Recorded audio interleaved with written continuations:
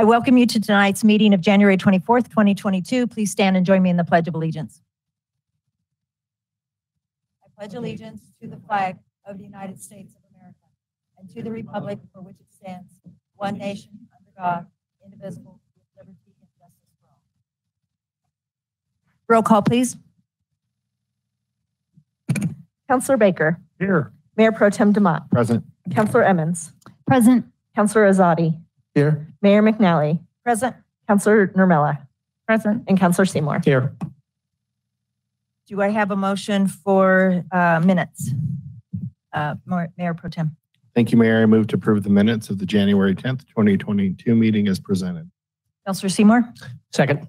It's been moved and seconded to approve the minutes of January 10th, 2022. Is there any further discussion? All those in favor say aye. aye. Opposed? Motion carries. That brings us to, we don't have any presentations tonight. So that brings us to public comment. The public comment portion of the meeting is an opportunity for the public to communicate with the city council on any topic they choose, unless there's a topic for a public hearing is also, if it's also scheduled. This evening, we have two public hearings, 10A and 10B. The public hearing and action on the annexation of eight acres of unincorporated Adams County and public hearing of first reading of Councilor's Bill Number One regarding proposed co- comprehensive plan amendments changing land use designation for Semper Farms North Parcel. First reading of Councilor's Bill Number Two regarding the proposed comprehensive plan amendments changing the land use designation for Semper Farms, uh, our Garden Central and South parcels. First reading of Councilor's Bill Number Three regarding the approval of rezoning of Semper Gardens North and Center parcels and approval of the preliminary development plan for the Semper Gardens. Anyone wishing to speak on these items, please hold your comments until we reach that agenda item later in the evening. The current public comment portion of the meeting is not intended to be back and forth, but rather a direct communication from the public to the representatives. There are four methods available for participation in the public comment. You may submit written email testimony, record a voicemail to be played back during the meeting, or request to speak virtually through the city clerk's office or speak in person at the meeting. Please see the posted agenda for details on how to participate using any of these methods available. This evening, the city clerk has informed me that we have zero persons requested to speak live by the deadline. Two voicemails were received by the deadline, and one email was submitted by deadline and forwarded to council and added to the packet today. Ms. Fitch, would you call the first speaker? Yes, the first speaker for public comment is Karen Calavity.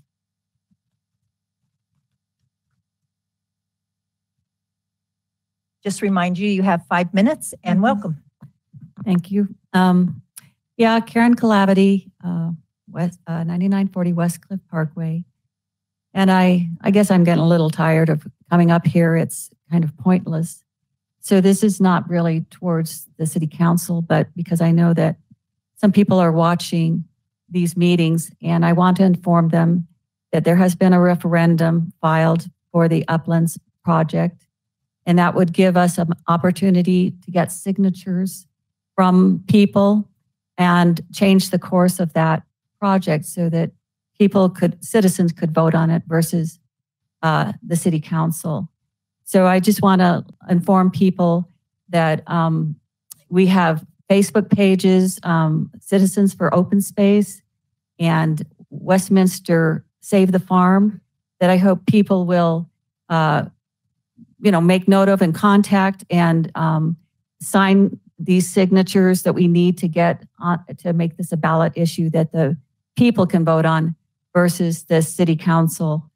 Um, and I, I quite frankly think this is not really a home real, home rule community as much as it is a developer ruled community. And I, I think it's a little sad. Um, but that's my two cents worth for today. And um, I hope people will look us up and sign the petitions.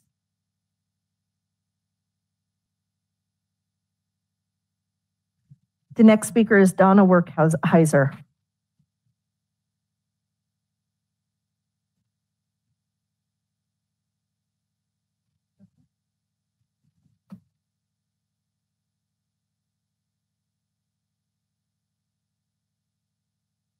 Welcome. Uh, Donna Workhiser, 7461 Elliott Street. So I have uh, got enough papers this time. You remember me last, last month when I only had the one packet of the holes along the wall with the erosion of the dirt from the swell. And so anyway, I um, brought up the oak trees. So on the first page is a draft. I found it on the city's website. My layout, I have a hard time saying that didn't know where this was. And I guess the city planners didn't know where this was. It's only a draft, so I guess it doesn't consider anything. But in this draft, it really does make a lot of sense. Like you don't plant oak trees under the power lines. If you see on the page, I have this is the Westminster Station Park Nature Playground, which was opened on November 6, 2021. First page, you see a pine tree planted right under the bridge, which will last how many years before they got to take that pine tree out because it's too tall. Second page is you got two pine trees planted right next to each other, about that far from the sidewalk, which will last no time at all. Third page, you have a pine tree planted next to the sidewalk, next to a park bench, which in a few years, gonna have to take that pine tree out. Um, so they spent $7 million on this bench, on this park. They have picnic tables with just bolts on them. They have three big round tables. The bench is already taken off and stolen or done something with. I have pictures, but I didn't print them out. So the next page is a red tube. This is McDonald's coming down. It's going down 74th Street. The drainage issue on this was it had a heavy rain. The water went directly into the house's basement. Um, called the city, planning commission, whoever, the engineers, they put this red tube there. It's been there for years. That was their fix for their drainage issue. I have no idea what kind of disease that tube has now because it's been there for years. But it, I guess it is. We haven't had a big rain since. So don't know how well that red tube is going to continue to keep the drainage away. Next page is the email I got from Dave Loosman explaining how the swell behind my house is working. As you saw the pictures last month, it's got the dirt erosion. So now I have a steady stream that will go straight into our yard. I've never had algae in my yard before this. And now I have algae on my retaining wall in the summertime, of course. Um, he's explaining how it's better now going from a flat piece of land to a 20 degree slant into my yard um, because 75% of the water now goes drains into federal because it's all concrete. The next page is Eric, who says the city holds onto security bond during the time to help encourage the necessary correction work. I've been dealing with this drainage issue for years now. At one time, I had three inches of water in my backyard, just sitting there in my area, we have three different garages along that side. So there is going to be structural damage. I mean, when you got erosion, and the gentleman that I was assigned to has only been here for like a month. So he doesn't know. I mean, of course, none of the planning commission knew about this draft on how to plant a tree. And, um, you know, he made a comment to me, well, they'll probably just fill it up with dirt. That's not the fix. They need to fix it. I mean, they really need to, I mean, they're holding money to fix this project. They need to fix it. Um, we have a school called Orchard Park, Park Academy. They plant apple trees around it, maybe because it's called orchard trees. Um, I love apple trees. I love bees. But who's going to clean up after these apple trees? If it went through the draft where it says where to plant things, you don't plant apple trees your sidewalks. So I'm just wondering, I'm not sure where this draft came from, who printed it out, why it's not in, um, why it's not usable. I mean, it's 53 pages. I mean, what did the city pay for this draft that makes sense and nobody's following? So I guess that's, that's it, you know. But yeah, I'd like to hear back on the draft why it's not being used, it does make sense. I could have paid, you know, like printed all 53 pages out, but I mean, it's on your website. Thank you. Thank you. Um, City Manager Andrews will have somebody follow up with all of the pieces that she talked about tonight. Thanks. Next. The next speaker is Carol Campbell.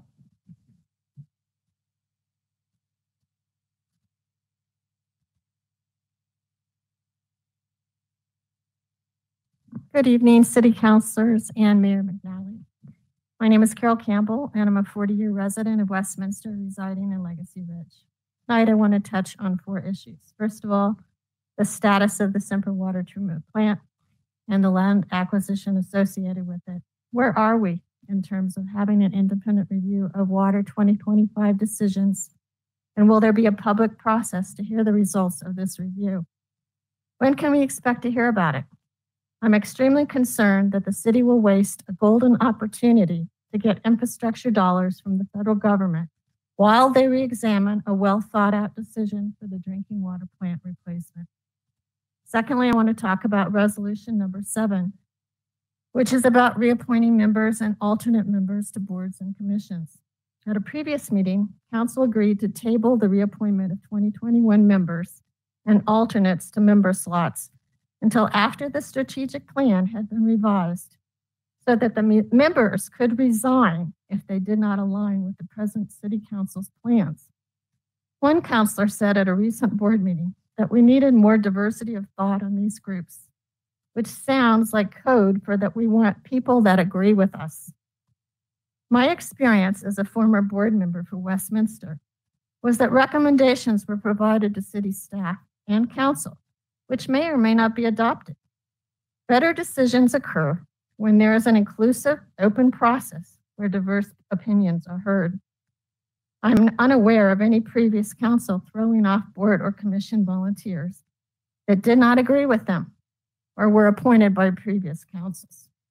If inclusivity and transparency are important, then the present system of appointing boards and commissions should continue. Any proposed changes should be put out for public comment, as it is the public, specifically those that volunteer their time, that are affected by this decision. Next, I want to talk about resolution number six, which apparently is proposing to ask public health agencies, Jefferson County and Tri County Health, to allow individuals and businesses the freedom to decide whether to require or wear masks. I'm extremely sad to see so many counselors without masks tonight, as well as some of the audience members. We must listen to the experts on how to best protect ourselves as we live, work, and play. When everyone gets to do whatever they want on vaccines and masks, then my freedom is limited. Vaccines and masks save lives. I support science and public health and strongly disagree with this resolution, which I think will be an embarrassment to Westminster if it passes. Lastly, on the strategic plan. I've reviewed this present strategic plan. I see it's very broad, and I don't see much that needs to change because I think you could say anything under it. I might change some of the language, such as triple bottom line, cause driven, holistic solution, placemaking strategies, more plain English terms. The public doesn't know what those things are. I am concerned with the process and how the public can provide input. I know that the retreat is Saturday and Sunday, and that public is allowed to attend at the recreation center. But is it going to be streamed to a wide audience to listen? Because that's a long meeting. Will there be a new draft strategic plan that the public can comment on? What's the process that's going to be used to develop the final plan? I think the public needs to know. Thank you for the opportunity to provide these comments. Thank you. The next speaker is John Palmer.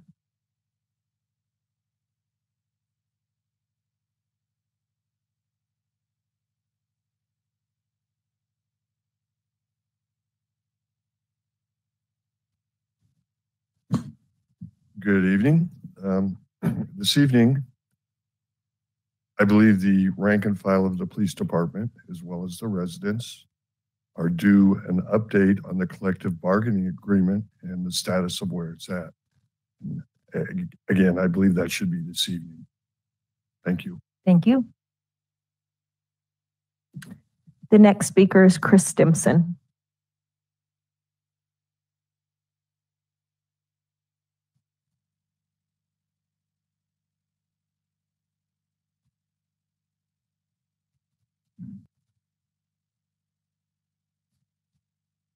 Madam Mayor, City Council, uh, this weekend you'll be reviewing the strategic plan of the City of Westminster. Annual reviews of the strategic plan are normal and are part of council responsibilities. However, I note that you have chosen to conduct this review in a location where no arrangements have been made for streaming the event, effectively reducing the level of public participation in your deliberations.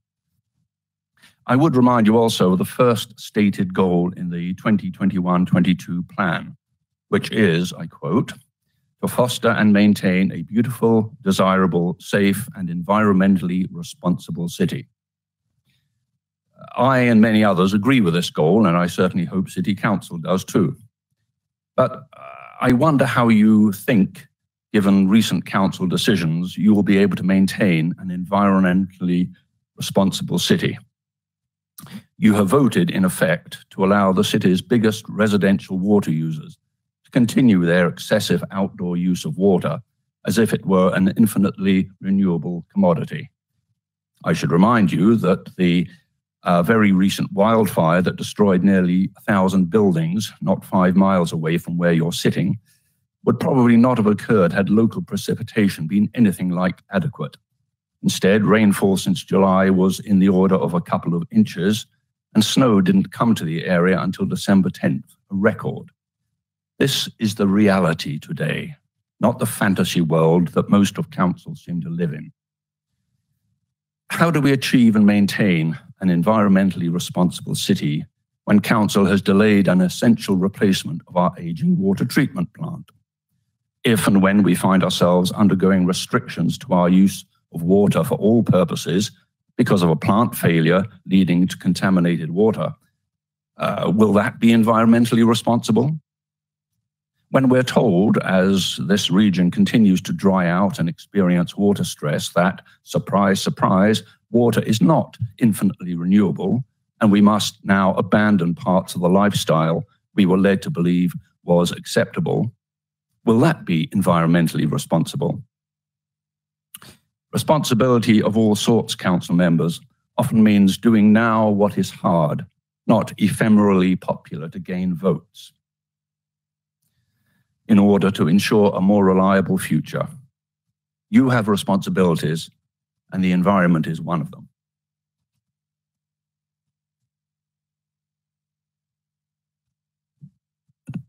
The next speaker is Carmia Car- Gunther. My apologies.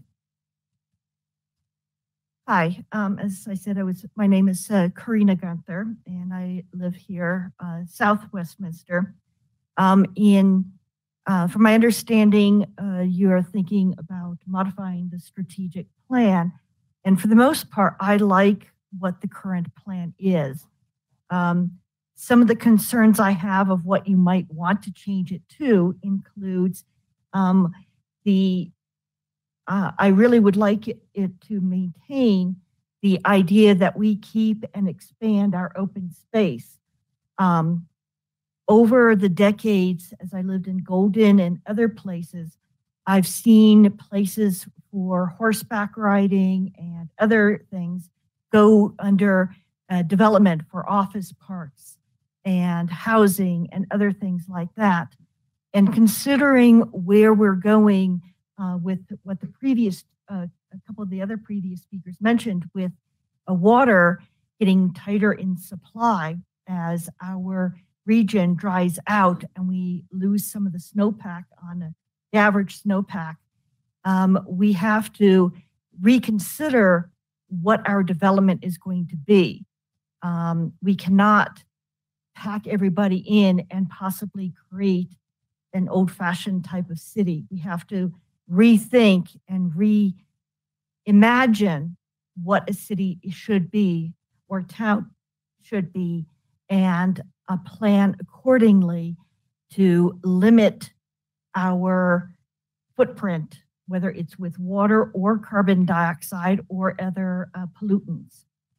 Um, in addition, um, if we are going to do development, we should focus in on on um, affordable housing and not micro mansions and uh, think houses for the rich. Um, and then when we put in parks and um, and plan for open space, we should plan for having xeriscaping and work with native plants as much as possible instead of plants that take up a lot of water.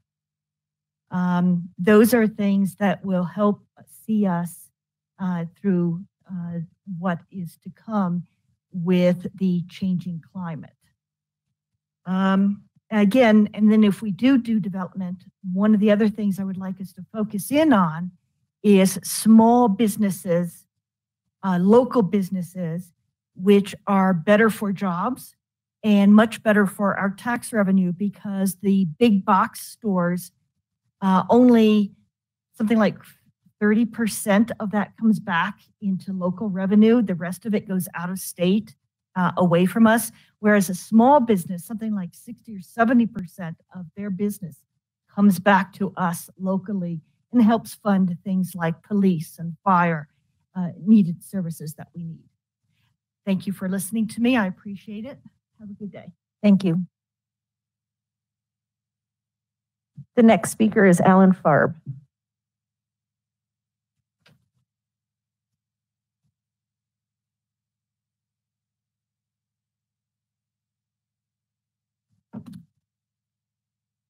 Last Wednesday, January 19th, was breaking my heart. It was cutting deeply into my soul.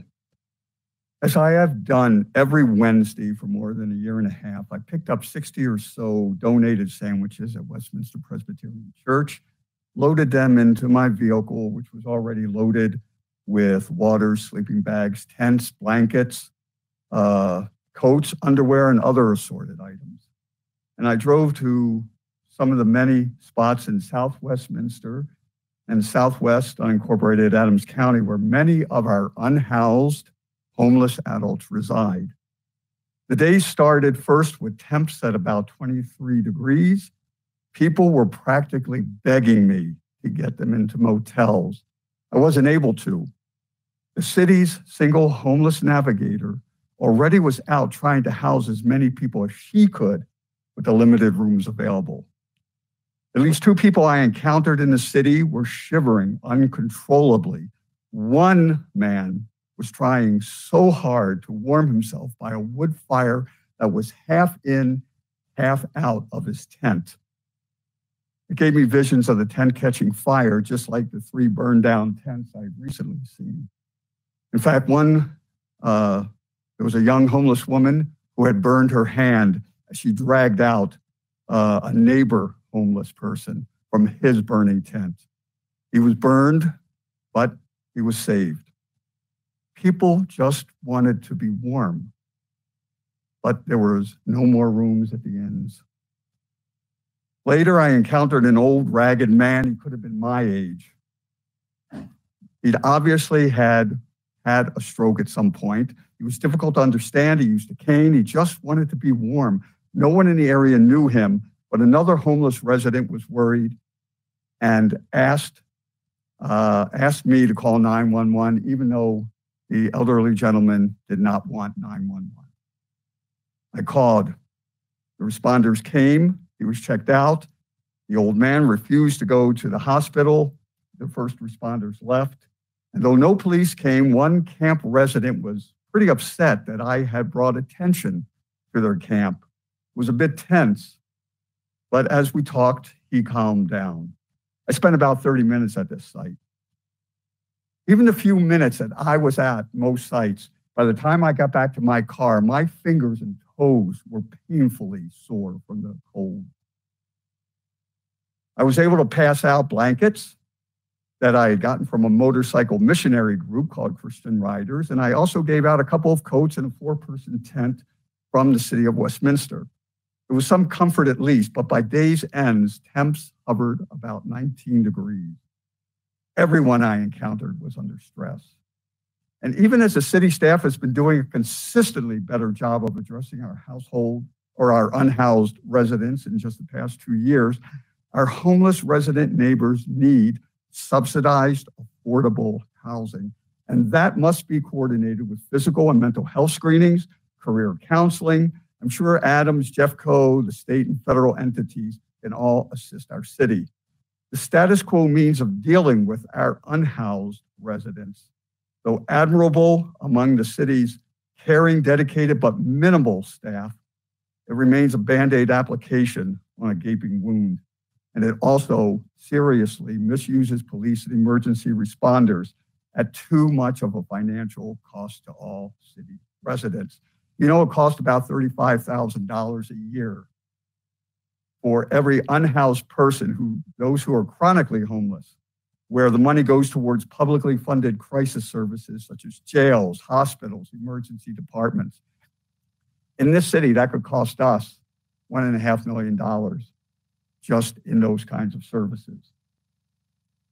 In my year and a half that I've spent out there, I've seen more than I should have to see.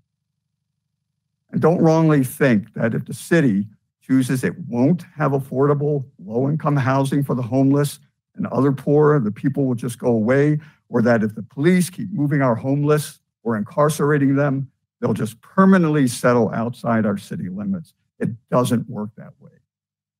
Northglenn has a pilot program that's bringing in unhoused adults out of the cold and into city owned facility. We should be doing the same. We should be saving people, not letting them perish in the cold or in a fire. Thank you. Thank you. The next speaker is Tom Jurgens.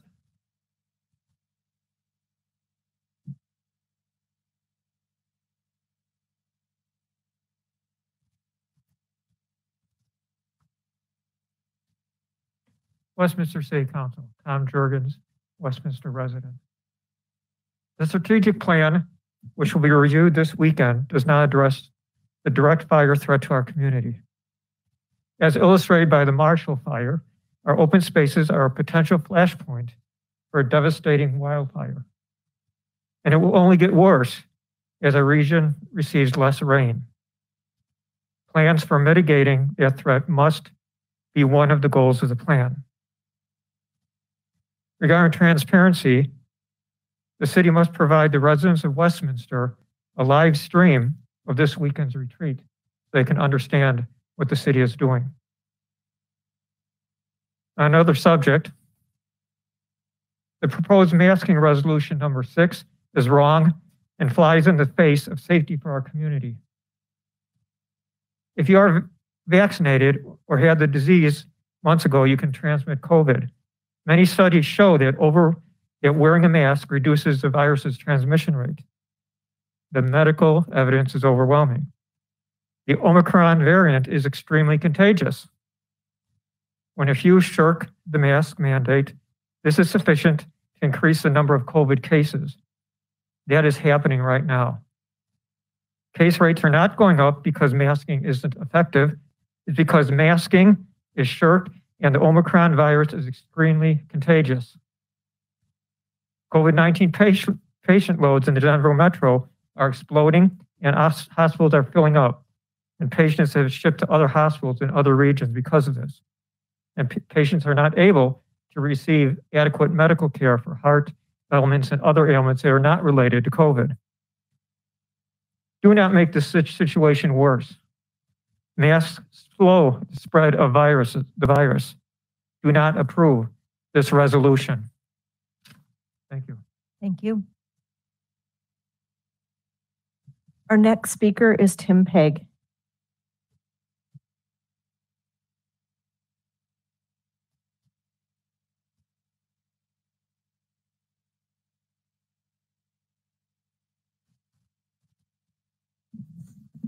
Hi, councilors. Uh, since you have a special study session coming up to discuss the city's strategic plan, I would like to share with you some of the current plan objectives that I think are important. Uh, first and foremost, objective 3E, promote the organizational culture of uh, service, pride, integrity, responsibility, innovation, and teamwork. And objective 1A, Um, continue to expand outreach to connect better with the community. I'm pleased to say that talking to city staff has always been courteous, professional, and helpful for me. I believe the spirit values encourage this, and I'd like the city to keep them. I would also like to see the city keep trying to improve communications with the community because this helps promote transparency in city government. I think these two strategic plan objectives are birds of a feather. Helpful interactions with city staff, in my experience, promote transparency by making it easier to find the information I need to know. The next objective of the current strategic plan that I care about is Objective 1B preserve, expand, and enhance trails and open spaces, and provide geographic equity and connectivity to neighborhoods throughout the city. The Big Dry Creek Trail is one of my favorite recreational amenities in the city, and I even use it to run some errands on my bike. To me, it's one of the things that makes Westminster special. Improving connectivity of this trail in particular and off street trails in general would really enhance the fun for me, and no doubt for others too.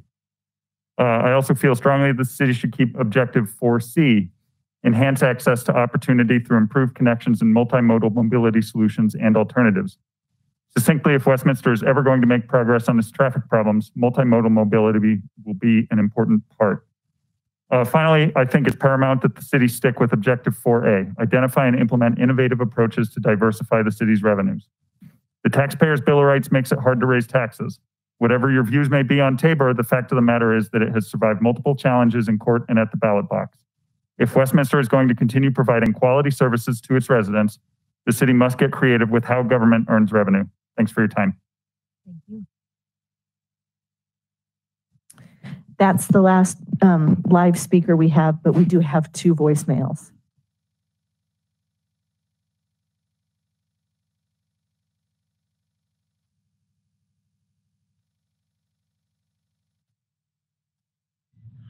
Good evening, Mayor, Mayor Pro Tem, and councilors.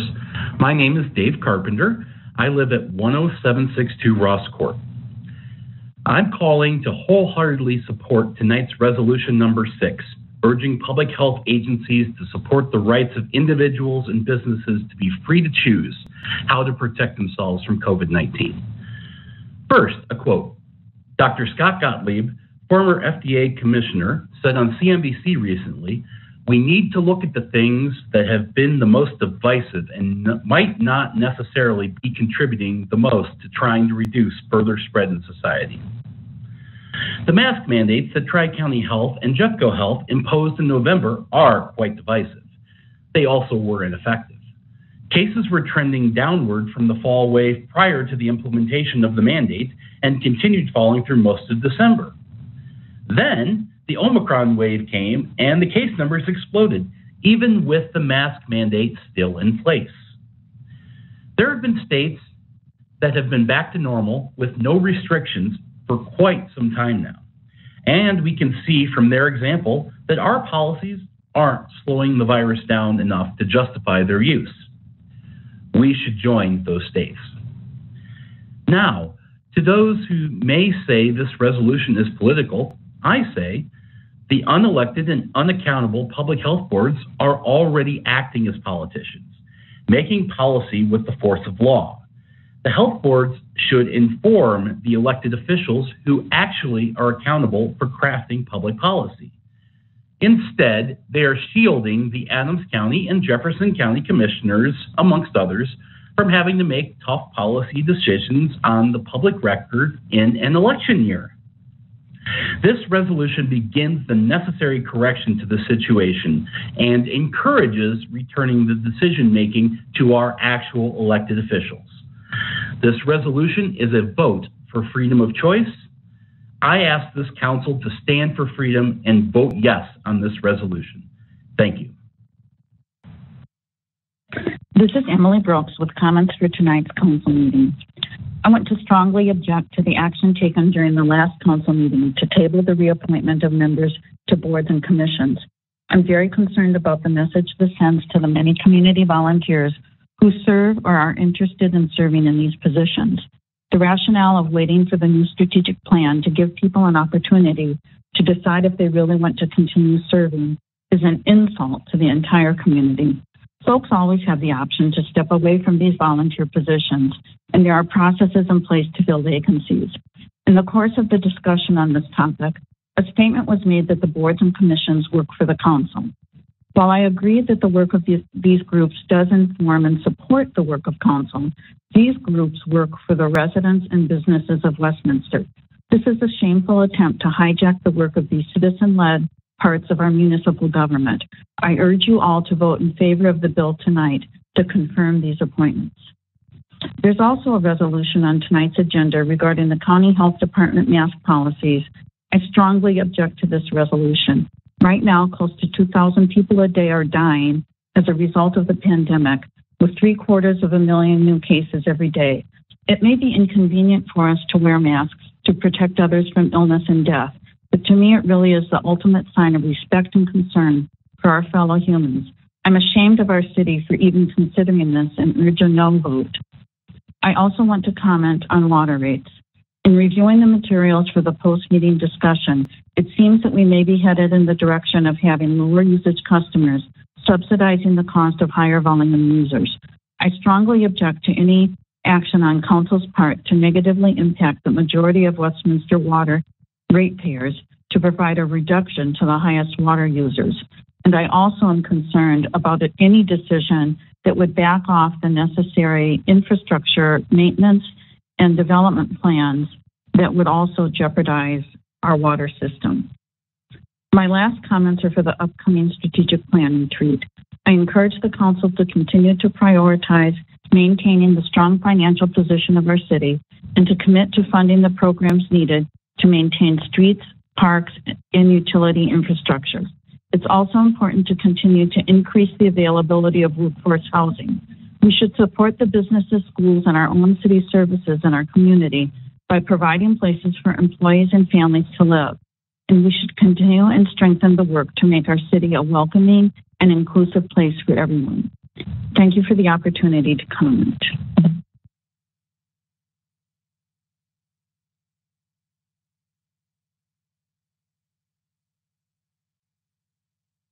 That brings us to report of city officials. City Manager Andrews. Thank you, Mayor. I do have a few comments uh, this evening uh, with your indulgence. First, I would like to thank all the speakers um, tonight. We do um, we do listen to each and every one of you, and we will follow up uh, where you've asked for follow up uh, on your items that you've raised. So thank you for doing that tonight, and uh, we really do appreciate it.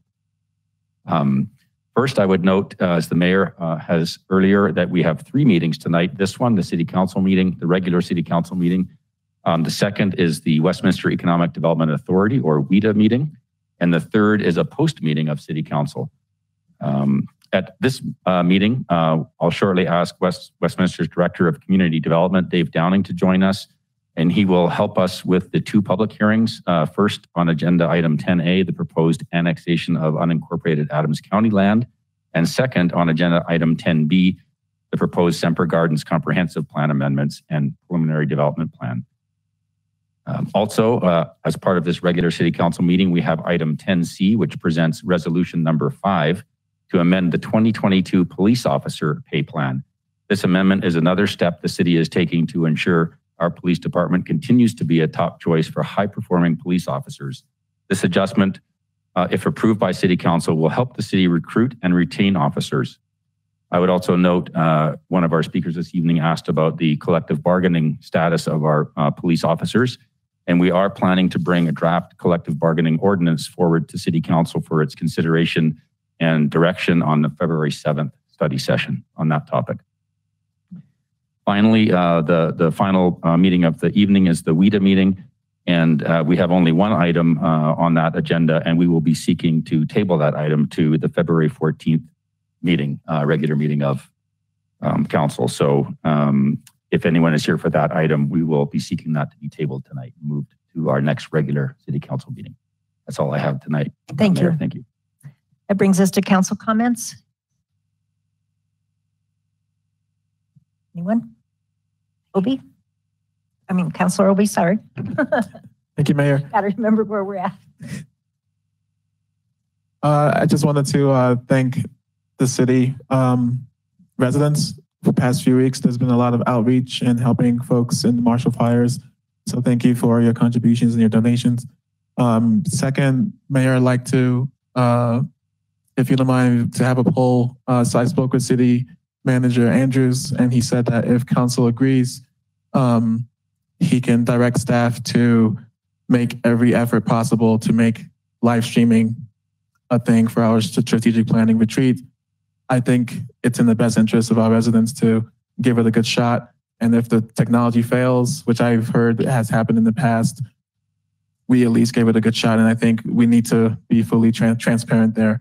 Um, so I'd like to request a poll. Councilor, or Mayor Pro Tem. Um, thank you, Mayor. Thank you, Councilor Zadi, for bringing this forward. I will say that um, I'm not in support of this, not because I'm not in support of being transparent, but that is actually a change from what we've done in the past. The last time we did strategic planning and it was live streamed, it was because of the pandemic. Um, and it ended up taking a good amount of our day um, juggling technology, and it did and it didn't serve the purpose that it was there for in my mind. Um, so this is probably one of the most important things that we do. Um, and I think that having uh, the risk of spending the day trying to fix the technology once we already start streaming, which would be the case, seems like a risk that I'm, I'm not interested in taking. This meeting is open to the public. It's as, as transparent as you can be. Um, a speaker had mentioned about that it's in an offsite. This has always been in an offsite, except it, it's at least every year that I've been a, a participant in it. We've done it in various different places where it's a little more laid back and we can um, talk with each other as people and, and, work on the issues facing our community. So um, I appreciate everybody's desire to see that. I'm open to looking at that in the future as we continue to improve our technology, um, not just to stream these meetings, but the uh, offsite meetings. But I just don't feel like we're there, and that's a short period of time to turn that around. Councillor Emmons? Yes, um, thank you, Councillor Ezeadi, for bringing that forward. I I'm in support as doing as much as possible um, to stream, but it was pretty difficult when we had a strategic planning that ate up into the hours that we could be working together. Uh, so if there's any possibility to stream it, um, even maybe audio, um, not necessarily vi uh, visual, uh, if there's any kind of audio, maybe listening as a podcast, right? instead of what we're doing on council. Um, I I think that that would be still appropriate for uh, listening opportunity. Um, so if we can, I would support it, um, but I would not support that um, if it's a heavy lift that we are eating up into our planning. I, I wouldn't support moving forward with it. Councillor Nurmela. Yeah, I, similar to uh, Councillor Emmons. Gotta get it. uh, that uh, yes, I think it would be great if we could find a way to stream this. But uh, yeah, if it's, I'm totally fine if it's um, just audio. So. Councilor Seymour. I, I, I, am concerned about the time. Um, and I know right now we're investing so that we have all of our venues so we can take road shows, town halls, everything that we're working towards that. Um, but but I know that we have restrictions on the internet at Westview, and um, you know if, if, we can do audio, that's fine. But we we can't be stopping the meeting and oh we can't we can't get on. It just those are two long days, and we need to be efficient with our time. I, I would be in favor of audio. You know, it's an open meeting, always has been. I've I attended in the past myself as a resident, but um, eventually we'll be able to wherever we go we'll have this set up. We're just not quite there. Uh, I I would be in favor if we can, but uh, yeah. Councillor Baker.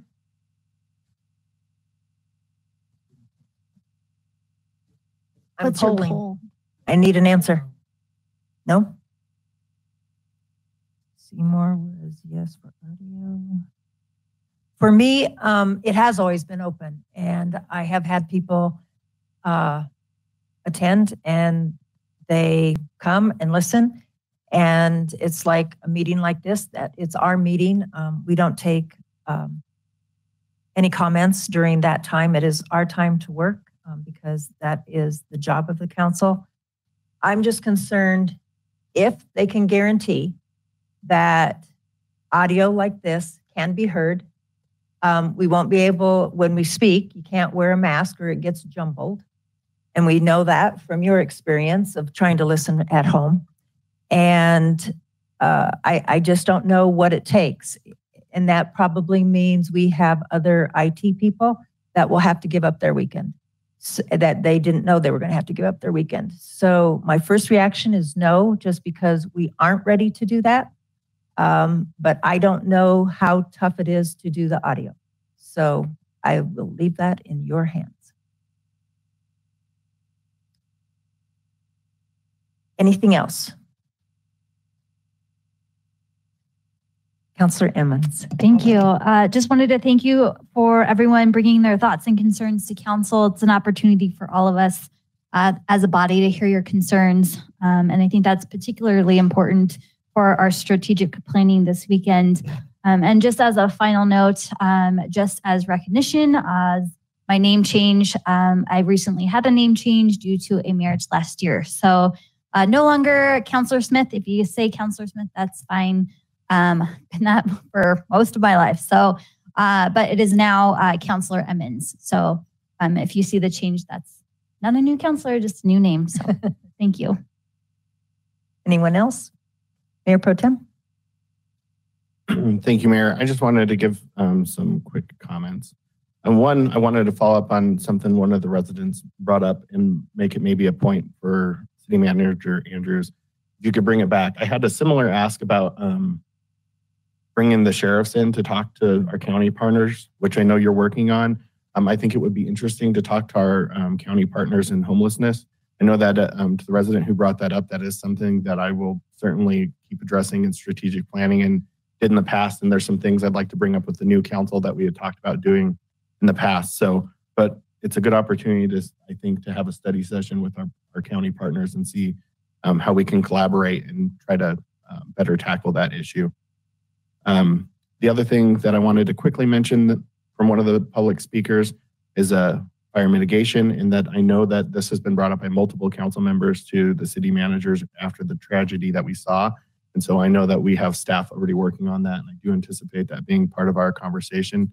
Um, I know I'll bring it up if nobody else does. So, um, but we appreciate everybody who came forward. The other thing I wanted to mention um, obviously, hopefully you enjoyed uh, celebrating Martin Luther King Jr. This is the first time we've seen the public for a, a little bit because we had last Monday off um, to celebrate his life and his legacy, um, as well as a couple days prior to that. Uh, hopefully, I know a lot of community members got to appreciate Bob Briggs, who is our uh, former mayor pro tem, state rep, county commissioner, RTD board member, and a various number of other things. Um, I was able to attend his service and celebrate his life. Um, the other thing was uh, inclusivity board. So I was able to attend that and quick update to the council. Um, the main thing that they were talking about was actually meeting with us and what the strategic plan moving forward might look like. Um, they're still working. They'd like to meet with us in person if possible. So they're still working through when people are comfortable to be back in person because I think they think that would be more valuable to meet this new council um, together. Um, and a, a resident mentioned um, in their comments about, I believe they were talking about that meeting because I was asked about the, the um, move to pause the appointments till after strategic planning. So I want to give some context that I gave in that meeting since I was asked about it. Um, I think I am still where I was as far as it's a good practice for us to have something moving forward to touch base with people when they're reappointed. That's not something we've done in the past, but I think that would be constructive for both parties. And that's not to say that's because the council would get rid of you. It's a good touch base for to hear feedback, uh, maybe check attendance because I know we've had that that problem in some boards and commissions in the past. So I think it would be a constructive thing to make sure that those boards are operating on all cylinders. Um, I do also think that it makes sense to align with strategic planning. Um, however, since this has always been the practice that we just would reappoint, I had heard a considerable amount of feedback from the community on it. So I have spoken and pulled individually different council members and let them know that I was going to be asking for this to be back on the agenda because I think um, my preference now is um, after hearing feedback that we still do those things, but we reappoint people and allow them to continue the great work that they're doing, um, but be able to move forward. Um, so I wanted to give that update because I shared that in the inclusivity board. So I think it's fair my colleagues know that I shared that with that group when they asked me about it. Um, and I look forward to voting on that this evening. Thank you.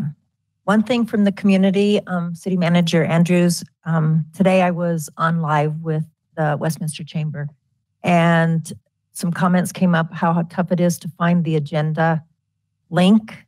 And so the only suggestion was, can the current agenda be moved up to find the link when you're looking for agendas and let the archives be at the bottom?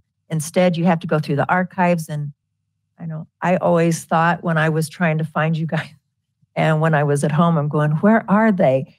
And um, they just thought maybe that simple little thing. And I said, uh, since I was coming to council tonight, I would share. The other things, the meetings I attended in the last two weeks were transportation.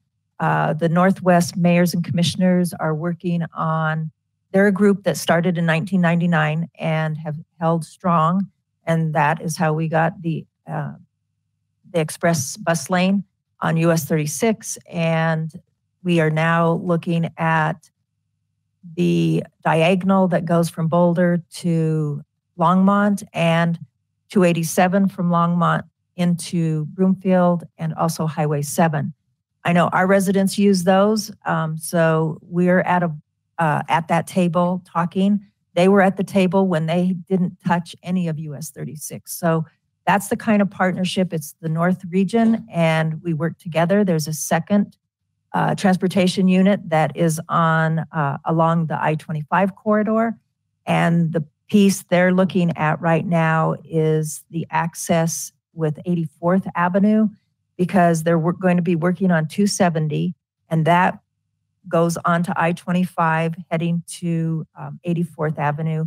And we've done work north of 104th and south of 36. So there's like a bottleneck and everything's sort of feeding in and it doesn't flow smoothly. So they would like that. It was um, studied back in like 2011.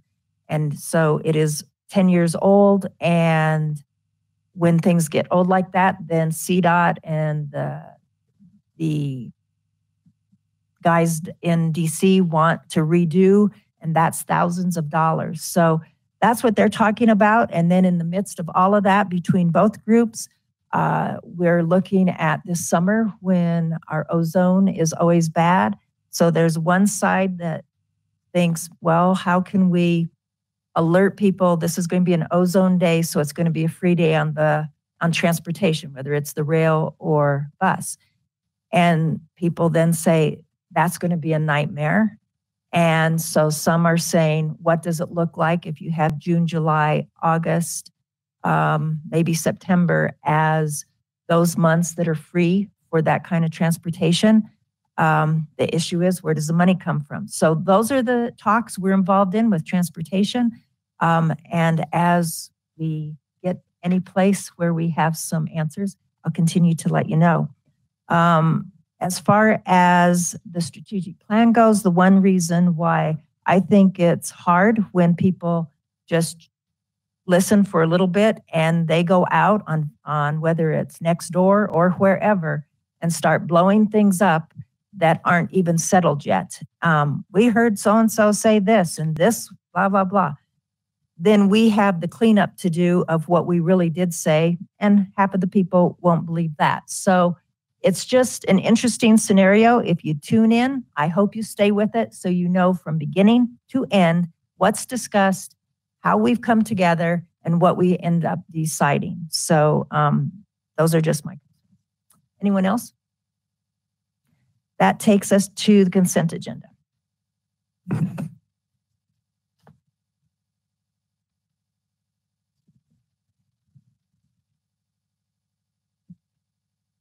I don't know who said first. Councillor Seymour. Mayor, I move to adopt consent agenda item 8A. Councillor Um, uh, second. It's been moved and seconded to adopt cons- consent agenda item 8A. Is there any further discussion? Roll call, please. Counselor Baker. Yes. Mayor Pro Tem Demott. Yes. Counselor Emmons. Yes. Counselor Ezeadi. Yes. Mayor McNally. Yes. Counselor Nurmela. Yes. And Counselor Seymour. Yes. The motion passes on a 7-0 vote. That brings us to ni- item 9A. Mayor Pro Tem? Thank you, Mayor. I move to adopt the resolution number seven, reappointing members and alternate members to the Election Commission, Environmental Advisory Board, Historic Landmark Board, Human Services Board, Inclusivity Board, Parks, Recs, Libraries, and Open Space Advisory Board, Personnel Board, Planning Commission, and Special Permits and Licensing Board respectively. Is there a second? Counselor Emmons? Second. It's been moved and second to adopt Resolution 7. Is there any further discussion? Ro- uh, Sorry, Counselor Baker? Thank you, Mayor. Um, change is always hard. Change is always hard. But I think we need to openly recognize that these are terms. And these are two-year terms. And these are not entitlements. And to make the difficult change, uh, I would say let's step up and make that change. Let's set that priority. Realizing that uh, it is so difficult. Thank you. Thank you. Anyone else? Oh, Counselor Nurmela? So I just wanted to say, um, I do appreciate this being on, um, back on the agenda. I feel like, uh, the, the boards and commissions, as we go through and, you know, we, we have resumes submitted by applicants, you know, they are chosen and interviewed, um, essentially for a job, but it's a volunteer job. And they're, um, we hire them based on their merit and their experience. And, um, you know, one of the roles of these boards and commissions is to actually provide advisory service to the council. And so, um, based on the experiences that very rich and different experiences that all of our board members provide, um, that I think provides us with, you know, something to think about. New ideas are brought in, or even contrasting ideas can be brought in. So I think it's worthwhile to staff these boards and commissions um, in the way that we have been by um, interviewing and making the best choice based on experience. Thank you. Mayor Pro Tem? Um, thank you, and thank you to my colleagues. Um, I, I would just reiterate, I, I think that these boards obviously are very important to the city. I served for uh, many years on the Special Permits and Licensing Board, which is one of the boards, one of, is, is the only board actually that doesn't answer back to the city council. Decisions you make on that board, if you're wrong, you get sued in court. Um, so, you know, I understand the the gravity of what those boards and commissions do for us, and quite frankly, we wouldn't have enough time in the day to be able to do all the things that need to be done um, if we didn't have people who step up. So I, I certainly do appreciate what they do, um, but I do believe in diversity of thought. I think that it's very important that we have diversity of thought, and that is by no means any kind of code other than we need people who are in a diverse city that think like all the different diverse uh, thought processes that you have in a city as big as the city of Westminster if we're to best serve all those different portions of the city. So um, no matter which board it's on, um, they should be inclusive and diverse, whether it's the inclusivity board or special permits and licensing, because you want you want those life experiences like you're mentioning. So, um, however, I do think that we have room for improvement moving forward, and I hope my um, colleagues, as we go through the year, that you will agree that we look at a way that we can, uh, when people are up, that we can have a touch point with them, as well as I do think it makes sense for us to align on the strategic plan with all our boards and commissions. And I will say that I strongly heard from uh, a handful of members from the inclusivity, um, both in the meeting and a couple privately, that they were very much in line with that. And they wanted to make sure that we're all moving in the same direction as far as, you know, we have the same kind of goals. Maybe we have different ideas how we get there, um, but that's the way that these boards work well together. So I'm excited to move forward with this. Thank you. Counselor Seymour? Thank you, Madam Mayor. I, I initially uh, was in favor of this change and an update. Um, I do believe, though, that we caught some of our um, longtime board members off guard. I think we need to put in place um, uh, uh, an interview process, a check-in, whatever we want to call that, at the end of each two-year term, so that we're all on the same page in that um, case too. So I, I will be voting in, in favor of this tonight, which is a change of heart from why, when I initially did that. Um, but I think we can improve the process and look at every two-year term separately in the future. See no one else wants to speak. Would you take roll call, please? Mayor Pro Tem Demott. Counselor Emmons. Yes. Counselor Ezeadi. Yes. Mayor McNally. Yes. Counselor Nurmela, Yes. Counselor Seymour, Yes. and Counselor Baker. No. The motion passes on a 6-1 vote.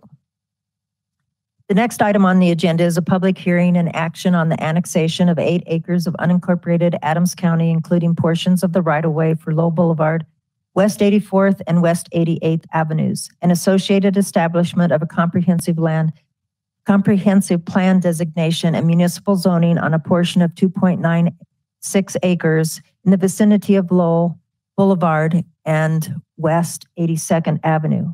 It's now 8:02. And at this time, we will open the public hearing, which will begin with a staff presentation, followed by a period for questions and comment from the city council. Mr. Andrews, will you please introduce the staff presentation? Mayor, uh, Dave Downing, Director of Community Development. I'll call upon uh, Senior Planner Patrick Caldwell to do the staff presentation.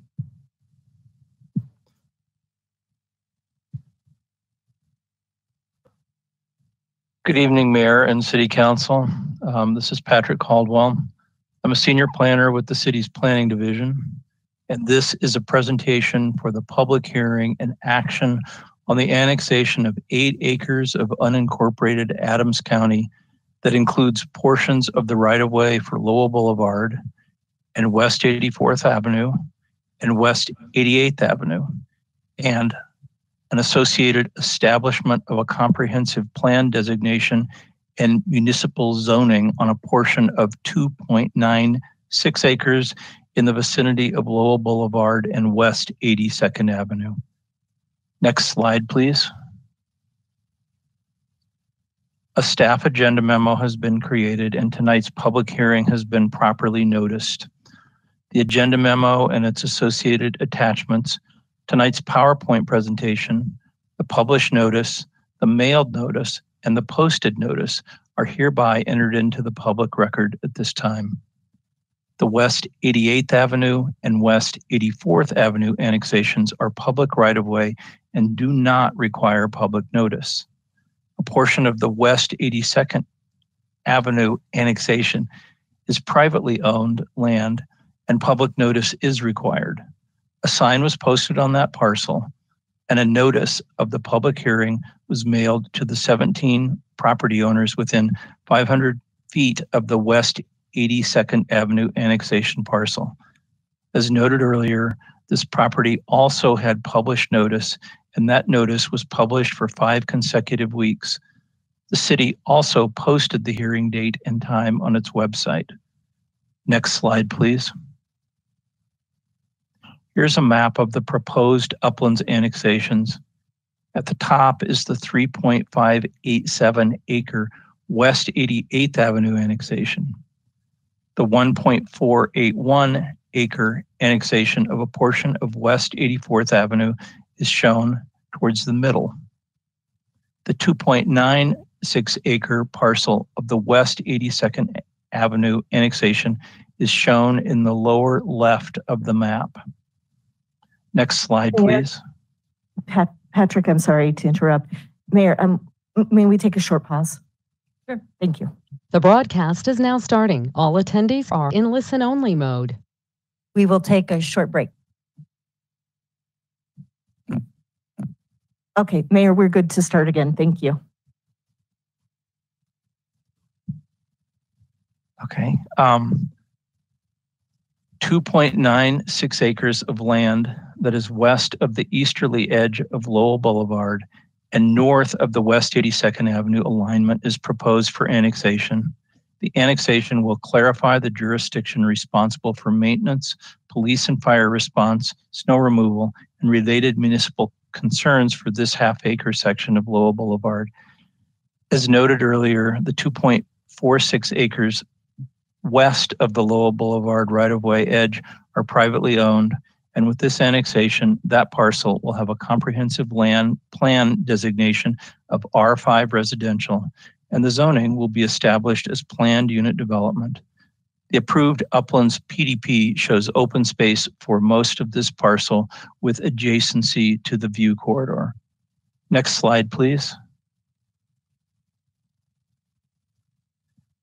Section 11.521 of the Westminster Municipal Code contains 10 criteria that are to be considered when reviewing land use plan amendments. Staff finds that this comprehensive plan amendment generally meets these criteria as outlined in the agenda memo. One example of criteria is consistency with the vision, intent, and policies of the comprehensive plan. The current comprehensive plan shows the land adjacent to the north with a view corridor area and the West 82nd Avenue annexation expands the view corridor area to include most of the annexed area. This is also consistent with the approved Uplands PDP. Next slide, please. Establishment of zoning to PUD is a requirement of City Code Section 11-5-2 for all property larger than two acres in size The portion of the West 82nd Avenue annexation parcel is 2.46 acres. Additionally, 10 criteria for establishment of zoning are listed in City Code Section 11-5-14. Staff finds that establishing the zoning as planned unit development generally meets these 10 criteria as outlined in the agenda memo. Next slide, please. The staff recommendations are that one, City Council hold a public hearing, and two, pass Councilor's Bill number four on first reading, annexing into the city the 2.96 acres of privately owned property that is west of the easterly edge of Lowell Boulevard and north of the West 82nd Avenue alignment. Number three, pass Councilor's Bill number five on first reading, annexing into the city the 1.481 acres of public right-of-way of West 84th Avenue between the east edge of the Lowell Boulevard right-of-way and easterly to the center line of Irving Street. Number four, pass councilors bill number six on first reading, annexing to the city the 3.587 acres of public right-of-way of West 88th Avenue between the center line of Lowell Boulevard east 2,231 feet to near Grove Street. Number five, pass Councilor's Bill number seven on first reading, approving a comprehensive plan amendment for the portion of the 2.96 acres of privately owned property that is bounded by the Mead Street center line, the southerly right-of-way boundary for West 82nd Avenue, the westerly right-of-way boundary for Lowell Boulevard, and the 1911 southerly boundary of the original city of Westminster. Number six, pass Councilor's Bill number eight on first reading to establish the zoning as City of Westminster planned unit development for the portion of the 2.96 acres of privately owned property that is bounded by the Mead Street center line, the southerly right-of-way boundary for West 82nd Avenue, the westerly right-of-way boundary for Lowell Boulevard, and the 1911 southern boundary of the original city of Westminster. And staff finds that a recommendation, oh, I'm sorry, next slide, please. Staff finds that a recommendation of approval of the applications would meet the city's strategic plan goal of foster and maintain a beautiful, desirable, safe, an environmentally responsible city by creating new sites for public parks, recreation, and view shed protections in an area which otherwise is primarily private property developed historically under Adams County regulations. The goal to provide visionary, effective, and collaborative government is met by working with the private landowner to annex land into the city to ensure the municipal oversight of planning, development, and construction on the lands subject to the petitions. The goal to advance the city's long-term sustainability to provide ongoing excellence in city services and a well-planned community that meets the needs of residents now and in the future is supported by enhancing the street network by establishing West Westminster authority over streets surrounding the uplands development with improved connections, efficiency, and safety, and supporting a circulation pattern that promotes multimodal mobility and public safety response. Thank you for your attention. There are several staff members with us this evening. We would be happy to answer any questions that you might have. And the applicant is with us tonight, and they have a brief presentation. Thank you. Thank you. And we'll ask that questions are held until we hear from the um, developers. So um, at this time, I'd like the applicant um, that has a presentation to share, and then we'll ask our questions. Welcome.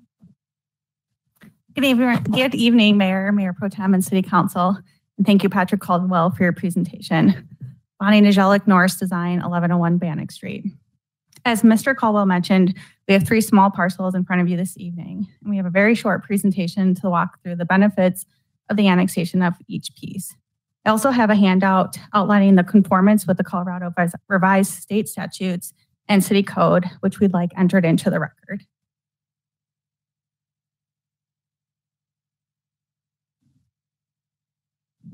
And this document is something that was provided with the initial rezoning and PDP for uplands as well. So it's not new information, just wanted to make sure it was part of the record since um, it does discuss conformance for the annexation. And I do have a couple of slides if someone could pull those up, please.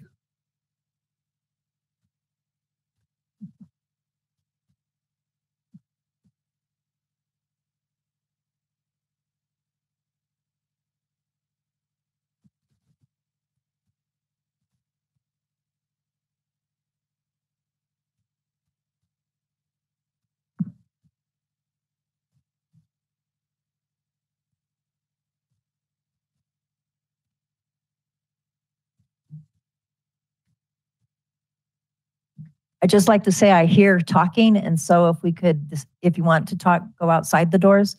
Continue. Thanks. Perfect. I'll go ahead um, while those are coming up. Hopefully, they're up shortly.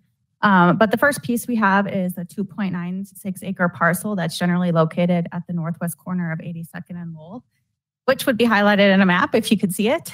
Um, the site is bounded by the city of Westminster land on the north, west, and south, and it includes the view corridors and public land dedication that's identified in parcel B in the approved PDP. Annexation of this parcel ensures the carefully located public land dedication and view corridors are within city limits and under the city's purview and control. The second parcel includes 1.481 acres of land that includes 84th Avenue, generally west of Irving Street. This 84th Avenue is currently or 84th Avenue is currently within city limits to the west and east of this parcel, and annexing this parcel of land creates consistent jurisdictional responsibility for the street, which helps clarify maintenance responsibilities, police and fire response, snow removal responsibilities, and related municipal concerns between the city and Adams County. Excuse me, we've got a request to wait until we have the slides Okay. correct to- that we're looking at. Perfect. It was going to be a short presentation. no, it's really fine.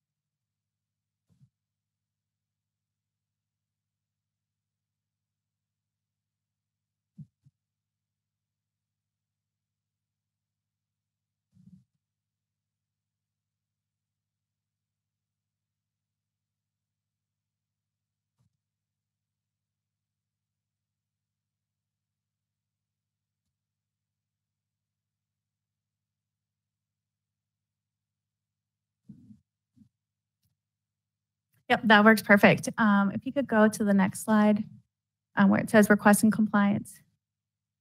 Um, so this is that first parcel that I, oops, sorry, um, the first, yep, that's it. Um, so this is that first parcel I was mentioning at the northwest corner of 82nd and Lowell. Um, in that orange hatch, that's the piece of land that we're requesting being annexed. And you can see um, the two, green hatches underneath it. That is the view corridor and the public land dedication that was identified in the PDP. So again, um, we know both of those pieces of land are incredibly important for public access and want to make sure that those are within the city's um, review and control um, for design, things like that, public access. The next slide, please. This is the second parcel. Um, this is 1.481 acres of land along 84th Avenue. So that's generally west of Irving. Um, 84th to the west and east of this parcel are already within city limits. Um, so this creates consistent jurisdictional responsibilities for the street, which helps clarify maintenance responsibilities, police and fire response, snow removal responsibilities, and other municipality concerns between the city and Adams County. This also ensures that the city is the approving body for the detailed street construction documents and avoids unique or differing design standards between the city review and the county review. These improvements include curb gutter, sidewalks, and tree lawn. Next slide. And the final piece is the 3.587 acre piece of land that includes 88th Avenue, which is generally located from Lowell Boulevard to the east of Grove Street, again highlighted in that orange hatch. Just like 84th, this annexation creates consistent jurisdictional responsibility for 88th from Lowell going east along the Uplands community and ensures the city is the approving body for the detailed street construction documents.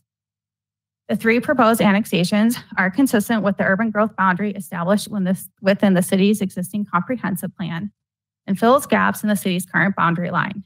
It ensures the city's jurisdiction over all phases of development review, construction, and then site access to ensure public safety response. As noted in your staff report and in Mr. Caldwell's presentation, along with the provided conformance document, all three parcels meet the provisions of the Colorado revised statutes and the Westminster Municipal Code related to annexations. Further, the proposed comprehensive land use designation and zoning for the private land west of Lowell Boulevard is in conformance with the standards of approval identified in the Westminster Municipal Code for land use plan amendments and zoning.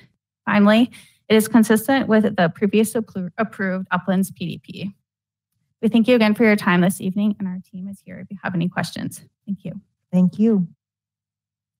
Is there any questions from council?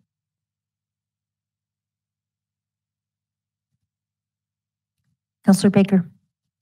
Are we going to have a further request for annexation on 88th Avenue east of Federal Boulevard?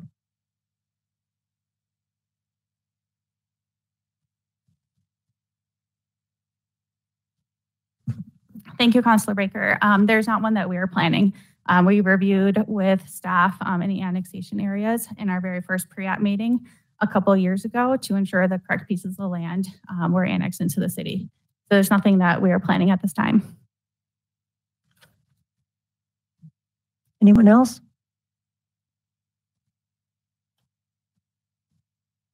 At this time, we will move on to testimony from the public for this hearing. There are now four methods available for participation in the hearing. You may testify in person, submit written email testimony, record a voicemail to be played back during the meeting, or request to speak live via the remote meeting link through the city clerk's office. Welcome, everyone. We are dedicated to hearing public input and we want to honor your time. Each speaker, speaker will be given five minutes. The applicant's presentation is limited to a maximum of 10 minutes per land use application being considered. We have done the following requirements in order to ensure everyone's testimony is heard. When you are recognized, please approach the podium, state your name and address for the record. All comments and testimony shall be made from the podium. No comments or testimony shall be shouted from the audience. Also, when possible, if your comments have already been stated by another speaker, please approach the podium and state that you agree with the previous speaker, rather than restating the same comments or concerns. Applauding, Comments or disagreement from the audience during and after a speaker will not be allowed. We are here to honor all testimony. We ask that speakers make their comments in a civil manner and refrain from making demeaning or inappropriate comments. Comments and testimony are to be directed to the chair. Dialogue and inquiries from the, from the person at the podium to members of staff or seated audience is not permitted. Inquiries which require staff response will be referred to staff by the chair through the interim city manager. Comments that address the approval criteria for each application are most useful. Council members use electronic devices to access materials relevant, relevant to public hearing before us. Be assured that this is a common practice that is before that uh, of this city council, and these devices are not being used for texting, emailing, or communicating during public hearings. And here's my cell phone, and it's right there. Um, if you, it is our desire to give anyone an opportunity to speak and be heard in a timely manner and within an atmosphere of respect and diplomacy, these rules are meant to foster that atmosphere. Thank you for your cooperation. We look forward to hearing your comments. At this time, I would ask the city clerk to please summarize the number of participants this evening and introduce our first speaker. We had no emails submitted, no requests for online speaking, no voice voicemails, but we do have one in-person speaker. So would John Palmer please come to the podium?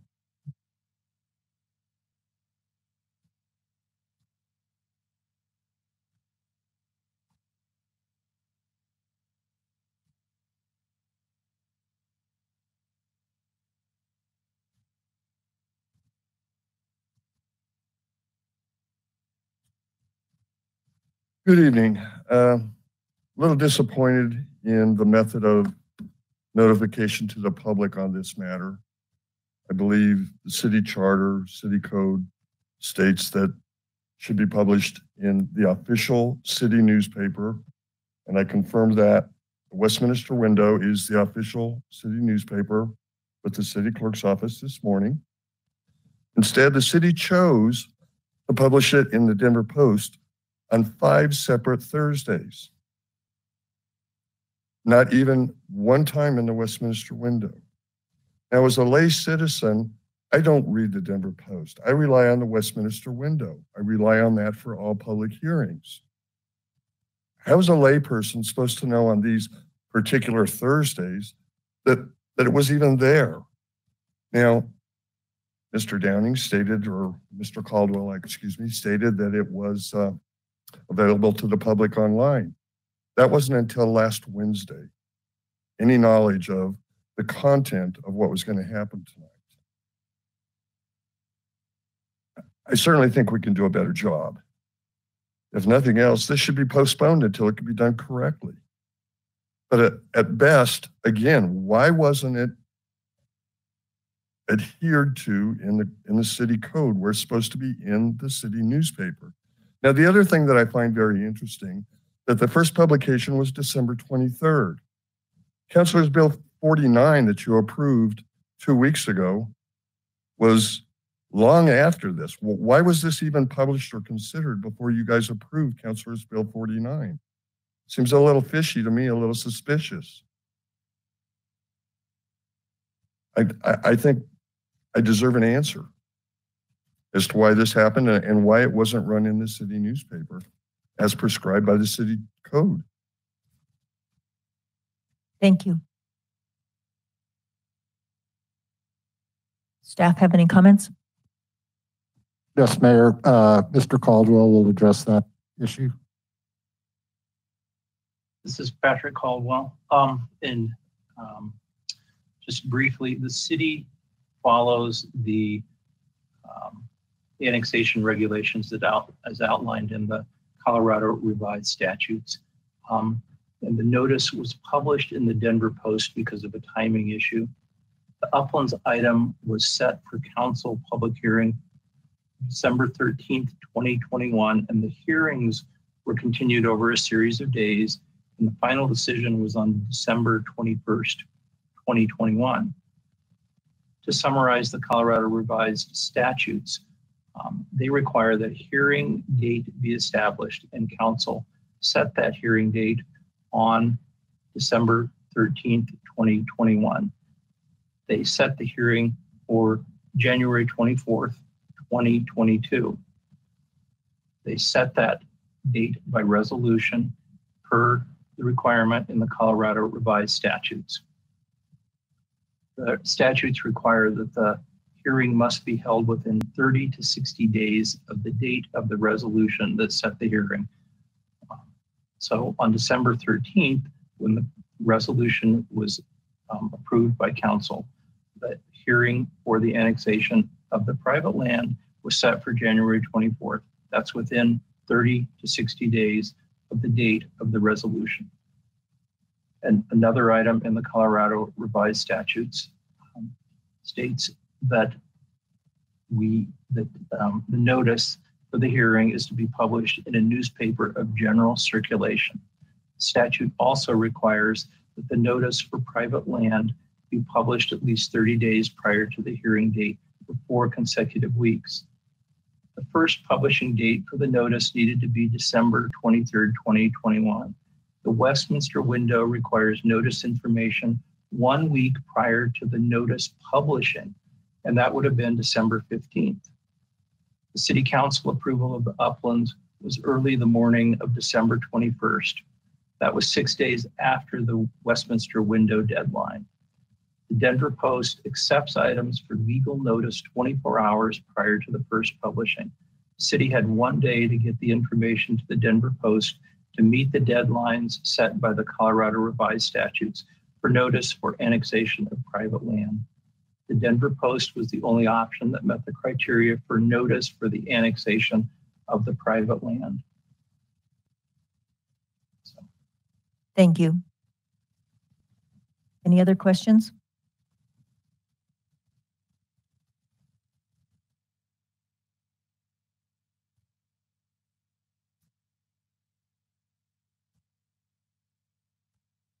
Question for Attorney Frankel. Do I close this public hearing and then we reopen one for the next one? Uh, Yes, Mayor, the two items being separate. so Okay, yes. thanks. I just didn't want to keep us going forever here.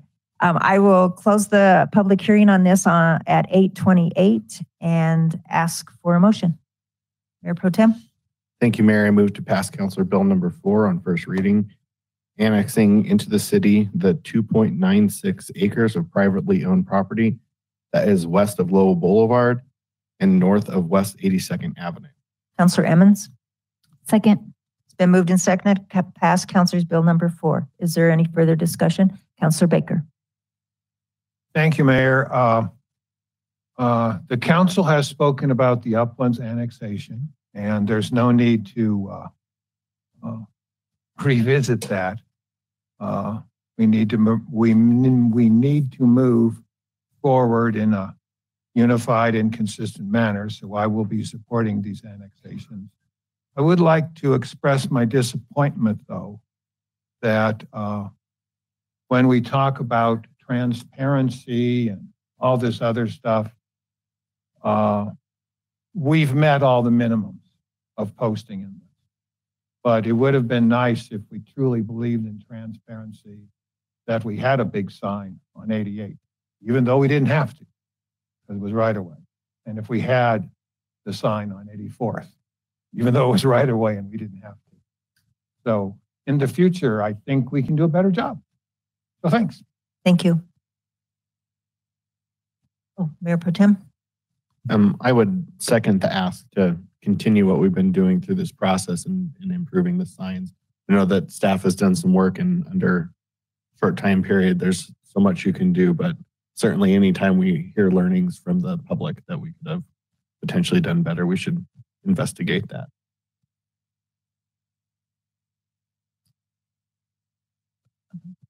Sorry, I have a quick question. I know we're past that, but uh, is there anything, I know, uh, Mr. Caldwell, you had mentioned that uh, the deadline for Westminster window had passed. Is it, um, is it, I guess, I'm not sure how to word this, but is it something that we could have posted in the Westminster window for three weeks, knowing that we had it in the Denver Post for four and we would be covered? Um, yes, that was an option. It's just sometimes easier to make it continuous within one um, newspaper. Okay. Um, I, I'm, I'm gonna, I'm asking for us to be able to conduct our meeting, please. If you want to speak, go outside the, uh, this room. Thank you. Uh, I would agree with the rest of my colleagues in that uh, we could do better if we've done uh, Westminster window postings in the past. Uh, I think it's appropriate for us to make sure that we cover our basis. Again, I know that it's uh, a lot of work and a lot of changes um, as we move through this. So um, I, I, would express my disappointment in that transparency part of it. Um, but I will be moving to pass this along with Councillor Baker.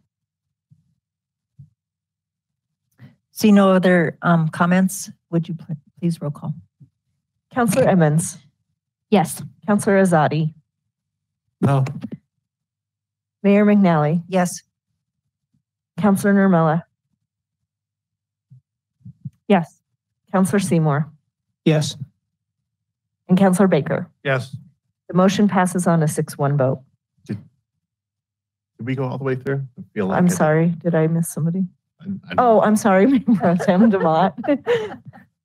Yes. Okay. Okay, now the motion passes on a 6-1 vote. My apologies. Uh, Mayor Pro Tem Demott, Councilor's Bill number five. Thank you, Mayor. I move to pass Councilor Bill number five on first reading. Annexing into the city the one point four eight one acres of public right-of-way um, of West 84th Avenue. Councilor Emmons. Yes. For a second. It's been moved and seconded to pass Bill, Bill number five. Is there any further discussion? Roll call, please.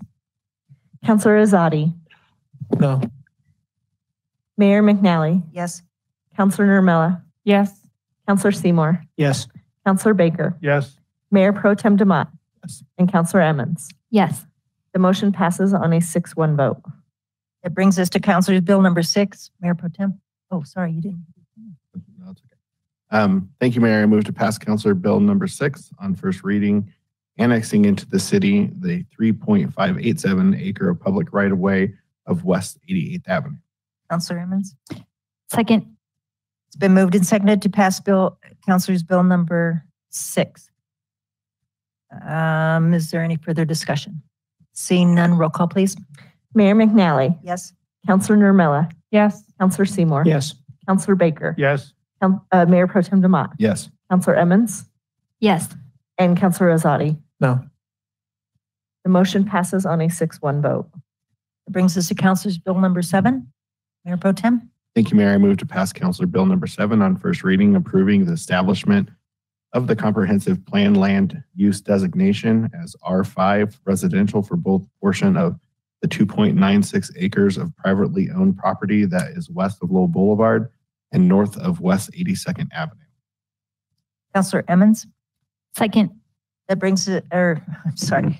It's been moved and seconded to pass Councilor's Bill number seven. Is there any further discussion? Councilor Seymour. Thank you, Madam Mayor. I'll be voting no on this portion of it. I want to be consistent when I also voted on the previous change of the designation to R5 on that parcel B um, uh, in the, in the vote that we took over a year ago. So I'm going to be consistent in that and uh, keeping that um, at a lower density at this time.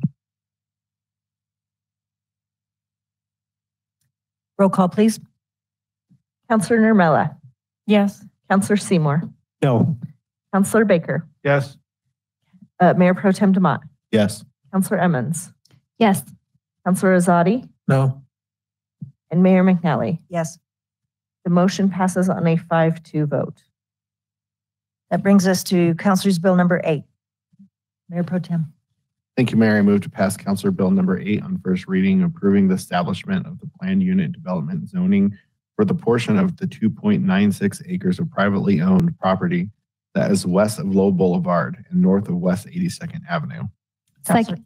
Councilor Emmons. Second. It's been moved and seconded to pass Councilor's Bill number eight. Is there any further discussion? Roll call, please. Councillor Seymour, Yes. Councillor Baker, Yes. Mayor Pro Tem Demott, Yes. Councillor Emmons, Yes. Councillor Ezeadi, No. Mayor McNally, Yes. and Councillor Nurmela. Yes. The motion passes on a 6-1 vote.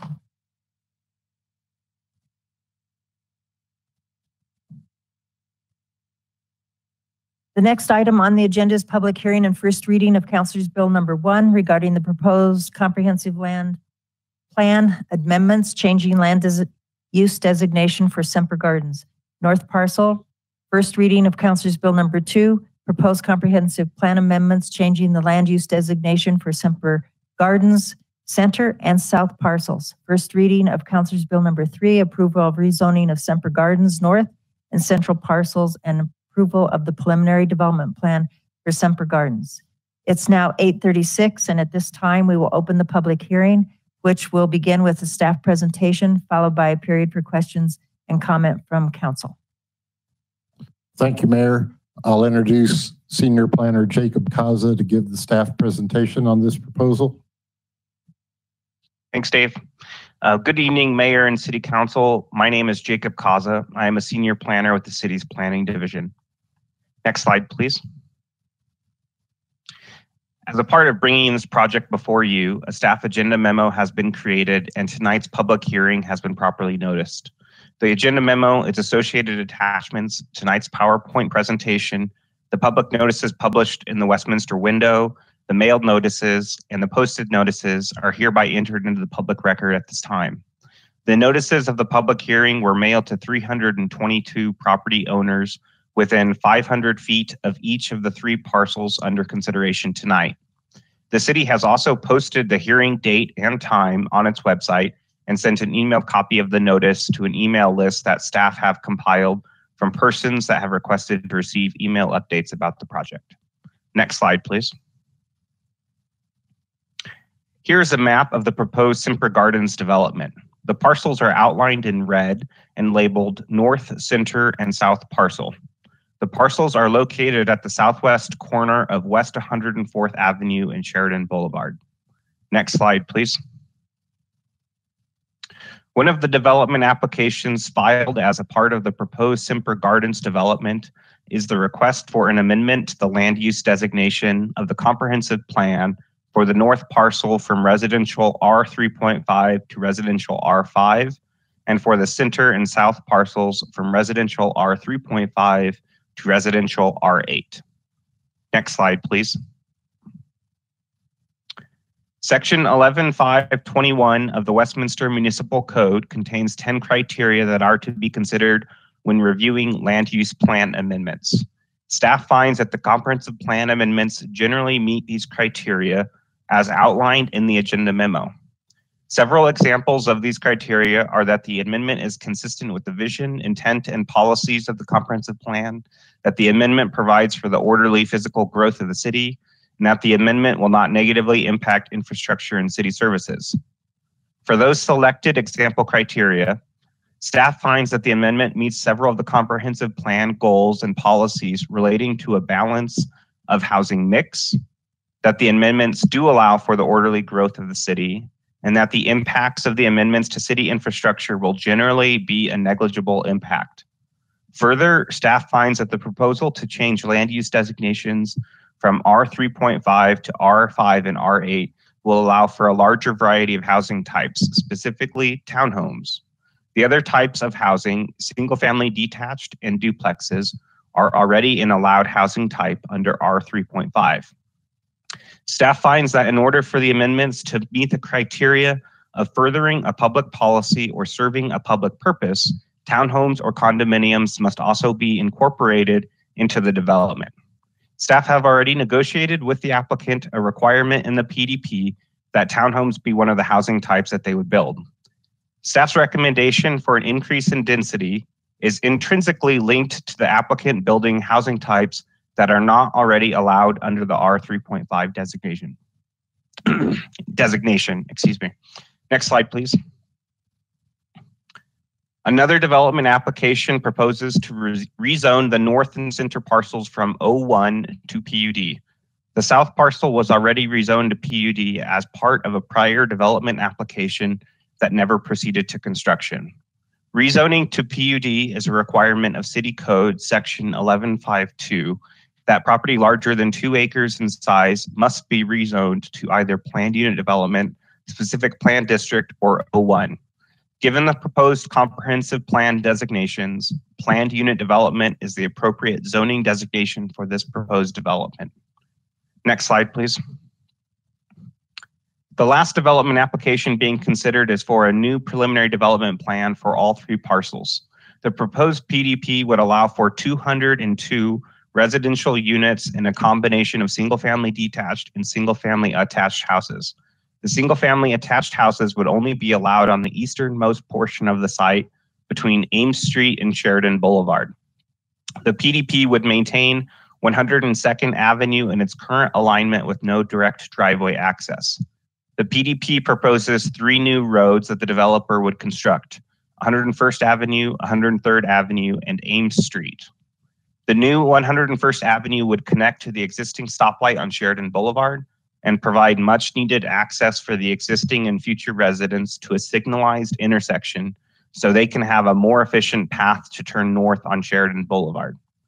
The PDP also designates 6.2 acres of land on the north side of the site that would be dedicated to the city to meet the public land dedication requirement. Next slide, please. Section 11514 of the Westminster Municipal Code contains 10 criteria that are to be considered when reviewing rezonings and new preliminary development plans. Staff finds that the rezoning and preliminary development plan generally meet these criteria as outlined in the agenda memo. Several examples of these criteria are that the PDP is consistent with the comprehensive plan and all city codes and policies, that the PDP is compatible and harmonious with existing public and private development in the surrounding area, and that the PDP will not preclude future public land dedications. For those selected example criteria, staff finds that the PDP as proposed meets the applicant's proposed comprehensive plan amendments, that the PDP is compatible with existing developments in the surrounding area, and that the PDP will not preclude future land dedications. Next slide, please. Staff recommend that one, City Council hold a public hearing, and two, approve the comprehensive plan amendments, the rezonings, and the PDP. Next slide, please. Staff finds that the approval of the applications would meet the city's strategic plan goals of foster and maintain a beautiful, desirable, safe, and environmentally responsible city and advance the city's long-term sustainability to provide ongoing excellence in city services and a well-planned community that meets the needs of residents now and in the future. the plan provides the plans provide for additional city open space and expanded trails and will increase the housing diversity throughout the city. The applicant is with us tonight and has a presentation to share with you as well. Thank you for your attention. There are several staff members with us this evening, and we would be happy to answer any questions that you might have. Thank you. Um, I know that we have the applicant that wants to present, so would you come forward and introduce your team? Welcome. Thank you. I'm uh, Jeff Willis, president and owner of Berkeley Homes, 3033 South Parker Road in Aurora. We are very happy to, uh, to present to you the first step in what we believe is an exciting new Westminster neighborhood. We have a short presentation for the three actions that are before you tonight. Um, the process to get here tonight has taken nearly four years.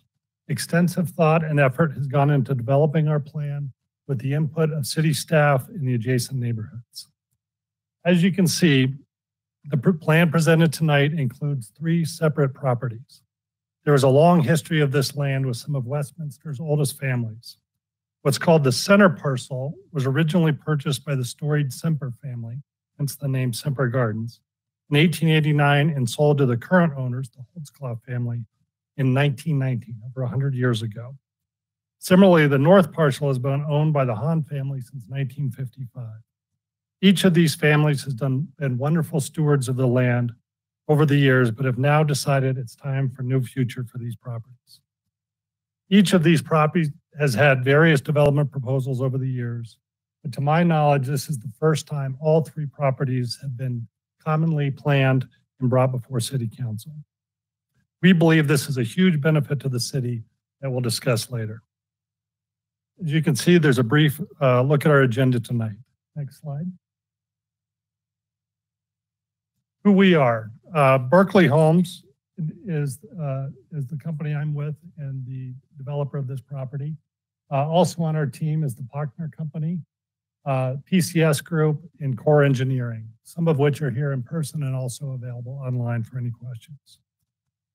Uh, next slide. Berkeley Homes is a privately owned local developer. We have been building in the Metro Denver area since 1985 and have recently built three new communities within Westminster. The first, Skyline Greens at 88th and Lowell. The second one's Schoenberg Greens at 73rd and Sheridan, and Connections at 88th and Yates. We are very part, proud of this great working relationship we have developed with Westminster staff and the community over the past decade, and look forward to working with staff and the neighbors in the coming years as well. Marcus Pachner will go through the details of the plan and process, but to begin the presentation, I want to highlight a few things about what this plan is and what it isn't. Next slide, please. First off, what our plan does not have. Our plan does not have apartments. Our plan does not have homes taller than two stories. Our plan does not have attached homes adjacent to existing neighborhoods. And our plan does not have large water intensive use lots. What our plan does have is a diversity of different housing types, meeting a wide variety of housing prices, preferences, and city staff requests. Our plan also has 6.2 acres of public land dedication that is contiguous with existing city open space. Our plan has a four-way lighted intersection at 101st Avenue and Sheridan, providing a much-needed northbound turn onto Sheridan for the existing Waverly Acres neighborhood and future Semper Gardens residents. Our plan also has a cohesive integrated plan of three separate parcels with associated benefits for PLD park space, and traffic circulation. And finally, our plan has the recommendation of staff and the Planning Commission. As you are likely aware, the Planning Commission gave their recommendations with two recommended conditions. The first, the overall density of the project be limited to 195 units or five dwelling units um, per acre across the entire project.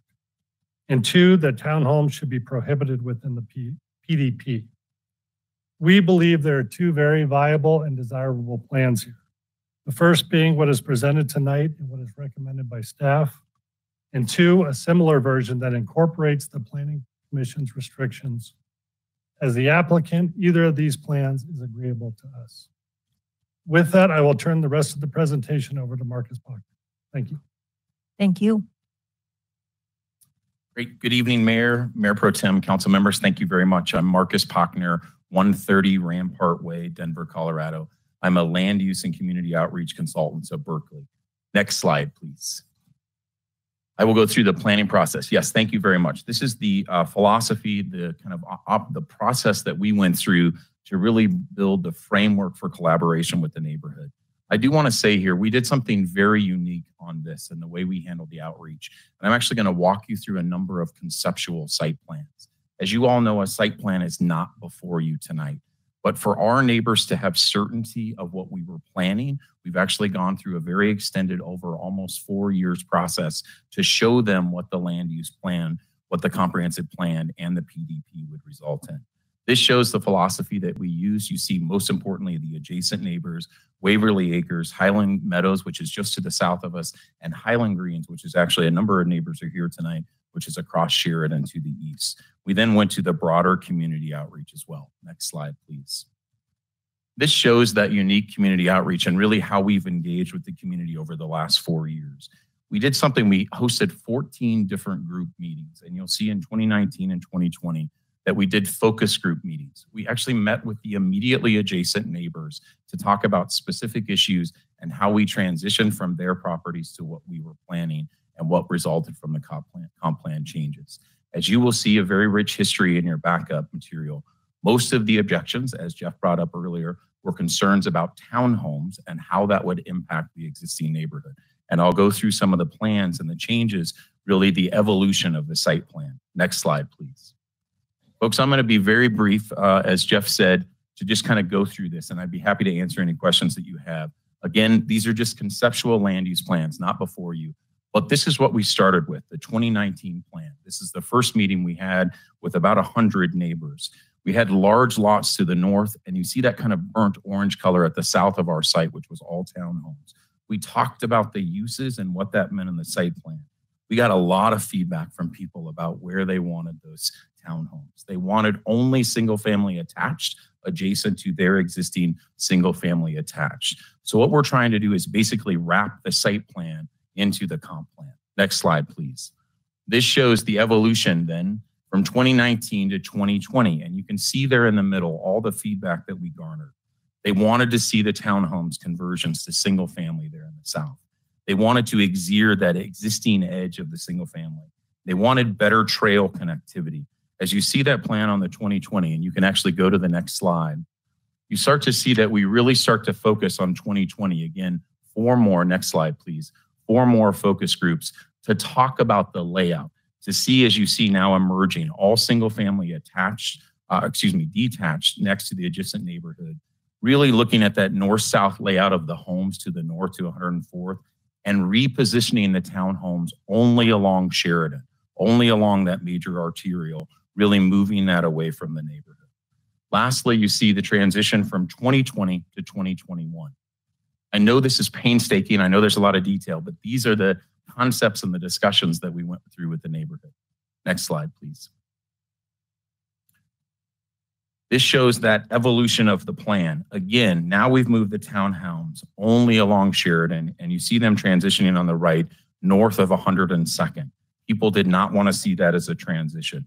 They wanted to see an internal park. You start to see the parkland really coming in and as a buffer to the existing community. And most importantly, what was happening on the northern edge on the PLD. Next slide, please.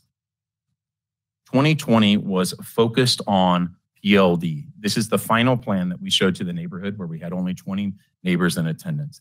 It shows those smaller lots, concentrated PLD there at the north with an internal park that also acts as a buffer. Very consistent planning, only a 202 unit development, which I will show you is exactly the same number as the existing neighborhood. Next slide, please. This is the results of that community planning effort. We have all attached uh, single family uh, detached homes against existing neighborhoods. You see the larger lots there on the north. You see the smaller lots just to the north and east of the existing community. Only north of 102nd along Sheridan do you see the townhomes, and then you see the paired complex. So you see four different housing types, but really honoring the feedback that we received from the neighborhood. This allowed us to put two-story product everywhere and to maximize the buffers and the setbacks. Next slide, please. This shows you then as we transition to the land use plan amendments, what Jacob focused on. This is the comprehensive plan changes. I want to show you this is the context, the regular slide that you also see. So you all see our parcel one and parcel two. Before we go further, I want to point something out. Parcel two there, the reason there are two parcels here is because 102nd is existing right-of-way. You cannot have a different comp plan designation go over existing site or uh, city right-of-way. So we had to have two parcels and it's actually led to our R5 and R8. Next slide, please. As you see this, we really went into great detail about what this meant. As you know, in a lot of older city zone districts, it was actually built more dense than is in the plan. So as you know, the existing neighborhood is zoned R.35, but as you see here, it's actually built to 4.1 dwelling units per acre. If you look at our site, we're actually the same density that we're proposing as a blend. That's the blend across the whole site. But again, we have to use different land use designations because of the right of way. Next slide. This actually shows in even more detail kind of our study of how we looked at that. Again, looking at the existing Waverly acres and then really understanding what was happening on the south. So we're again mirroring as much as we can to have better housing variety, but also honoring the existing density. Next slide, please. This then shows, you know, all you see are these complex that we're changing to R5 on the northern and R8. But you see what we're proposing here is to blend the density across the entire site to really honor the density that already exists. Next slide, please. This shows you in a lot of detail. I know it's kind of an eye chart, but if you look at it today, R3 and a half, if you look at that column, that's what's allowed today. And we are proposing R5 and R8. Just to show per year code, we are honoring all of those things, except you get down to the R8, you see that we have we have taken out townhomes in the PDP. We did that specifically at the request of the neighbors, and we have been kept, kept the city updated on that. So there is not townhomes. Townhomes are not allowed in the southern parcel. On the side, you see all the comp plan compliance, all the guiding documents, 27 housing, 2017 housing needs analysis, all the things that led to why this is the proper planning methods. Next slide. This actually shows, as Jeff mentioned, the Planning Commission recommendation. We tried to do this just so it was orderly and kind of what happened. So you see R5 and RR8, but then you see the Planning Commission recommendation and what they said. They said in the R5, we'd like to strike the, they recommended removing the townhomes as well. And in the R8, and then you see that yellow box in the corner. They said we want a maximum count of 195 units, which is five dwelling units across the entire parcels, right? They wanted that blended approach. We didn't want to have more density than the existing neighborhood. So we wanted to put a cap, they said, of five dwelling units across the entire site. Next slide. Mayor, council members, you certainly understand what is in uh, the rezoning and the PDP. The rezoning is being requested here for a PUD as is required. The PDP itself, the plan development, uh, is really a bubble diagram. So I just showed you all those plans that all that de detail, but this is actually what is before you in the PDP. It includes the bubble plan, the trails, the roadways, and infrastructure. But most importantly, on the right there, it does codify these things. Four different housing types with a variety of housing prices and segmented prices, the full PLD land dedication, and no townhomes in the southern parcel. Next slide. Council members, these are the three community benefits that we have derived from this planning effort. First, I'd like to focus on the PLD and open space. We are dedicating 6.2 acres of PLD, all in land dedication. We also have additional open space. Overall, we have 40% open space on the proposed site plan. We think this is a very important benefit for the existing community and the future residents. Next slide. I didn't want to come back to this council or mayor without a full PLD, so I wanted to speak a little bit more on this. Um, this shows we're doing a land dedication of just over 6.19 acres. That does not include detention areas. So when you see there, there's two detention areas. You all know this. This is such an important area. It adds to the Middle Highlands Creek uh, trail system. We will build those trails you see in the PLD, and this will connect ultimately to the Farmers Highline Canal. Next slide, please. This shows you just kind of a couple of clicks through what that means. This is such an important view corridor there at 104. So this is the PLD that we are adding and giving to the city and also improving with the trails. You can see the key map up on the right, looking to the west. You see that remarkable view across Middle Highlands. Next slide. This then shows that internal parkland that we will be building as part of that. So you see the amenities for the entire community. Next slide, please. Again, another view of the additional playground that's included in that. That's actually that small private park that's accessible to all. Next slide. As you all know, in the comp plan, there is a protected view corridor on 104th. This actually shows that the city had us do a view shed. And the next slide shows how we comply with that. You see maybe one home come into that image right below that stoplight. So we are protecting that existing view corridor. You will not see homes coming into that area. Next slide, please. As we did on the comprehensive plan, we did the same analysis of the existing community we are almost to the acre of the exact same percentage of PLD and open space as what's there today and what we are proposing. Again, really trying to marry the two communities. Next slide. Lastly, I just want to show Jeff mentioned why some of the benefits of planning this, of course, to get a complete plan, but also actually with the three parcels combined, you get more PLD than we would if we did them individually. And you also get the ability to place that PLD all on the northern parcel to result in really the addition to the trails. Next slide.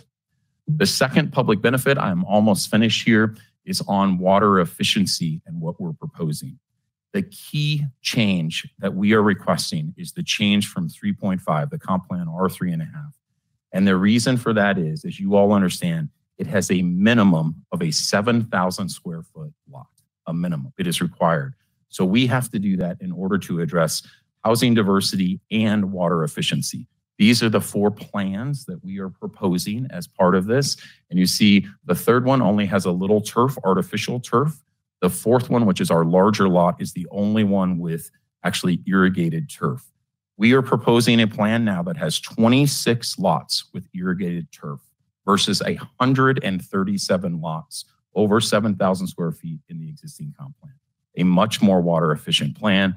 As you see the comment from the city staff there, that we have anal analyzed this impact and then fi find it is not a major concern. We will also meet EPA WaterSense requirements for our parcels. Next slide, and maybe the best for last as far as community benefits, the transportation, the infrastructure improvements that we are bringing into the site. On this slide, the blue is existing. That's 102nd. That's there today. We are adding all of that infrastructure for the existing neighborhood and the future neighborhood. Most importantly, you see today that blue line, which is 102nd. What the neighbors do today is they come out to 102nd. As you know, there's a median there, so they can't go north. They go down south to 101st and flip a U-turn to go north on Sheridan. That's what happens today. Um, so we are proposing a full movement interchange there that will allow the existing neighbors and future neighbors to actually go north on Sheridan. It's a remarkable improvement for safe passage. The other thing I want to be sure and note, there's a number of neighbors here from Highland Greens across the street. They are very concerned that there will be cut through through their neighborhood. We wanted to just kind of uh, illustrate this, what happens today. The yellow line is where that cut through can happen and does probably happen today. It shows the length of that, which is certainly much longer than the direct connection. And those exits, X's are three speed bumps that are there today. The thing I want to mention is that there is a three-way there at 101st. Everybody does that today. So if they want to cut through, that already happens. The only connection we're making there is to the new residents, right, to the west. So we think that that movement is really to move north. They want to move north on Sheridan, not cut through the neighborhood. But we will work with city transportation to monitor that, to do anything. We certainly know that that's an issue. I will say that our traffic study showed that there was no additional cut through traffic based on this site plan. Our last slide, please, next slide, is just a summary of what we're proposing. Again, respectfully requesting approvals for the comprehensive plan amendments, the rezoning, and the PDP. Folks, we did it in unison. I know it's a little bit out of order, but we did it to provide certainty to the neighbors to see what they were actually going to get. The community benefits, if you go through the slides here, this shows the PDP. The first, we used an inclusive comprehensive plan. Next slide, please. This resulted in the conceptual land plan that is before us. I think if you just click through this, it'll go through it. There you go. Thank you. It shows three public benefits. The full public land dedication. Next slide, please. It also shows increased water efficiency with our housing typology on the next slide. And then the final slide again shows those enhanced transportation infrastructure that we're adding. We would respectfully request your support. Staff had a very detailed analysis of the two sets of approval criteria. We certainly believe we meet all of those and we respectfully request your support. Thank you very much. Thank you. And I've been asked before we start questions and then go to public um, hearing, if we could take a five to seven minute break. We're on break.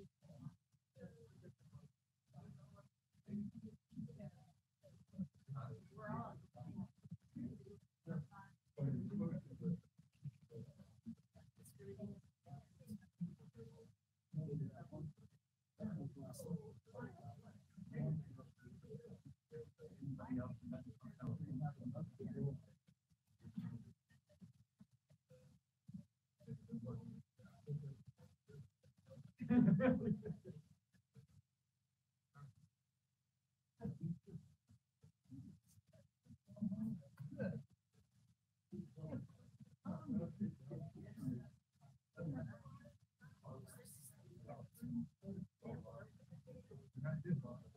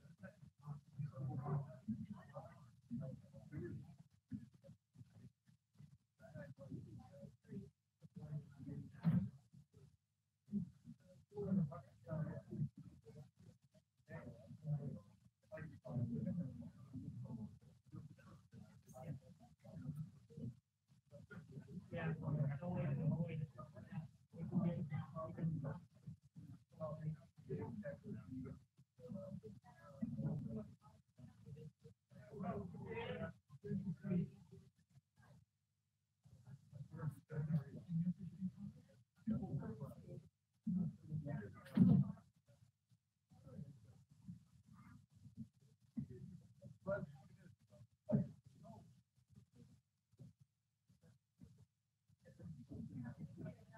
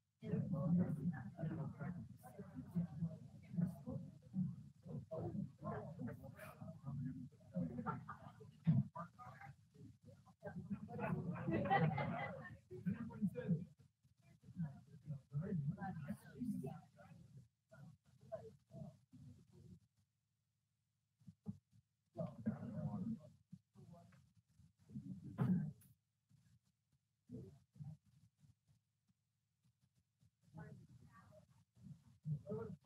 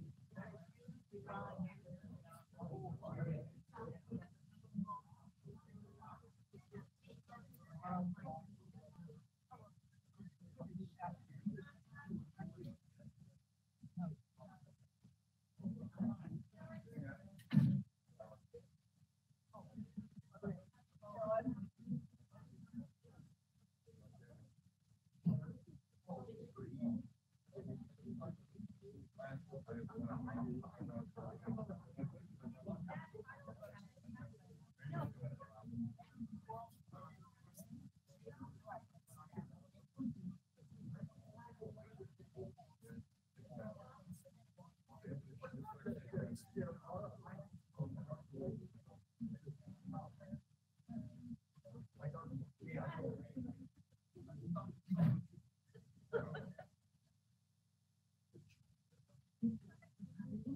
kind of speak. Yes. Okay.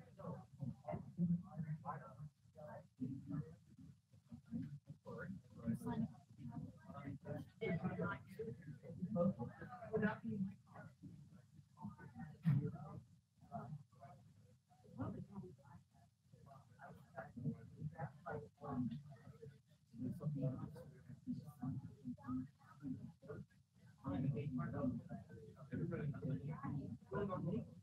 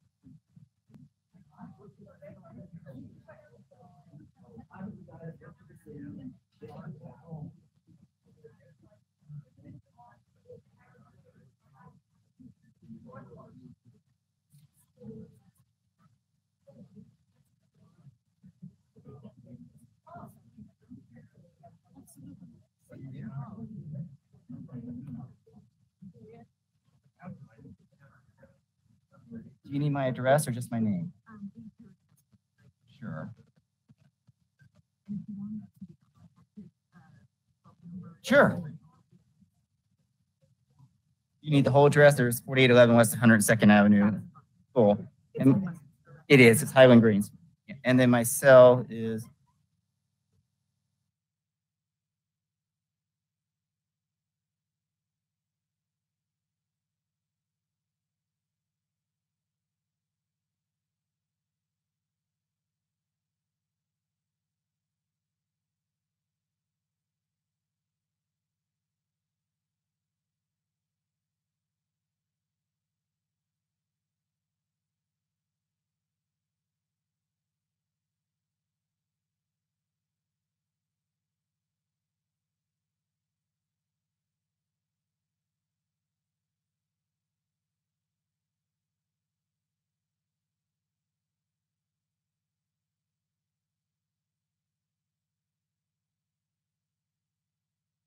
City Clerk, are we okay?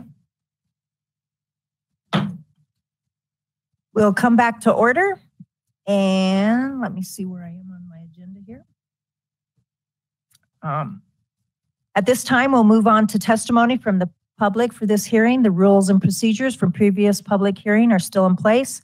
And at this time, I would ask the city clerk to please summarize the number of participants this evening and introduce our first speaker. We have 10, or I'm sorry, 15 speakers in chambers. We have 10 virtual speakers and six voicemails. So the first speaker I'd like to call the po- podium is Karen Calavity.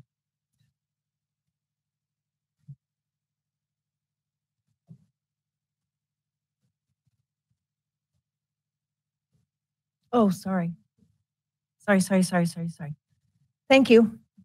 I had already crossed us off because I didn't know we were taking a break. Do you have questions? Okay, so now we can Counselor ask Baker. questions Mhm. of both the city and the applicant. Yes, and then we'll come to you, public. Great. Okay. First of all, to the city, how long has the R 3.5 uh, comprehensive plan designation existed? Uh, If Jacob doesn't know that answer, I know Andrew Spurgeon is listening in. Yeah, Counselor Baker, um, the R three point five designation for this property or in just the designation in general? No, I'm sorry, I wasn't clear enough. For this property.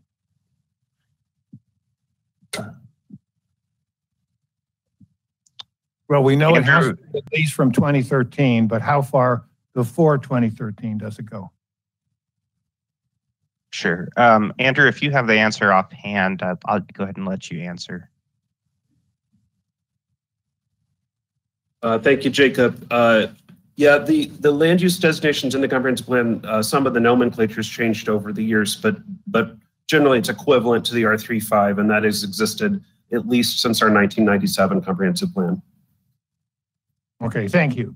Uh, And I've always viewed the comprehensive plan as a promise to the neighbors of how the property would be developed. Is that a misunderstanding on my part?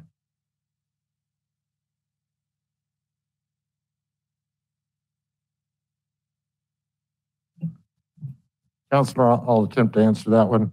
Uh, I suppose you could call it a, pro- a promise in that, as the applicant is doing tonight, it requires council action to change the, the designation. Right, and so people, people make decisions based upon that. That, that, that, what that property is going to become. Uh, and if I understood the testimony correctly, uh, this change would basically change from allowing 137 homes to be built in this property to 202. Is that correct? Councilman, uh, just based on the pure zoning of our comp plan, excuse me, of R three and a half, that right now would allow hundred and thirty-seven units of seven thousand square foot minimum Right. lot. And that's what the R 3.5 zoning is. Yes, sir. Thank you. Um, Well, if, if I could impose upon you, uh, why doesn't 103rd connect? 103rd uh, connect, sir, it does connect from our side. It's a right in, right out to Sheridan. It does. Do you mean into the No, existing into the? Waverly Acres, because Yes. there's like a cul-de-sac there and you have a cul-de-sac there and You have a very good eye. Yes, sir. That was actually a, um, I'll say it respectfully, a request, perhaps a demand of the neighborhood that that not connect into the existing neighborhood. I believe that's Easton, if I remember right, or Eaton Street, that little cul-de-sac. They did not want that to connect. As you notice, all of our new traffic does not go into the neighborhood. Only the existing neighborhood traffic goes through the new proposed development. So they didn't want that loop to happen. Sir, there is an EVA, EVA, emergency vehicles only there that is can happen. They can go through that. So that's the only connection, but the neighbors did not want there to be. Thank you, I understand. Uh, and, uh, um, the way I see, uh, if you only had 137 homes there, then you'd only have a PLD of about four acres, right? That's right, sir. 3.9. Yes, if I remember correctly. Okay. Uh, but the PLD you're offering, it appears to me is mostly a gully.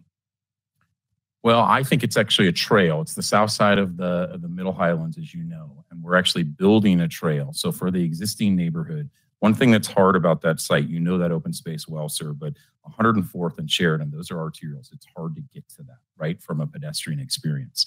So we're actually making that connection, and then it goes on to the west there, ultimately to the Highlands. So that I think is a very important trail connection. Actually, looking back to all the memos that people have tried to develop this through the years, that was always the request of the city is to consolidate that open space there at Peel.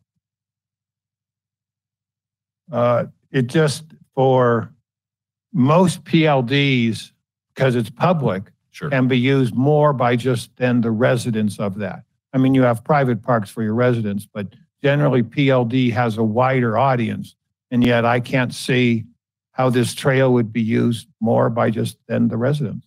I'll defer to maybe staff on that. I think it's a very important connection. Th- Thank you. Uh, Counselor, I'd, if it interests you, I'd like to call on our Parks and Open Space team to, to speak to the value of the public land dedication that's being uh, requested by staff.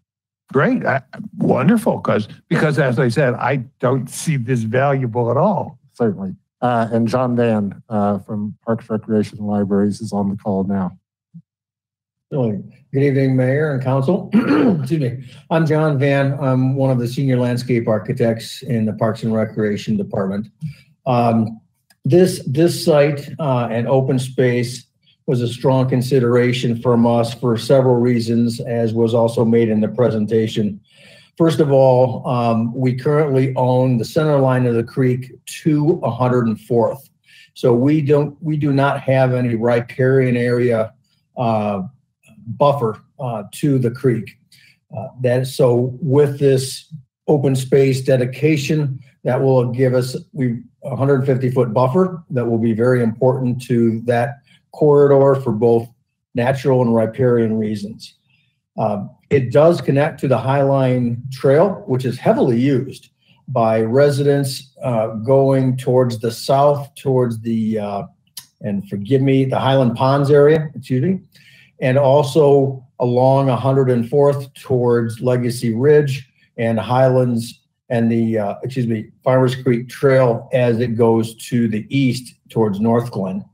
Uh, So the trail in that area will be highly used, not only by the neighborhood, but we expect a lot of use from surrounding areas and uh, trail users. Um, One of the other things that was pointed out, it helps us also to continue the visual buffer. Visual buffers are one of the key features of open space properties uh, when the city acquires those. Not every open space can be used as, you know, a typical park type setting. They are passive uses. A lot of those passive uses can be visual. Um, there are many open spaces that we have that you really couldn't do much with except let nature do its thing. And uh, we preserve those areas throughout the city, and we have been continuing to try and find those. And this is a nice match to an existing piece we currently have. Okay. Uh, I have not walked the intersection at Sheridan and 104th, but it's my recollection that the uh, pedestrian passageway is on the north side of 104th under Sheridan. That is correct. There is a. How So how would the trail on the south side of 104th and the west side of Sheridan connect to the existing trail? Okay, it's, it's very confusing, quite frankly. Um, so there is an underpass for the Farmer Highline Trail about a quarter of a mile west of Sheridan. And it, it comes underneath Sheridan Boulevard and comes up on the west side of the existing homes. Uh, that trail then continues southward to Highland Ponds. Uh, Jacob, you can correct me if I got the name of of something there wrong. So you are correct. There is not a direct underpass at Sheridan. The reason that can't happen is we have major utilities under the intersection at Sheridan. Along that ditch, we have a huge, I believe it's a water line, not sanitary line, maybe sanitary too. But there's a large water line that would prevent any kind of underpass in that corner, uh, which would be the north, uh, be the southeast, southwest corner uh, be very difficult to try and do a trail. Right. I, I do really remember us working on the 104th water line for a long time, it seemed like. But It was a uh, big hole. That goes back to my question. How does the east end of this PLD connect to the existing trail system? The east, you would, PLD, so like the Sheridan termination of this PLD. okay, so you would, to, to get to the trail system, you would either cross Sheridan using crosswalks and the pedestrian lights, or you would proceed west on the main trail along the south side, go underneath the underpass, and then come back up on the farmers, because the actual Farmers Highline Trails on the north side of 104th, if you look at the trail maps for the city. And so this crossing, uh, it would be a crossing of 104th uh, to get to the north side of 104th. Where does that end on the uh, south side of 104th? You said it's west, a quarter mile west, a half mile west? About a quarter of a mile west, right where the existing homes end, um, along the Highland Creek, there's an underpass. It goes from the south side of 104th to the north side of 104th. So in other words, it really connects from the west end of this PLD, not the east end. Correct. Okay. And where does, where does the east end of this PLD connect to the south? The east end of the PLD would be bumping up in here. Okay, like you said, it went to Highlands Ponds, or were you talking about the west end of the PLD? The west end, all, of- all of our main. So in other words, if I'm visualizing this correctly, and maybe the owner or the developer can jump in, this whole PLD is just a dead end. So I, I just provide our answer there from the west side, sir, that the, the, so go through our site. So our east side is Sheridan. Correct. So we're providing trail connections all along there as shown in our plans. And we take it the entire length of our property. I just want to say that in we can't do trails off of our site, but the western edge of our site is actually public land today, right? That's part of the city trail system. So during the ODP, if we move forward, we will bring trail connections that show that. So it is not a dead end. We are making a very important trail connection that heads to the west and then can cross under 104th and join all of those trails that you mentioned. So this is actually the missing link that we're providing. It provides it for all along Sheridan and across 104th to the existing trailheads. Sir, there may be a slight gap. I do want to say that, right, from what's there today, but that's PLD land that you all own. So we want to work together to try to close that. But everything on our site, we are building trails to have that connection. But again, it goes back to my observation that these are going to be for the residents who live here. And generally, there's no way that the bulk of the population of Westminster is going to get this. You don't need to beat a dead horse. Sure. Thank you. Uh, The next question I have is, aren't there three exceptions being asked, even under the R8 and R5 designators? There are three exceptions. Jacob probably knows them better, but I'm happy to go through any questions. Well, Jacob can do them, that's fine. Yep.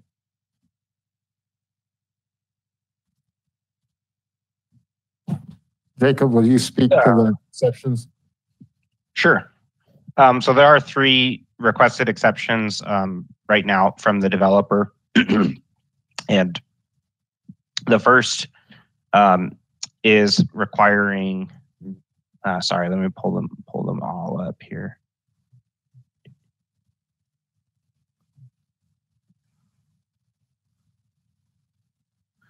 So the first exception is one that can actually be approved administratively. So we're just marking it on the PDP um, as a way of keeping track of it being approved administratively, and that is on parking. Um, in under the city code, the planning manager has the authority to reduce the parking requirement for neo-traditional um, developments, and so they're seeking a, a alleviance on the parking requirement for uh, single-family detached homes, and this would only apply to the alley-loaded homes.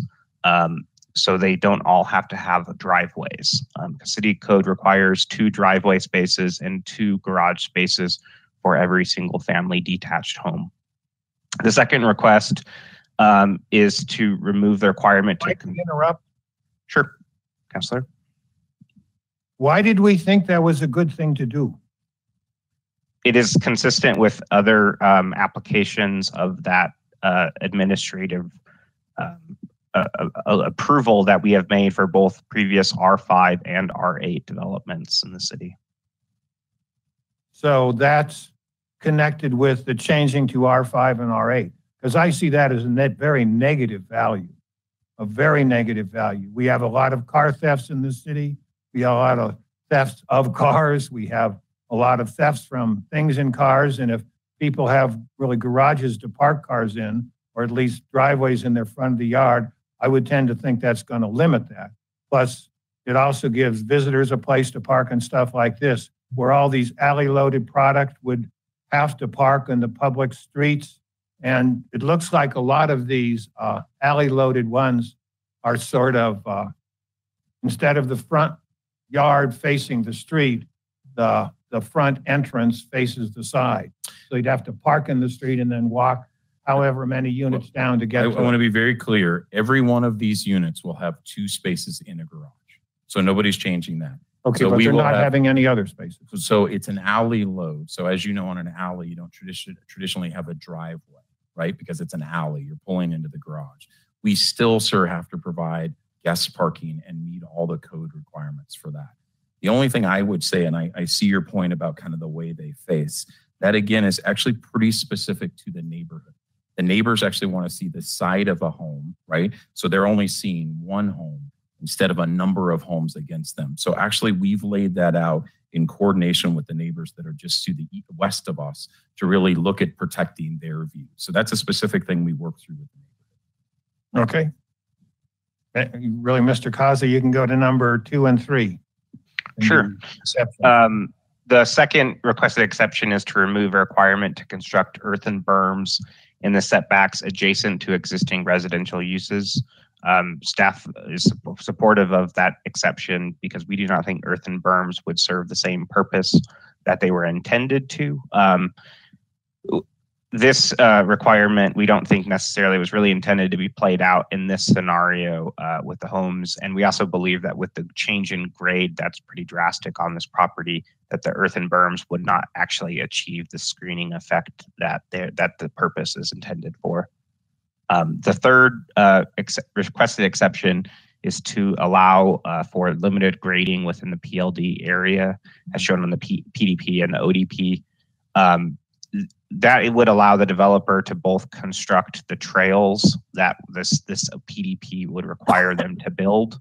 Um, and I would note that those that trail is actually shown on the city's trails master plan. So it, it is a required city trail um, under our trail master plan.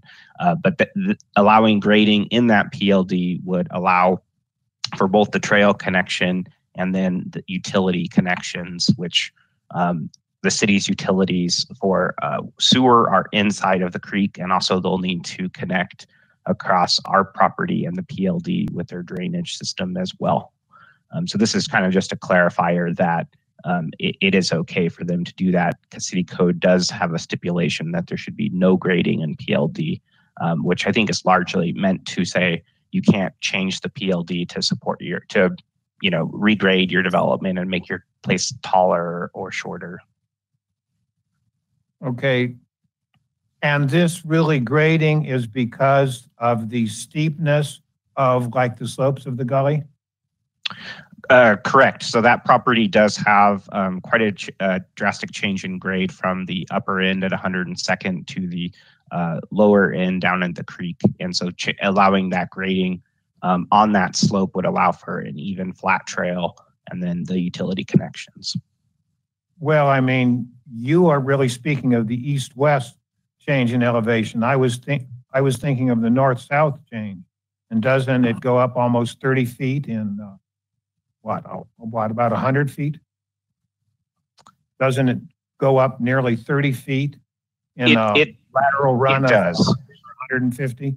It, it does. They're making up a lot of the grade by doing uh, walkout homes as their proposal. So they'll have walkout um, basements there that make up for a large change in that grade. So their grading isn't um, in on the PLD is not to allow for those walkout homes. It's it's uh, about the trail and about the utilities. Okay. And really, where would the berms have gone according to city codes?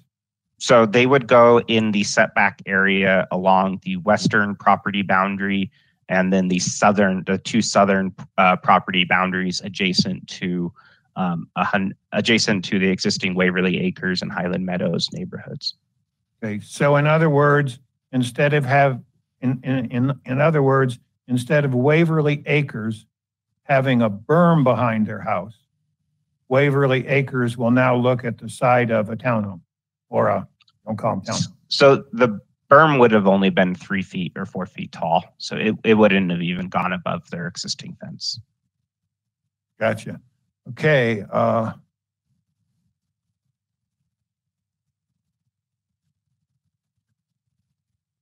Uh, when we talk about, well, the diversity, I've always viewed of diversity of housing as a citywide thing and not squeezed into any individual neighborhood. It's like we generally don't have neighborhoods of uh, single-family homes and duplexes and triplexes all run together. We generally have one in a neighborhood. Sure. One species of home, and then maybe in the next neighborhood over, we change. So, sir, that's actually why we did the comparison of the existing neighborhood. Waverly Acres has lots as small as 3,000 square feet, and they are over R3 and a half. That was just the land designation. So they're actually over four. Immediately south of us is Highland Meadows. It is R8, and it has lots down to 3,000 as well and has townhomes there. So that is all one neighborhood showing that. So we're actually exactly matching the context of the neighborhood. It is not a single family neighborhood only. It actually has a variety of housing typology. The only thing I would say to you respectfully is that we have to look at these infill sites. Respectfully, sir, these three sites were annexed in 1970. They have not developed because they won't develop as R3 and a half sites. Sheridan has changed, 104th has changed. Large lot, single family won't develop there. You actually want a buffer for that existing neighborhood. We're actually providing a better housing variety to protect the existing neighborhood and still allow all the transitions. They only see single family or detached homes. So they have the same product they see, and then we buffer the traffic on Sheridan. So I actually think your plans say this is how we're supposed to orderly plan the city, and we're trying to follow that guidance. Thank you. Sure. Uh, and what do you, and what do you expect the prices of these homes to be? Sure. Um, I might have to have Jeff, and I think, sir, at least we have other neighborhoods, right? To look at that again, we want segmented so we have a number of housing types. Jeff, I don't know if you could give a good answer. I can attempt to. Obviously, as we know, construction costs and everything are increasing quickly here, but our intent at this time would be townhomes probably starting in the 400s and then going up in staggered steps based on the different housing types from there. Okay, and so what were the single-family homes on the north end of the property? Right, Those are probably in the eight, 900,000. eight nice house. And if you had built all, if you had, instead of building two hundred and two, some at eight hundred thousand and some at four hundred thousand up, if you had built hundred and thirty-seven single-family homes, what, what would those have sold for?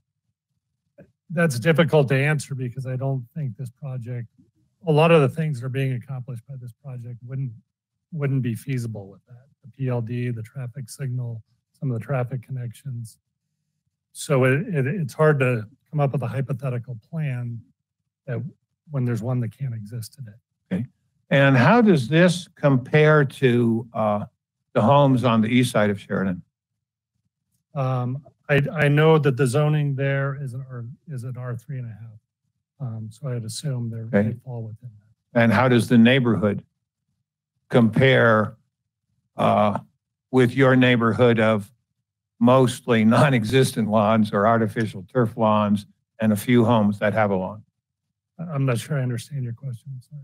Well, it's my memory that all the homes on the east side of Sheridan have beautiful landscaped lawns.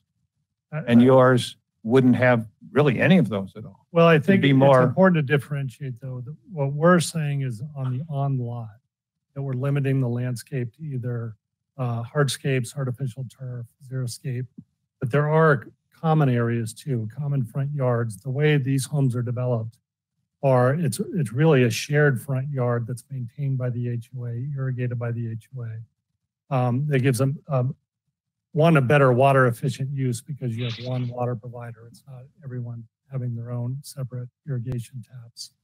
Um, so it's not, I don't want to give the impression that it's a, a, a concrete jungle or something like that. It'll still be a very nice uh, landscape community. It's just who is maintaining that landscaping and how is that water efficiently used. Okay, thank you. Well, Mr. Mayor, that takes care of my questions. Thank you. Thank you. Anyone else? Sarah, or Counselor Nurmela. Thank you, Mayor. Um, okay, so I had some questions that I did submit to staff prior to this, but I also have some additional questions that came up with the um, applicant presentation. And so I, I'm going to, since you're standing up there, Mr. Pachner, I'm going to ask you a few of them. Um, with respect to, I'm just trying to understand the, um, the, the graphic that you showed, I think on slide 44, where you were kind of building up the slide, the comparison of densities um, between Waverly Acres and the um, and the proposed development. You said they were both 4.01 DUs per acre. Um, was that, um, if you could show that, I'm trying to, because I'm thinking, but what uh, Planning Commission asked for was five units the acre of the whole site. So I'm trying to figure Sure. out. Council, I, I think it's actually slide 11. So we had a number of them lay over it. So this slide are like the pure districts, if you will, right? The R3 and a half and then shows R5 and RR8. The next slide shows the blend. And council, uh, I think, sorry, I think that's like a slide you just have to click to go over that. Go back one, please.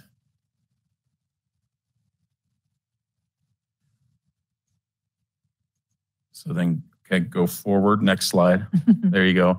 And then just hit next slide. It should show kind of the evolution of that.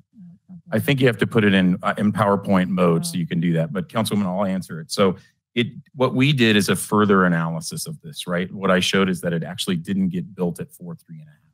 So the existing Waverly Creek is at 4.01 and the existing neighborhood to the south, Highland Meadows, is over seven. And I'm sorry, I don't have it right in front of me, seven point something. So what we're showing is that ours is our combined two plot our two parcels right now are at 5.18. Okay, so so when we worked through that, that's at what we're our 5.18 dwelling units per acre. Planning Commission came back and said we'd actually like to cap that at five was their suggestion. So where, but you had a graphic that showed they were four point, they were both 4.01? Yeah, Jeff can talk to it. Sorry, we're gonna find it there. we had done an analysis that also included, I think your question, Counselor, was how did we show something of four? I think it said four point oh one. Yeah. I'd like to correct that. It should have said four point five eight. But we had included the area along 104th that previously was condemned by the city. And um, I I forget what year that was condemned, to show sort of historically, if you went back and looked at how you would calculate the combination of Waverly Acres and Highland, Highland Meadows together as one, as it wrapped around us and we wrapped around them. To give sort of a context of what this would look like, apples to apples with the similar map. And that brought up a blended density between um, Waverly Acres and Highland Greens at 4.01. I think if you look at them independently, Waverly Acres is about 3.7 and um, Highland Meadows is about seven point something. So that was really um, an exercise we were doing that apparently has managed to confuse everyone more than clarify. So I apologize for that. And then, as Marcus mentioned, the the the plan the, the planning commission recommended would bring our proposed unit count from 202 to 195, and that was five dwelling units per acre over the three parcels combined together. Okay. I'm hoping I answered that and not further confused. Yeah, I'm just going to disregard that slide. Okay. Okay. Um, what, uh, does anybody know what the density of the, you know, the little portion of the southern, southern portion of the site that had already had a PUD on it, what the density was on that? Um, Counselor Nurmela, I can answer that. Um, it was built under the R three point five designation. Um, so it, it was thirteen, um, dwelling units planned on it. I can run the numbers really quick if you want the density. No, it's- I mean, sounds like 3.5-ish. Okay. Um, uh, okay, um, okay, one question for, um, the applicant too is, I, s- uh, I see your, or I heard you were trying to respond to the community's desire for more park space. Um, I'm wondering why the park, the private park is located kind of not in a very accessible place for the community to be able to access it. Um, like if, I would assume it would be more accessible if it were off of 102nd. We can go to slide 10, please. Um, so Councilwoman, I think that our response to that was trying to consolidate that internal park there. Neighbors wanted to have that as a buffer, right, that's there. I think I, I understand your comment that kind of made that transition to have the interior buffer to those existing neighbors to the west. And really, our 102nd that's there today, that's a pretty highly traveled road. So we wanted to have that park a little more. So yeah, I, I understand your comments. I think that was just, again, reflective of what the neighborhood kind of requested. Okay, so the neighbors didn't want it off 102nd? Okay.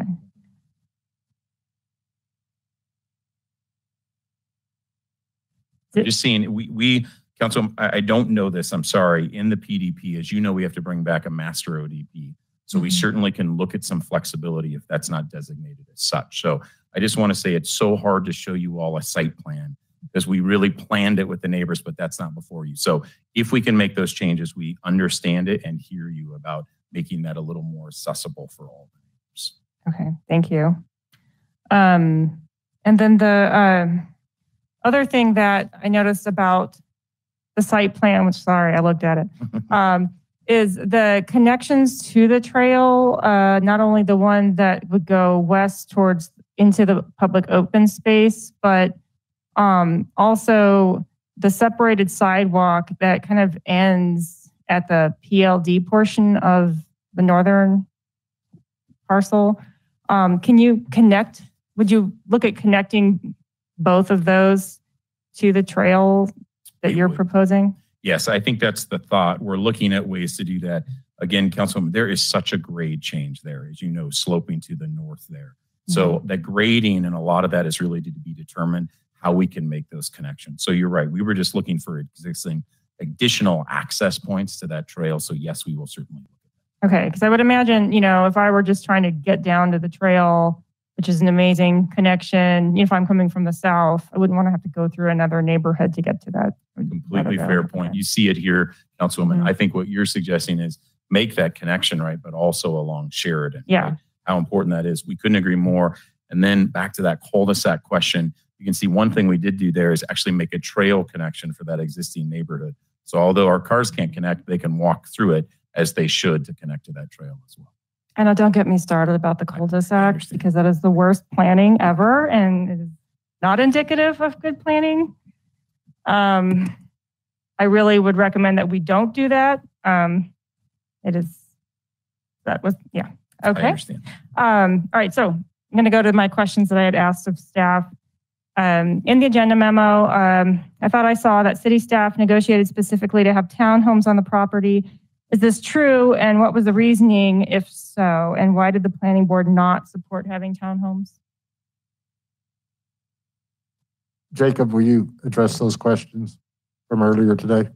Uh, yes, I will. Uh, so Councilor Nurmela, that's correct. We do have um, a requirement in the PDP to construct townhomes. So that's on the second page under general design standards, project standards, um, and that's attachment five of the agenda memo. um, and that's the that's where the the requirement is for four types of housing, and we spell it out there. So one of the main reasons staff is supportive of the comprehensive plan amendments um, is that R5 and R8 allow for a greater variety of housing types, specifically townhomes and condominiums. Increasing the variety of housing is both a common topic in the 2013 comprehensive plan and a goal of the Affordable and Workforce Housing Strategic Plan. The Affordable and Workforce Housing Strategic Plan states on page 23 make the city's balanced housing intentions known to the development community and build these goals into PUD negotiations and approvals, end quote. So um, that's similar to analysis or similar logic that we've applied on other comp plan amendments in the past. Um, in, in this instance, we're actually getting a guarantee out of the developer that they will construct um, a diversity, a, that diversity of housing in their in their development itself. Um, So uh, one of the last things is on the planning commissioners.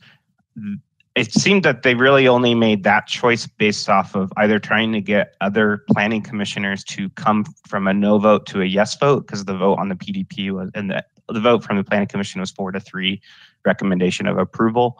Um, that so I so some of it was the people who wanted to vote yes wanted to see if they could convince other people to vote yes as well. And then the other portion is the neighborhood, um, largely the, the neighborhood whose vocal is not in support of townhomes. There's townhomes right along Sheridan, right? Just to the south. Um, yes, so Highland Meadows has townhomes and um, High, uh, Highland Village also has townhomes. Okay. Um, so and there's also townhomes north on Sheridan, and there's also townhomes east on 104th. Okay. So There's also townhomes west on 104th too. okay. Thank you. Um, okay, I got the question regarding the overall density on the project. Uh, if you were to combine the north and south, um, so the applicant has said that they would um, they could work with the five units to the acre. Is that right? Um, the site plan and PDP are a little hard to discern whether 101st is a through connection into Waverly Acres. Can someone clarify that? Sure. So 101st is a little confusing today, right? It's a three-legged intersection, right? It goes south, north, and east, right? So we'll make it a full movement. So it will go west into Waverly Acres, right? So as you know, that connection doesn't happen today. So that'll come through into the existing neighborhood and in through our site plan. Is that what you're asking? Yeah. Yeah, and it looked like, oh, Can I add on to that to just to explain? Because I, I understood what you asked in your question. Um, so it 101st will stop at Ames, take a north at 90 degrees, and then take another 90 degree turn west, and then 101st will continue. And so it jogs for a little bit, and that's mostly to make up for grade on that portion. So that that way the uh, 101st is not super steep all the way straight down into Waverly Acres. So it does have a slight jog and an offset, but it will connect to Benton Street. and and then is it aligned with a hundredth court or is it does it jog? I know sometimes those alignments can cause accidents if they're not. So it's current in in this PDP and in the um, site plan they're showing you it's offset, Yeah. not so not directly aligned at that street you're asking about. I would have our streets folks just look at that and evaluate whether that's um, the best choice. Um, okay. Um, okay. I, I had shared a, a rant, my rant on the lack of connectivity on the north side between the neighborhoods. I live right next to a connection between two neighborhoods. It works. It's great. Um, it's what we should be doing in all of our neighborhoods. Um, I saw a community concern in the comments regarding a special tax district. I'm assuming there are no special tax districts, districts proposed for this site. There are not any proposed on the site. Okay. Um, sorry, these are not, not any particular order. I'm concerned about the distance I'm seeing between the units. So, um, particularly those facing onto Paseos. My, um, I'll just, you know, this is one of my pet peeves is when houses are just crammed right facing into each other. Um, what guidelines will the project use? Could we, since you're, you know, benefiting from the city's um, allowance for um, more small lot types of parking solutions, can you be looking at using TMUND design guidelines as they pertain to small lot homes?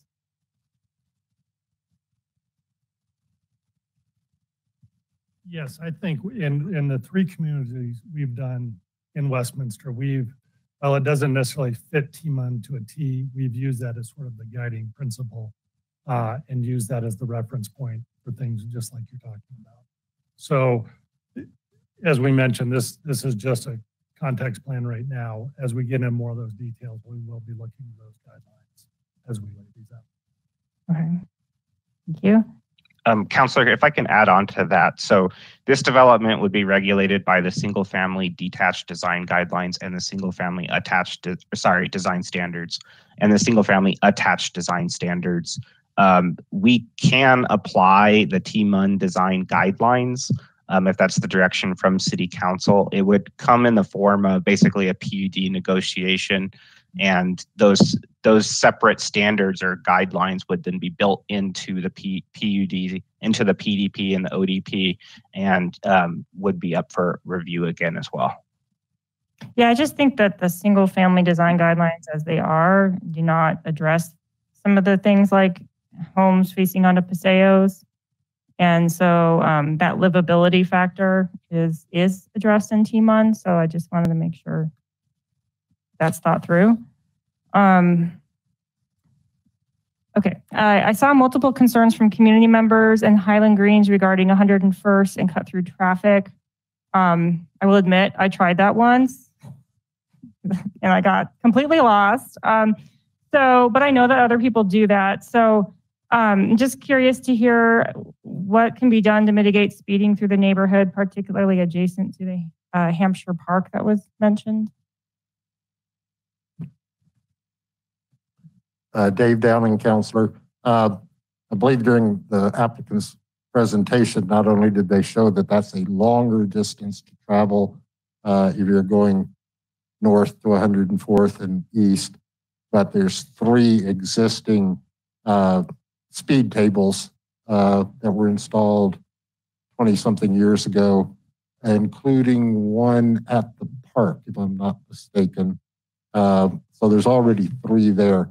I'll also add this, Counselor. Uh, you know, I, my my personal observation over the decades has been that there might be one hour of the 24-hour day when people might be tempted to cut through that direction. That's the PM peak hour mm-hmm. when traffic backs up from the signal at 104th. Uh, and that could be an issue at that time if the destination is somewhere east from that point. But I think it's one of those one of those situations where if it's not that kind of congestion, people will try it once and never do it again because it's much easier to go up to 104th and uh, go east from that point. Thank you. It's true. I was deterred, but um, I think, yeah, having the intention to um, just make sure that it, it, it is not increased. And maybe, you know, if they're 20 year old speed bumps, maybe they're, they've been paved over enough where they're kind of, you know, speed suggestions. Um, so maybe we could look at how well they're functioning. Um, and finally, I saw some comments regarding the bald eagles that reside on the property. Uh, what? yeah. Where are they? Can we just like save their tree or no, I don't know. What, what can be done there? Yeah, Councilwoman, I know that there are a number of old, um, uh, unfortunately dead trees that are on site. You can probably think of them there. Um, we've uh, agreed and work with staff that we will do as we go through the ODP any analysis. But what we said, they're not nesting there at all. They actually come there during the day. So we've all kind of watched that. So there are, they come there, they are not nesting, but we've gone through that analysis and we'll continue. To. Have you done a sort of a biological um, study to? We we will per the ODP. We will do that. Okay. So we've had that discussion. We've and actually a bunch of the neighbors have said no. They come during the day. They're not nesting there, but we will do that per discussions with city staff during. All right. Thank you. Sure. Thank you. Anyone else? Councilor Ezeadi? Thank you, Mayor. So I love a lot of things about this plan. And Marcus, you know where I'm going with this, I think. there, Terrific. Thank there's you. one obvious, very clear question that it's a leading question, but I do want to give you some affirmation there that I am open to a logical answer to this. I'm open minded to this, but the range of prices. Sure. I think I heard 500, 900 thousand. My very leading question is, who is this neighborhood for? Sure. Sir, I would tell you, Councilman, and I so respect your question. We are doing everything we can in appropriate zone districts to make housing more attainable. As you have heard and will hear in public testimony and have seen in all the backup, people are really reacting to the townhomes. That's actually the most attainable product we have on site. We need more density to make them even more affordable. So, sir, I think we are adding more attainability into this neighborhood to the extent that we can that honors the underlying comp plan and makes reasonable changes. To go to full, more affordable, statutory affordable housing, I think we'd have to have even more density there. So a direct question is, we think this is actually for missing middle housing for people to move up to maybe buy their first home. We think we're actually providing equitable housing and equitable transportation. Um, we think we're really starting to add to the housing variety where it's appropriate. So I wish we could go further, but we're going, I think, honestly, as far as we can. And we've gotten a lot of pushback to go to that most attainable. Thank you for that logical answer. Um, that's that's where my head was going with that too. There's not a single unit of affordable housing in this plan. Um, however, the the supply is still necessary across the spectrum of real estate to eventually lower the prices across the board. Because the bigger question here for all these developments is how are we going to address our, high, uh, our housing crisis, right? This neighborhood is not, from what I've heard, it's not for millennials, it's not for fixed income, it's not for our elderly, it's not for low income, it's not for our homeless. It's there's a very specific price range, a high price range that this is for. And quite frankly, you know, I'm extremely disappointed in that. Um, but I do understand that from the rest of the plan, it's the traffic mitigation is great. The trails are great. Um, the placement of this is great. It's just wrapping my head around this lack of care almost to even try. And you've, you've mentioned neighborhoods. Um, I'm sorry, neighbors, right? my last question here is just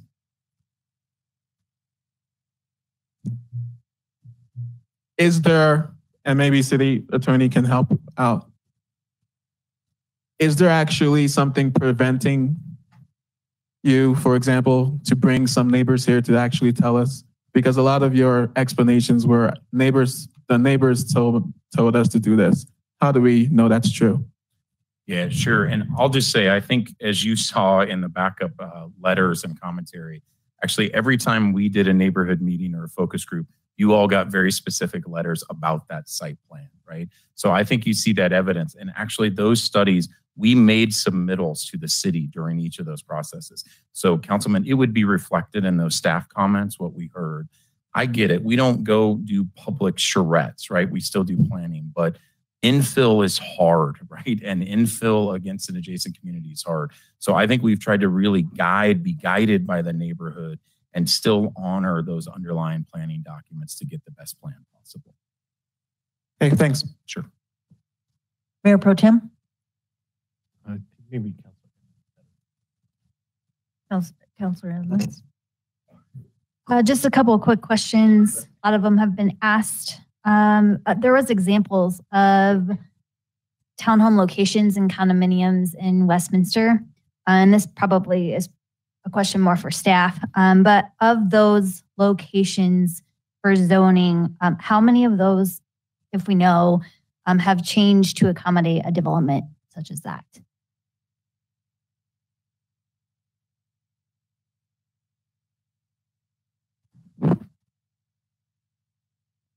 You may have to repeat that question, Counselor. I'm not, I, I didn't wrap my head around it. I'm waiting to, I'm waiting for a volunteer from my staff to jump in.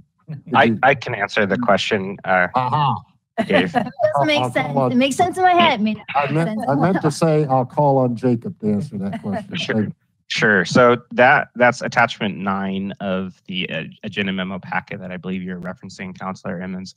Um, I that was put together uh, largely to address uh, comments that we had heard about the appropriateness of R5 and R8 in adjacency to R3 and a half development.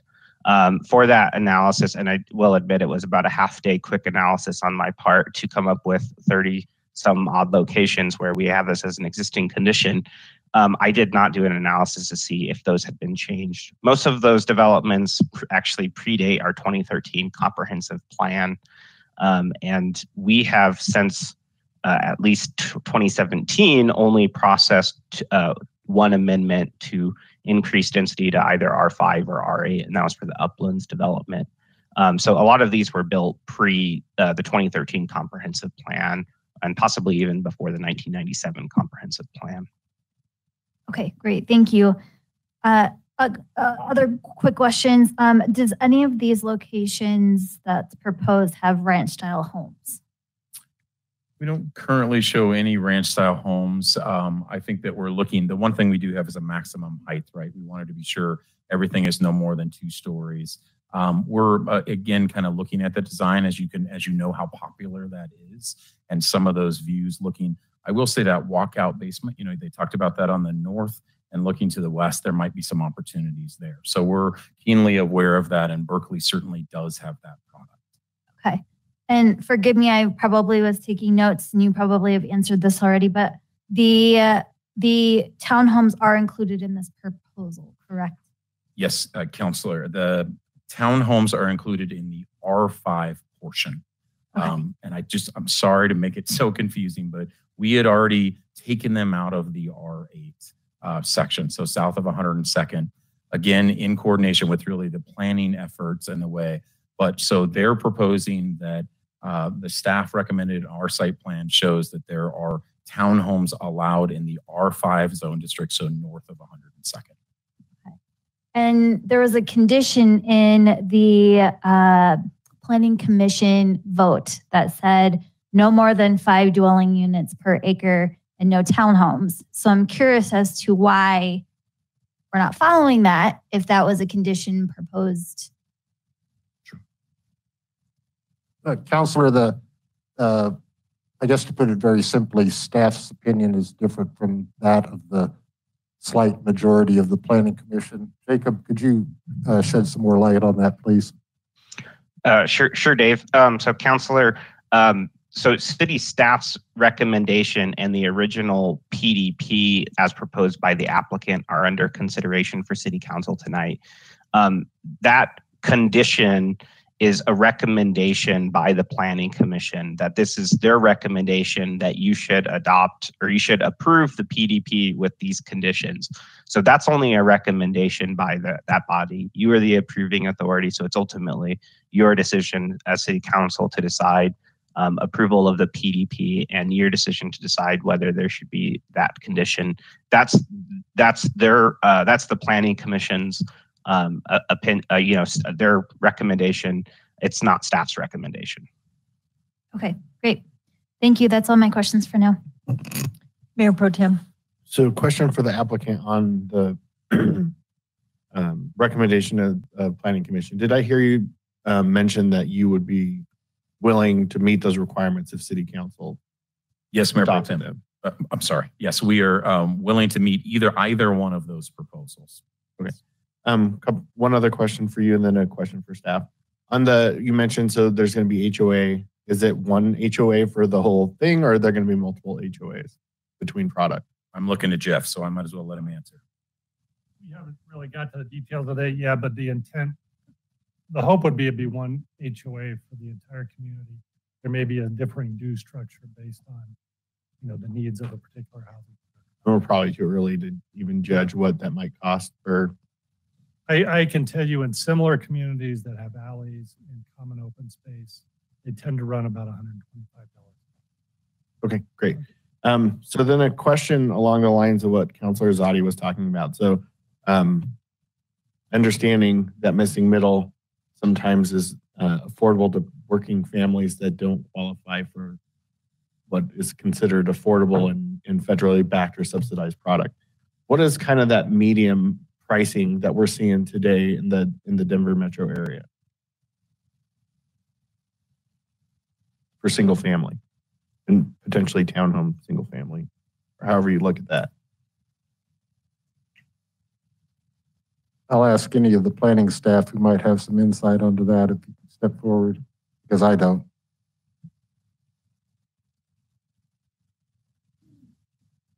Um, Andrew, if you happen to know those uh, numbers, I do not know the median price for a single uh, townhome. Uh, I don't have that information. Only thing I can add, and it's just adding it if it helps, is we all talked about how Shaw Heights is now averaging over five hundred thousand dollars per sale. We think that four hundred thousand, that starting point on the townhome, is uh, probably the neighborhood, existing neighborhood, is in that price point or a little higher. So just as a scale, right, of kind of what's there. But again, we think that I know, sir, like attainability, right? But that's to get that segmented price point. That certainly is the most attainable. We think we can get on the site. That, that's helpful. What I'm, I mean, that's kind of what I'm trying to get at, like understanding like the neighborhood I live in. Average starts around mid fives now, which you know, 10 years ago they were 170. So trying to understand how this fits into what the current market is. But it sounds like it's kind of that entry level home for. i think that's right. And we're really looking at that kind of move up, right? I mean, there's duplexes, paired homes, as we call them, the smaller lot and the larger lot. Jeff was really kind and didn't give a full answer. If this was all large scale, they would have to be well over a million dollars to make that work, right? If it was just 137 lots. So we think we're adding four other price points below that, which we think is really important for Westminster. And last question on this, um, and I, if it, I'm sure it's in the packet and I missed it. School districts, have they been reached out to and do they have, have they weighed in or not answered on this proposal? I'll defer to say, I know they were part of the referral agency. We've worked with them. We've not had any specific comments come back to us with any concerns. So, uh, Mayor Pro Tem DeMott, I can answer that question. This is Jacob Kaza again. Um, so, yes, we did reach out to the school district. This would all go into Jefferson County School District um, for there. They have adequate capacity. This is what they stated in their letter back to us. They have adequate capacity for both uh, primary education, middle school, and uh, high school education at all of their facilities for the presumed population of this development. Great. Those are all my questions. Thank you. Some questions I still have with the two right turns in or out. After watching a neighborhood have to escape, and this is around um, open space, which sometimes has tall weeds, and if they people had to go to the north to get away from, or however they had to escape, and you you have two accesses that can only take you south you can't go north. I don't feel good about that. So I know the furthest one is closer to 104th, so that's probably not good. I couldn't tell if it lines up with Sunrise because I'm sure those people would love to be able to get in and out of Sunrise. Um, but can there be another stoplight? At one of those locations? Council, oh, good, you showed up. Uh, Our transportation engineer Heath Klein can, can speak to that item. When he's finished. Good evening. Also. Yeah, good evening, council, and thank you, Mayor. So I guess the question of regarding weather and access of like a hundred and second or 103rd Avenue could be a signal. There's always, you can always build a traffic signal. Now, will it meet requirements for spacing to keep progression along Sheridan uh, moving? Now, that's where it comes into uh, question. So, our standards on a major arterial is that we do not have a signalized intersection within a quarter mile of Uh, another signalized intersection, unless there is a large demand, which along this corridor, we have 104th and then we have 105th going into our rec center. And so that, that was a, a primary driver. At this point in time, it, the side streets, which is 103rd, would not meet the warrant for another traffic signal at 103rd Avenue. So you've got 400 people having one place to get out. I just think So, that's crazy. But We, we have four, oh, apologize. That there's actually four accesses for what would be proposed. If this, if this development was to move forward, there's a new access that's a right in, right out for 103rd. 102nd is a is right in, right out. So that's our second point. Then 101st would be signalized, and that is a full movement. So you could go north or south. And then we also have the 100th Avenue uh, that was on the south side of Highland Meadows. And that right is a full movement access as well. So you can turn and get north if you needed to from there as well. But the people that are living the furthest north have the furthest to try to get out of there. And there's only one main street to get out of there. So, uh, and you've got the people from Waverly who have to come out their one way. I, it just looks like a nightmare to me. I just have to say it on record. I don't like it. But, um, so to move forward, oh, to move forward, and I'll get to your questions. Um, do you need direction from us about T-Mund and townhomes? Or are you just going to go with what you want? Mayor, and I'll, I'll see if the city attorney agrees with me on this one. Uh, What we would need tonight would be either affirmation or not of the conditions. This is assuming a, a positive vote from council. We would need affirmation or not to the conditions that the planning commission placed on, on, on their approval. Did that answer your question or not? So the planning commission said no townhomes.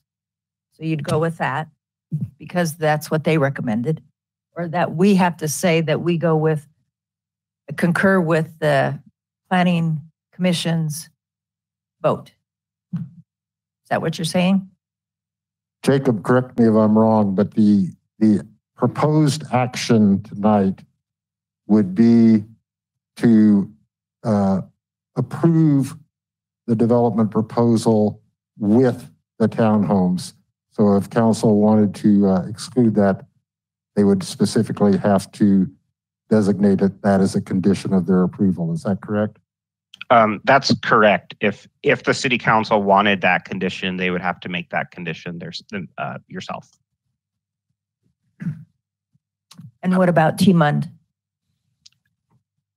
And I know Um, they so- said they don't follow it to the nth degree, but there's parts of it that they would like to use. Um, I think an informal, uh, straw poll, uh, vote to say that you would like this developer to incorporate T-MUN will give staff the guidance that we should start our, our negotiations and review incorporating some of the T-MUN principles. Um, we still have some questions. Counselor Emmons? Yes, so wrapped around the townhomes, why did we go townhomes versus condos? Because there's, there's a distinct difference, and especially with price point. There is, I, I think, just construction defects, to be honest. So uh, town, town or condos are not prohibited, right? Uh, I don't know that anybody made that distinction at all. We just haven't unfortunately been able to do condos because of construction defects. Thank you. Counselor Baker? Thank you. Uh, Just two more questions. One is, uh, are you going to require owner occupied properties or could these end up being rental properties? I think that's one of the beauties of having an HOA is we can enforce things like that. These are all for sale properties. Um, Jeff, I'm sure you have restrictions today that limit the number if there could be rentals or other people occupying those. I know that's what you're asking, so. Our- our- Certainly, our intent is not to rent them ourselves, but it, but there's not, at least we don't anticipate something that would preclude someone from buying and renting years down the road. Now, the HOA, as Marcus said, may self-police that themselves further down the road. Uh, But typically, we don't put that in place. And what was the square footages of the two, two classes of, or classes of properties? The square footage range? Of the homes? Yeah, of the homes. Um, they're, I mean, they're not designed yet, but I would say the townhomes probably range in the thirteen to sixteen hundred square foot range. Um, and then sort of stagger their way up from there. The paired homes, um, probably in the 16 to 1900. The smaller lot, uh, single family, probably just over 2000, and then the larger lot above that. Thank you. Thank you, Mayor.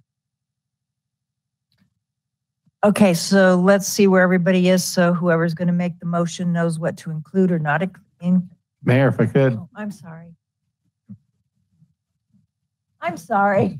no, no problem. I, I'd I'll put this away. yes. we'll when- come back to when. The time comes for council deliberation, absolutely, council has authority to consider conditions or not. Um, but first I would recommend opening the public testimony. And we will do that. We will now open um, public testimony, and the rules from the previous public hearing are still in place. And City Clerk, would you tell us who's first up? Yes, I, I think that I was told she left, but is Karen Calavity still in the off, um, audience? Okay, the next speaker is Sharon Seiler.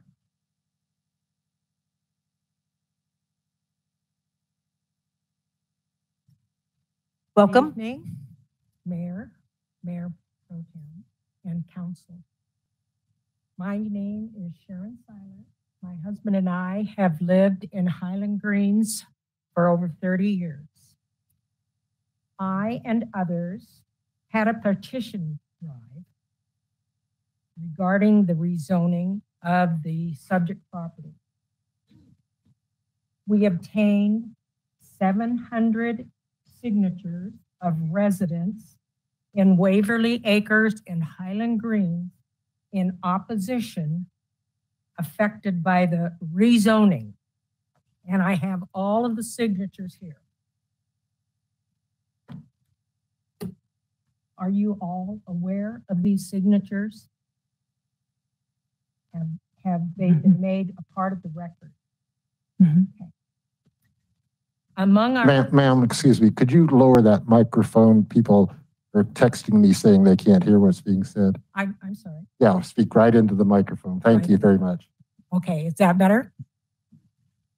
Among our concerns is the traffic light at 101st and Sheridan becoming a four-way traffic light, which would allow residents of Berkeley Homes and Waverly Acres to head east through the intersection, cutting right into Highland Greens, making it a shortcut to uh, get to 104th because of the congested traffic that's already there at 104th and Sheridan. I'm sure many of you have been there when they've when it's been very congested. That intersection was never intended to be a four-way intersection, nor a thoroughfare or a shortcut through Highland Greens neighborhood.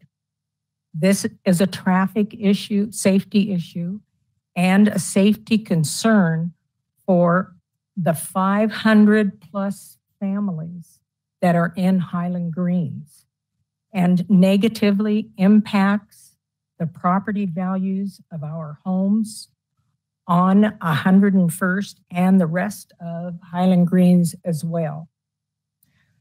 During the last Berkeley Homes presentation, the inch issue of through traffic was presented, and the Berkeley Homes response was any through traffic going through Highland Greens would probably be minimal.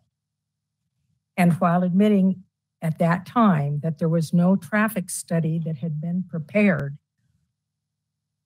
that he was aware of, Prior to that statement, he acknowledged the already congested traffic on Sheridan Boulevard, as well as the intersection of 104th and Sheridan. Highland Village and the uh, new Senior Home Center, the downtown Westminster project, has added to the increased vehicle traffic.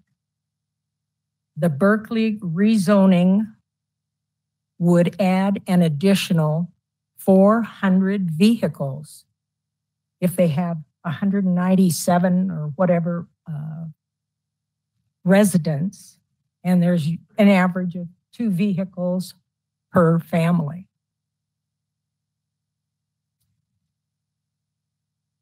The sp- specific to Highland Greens, the neighborhood was laid out 45 years ago. And that's when the traffic on Sheridan was very light.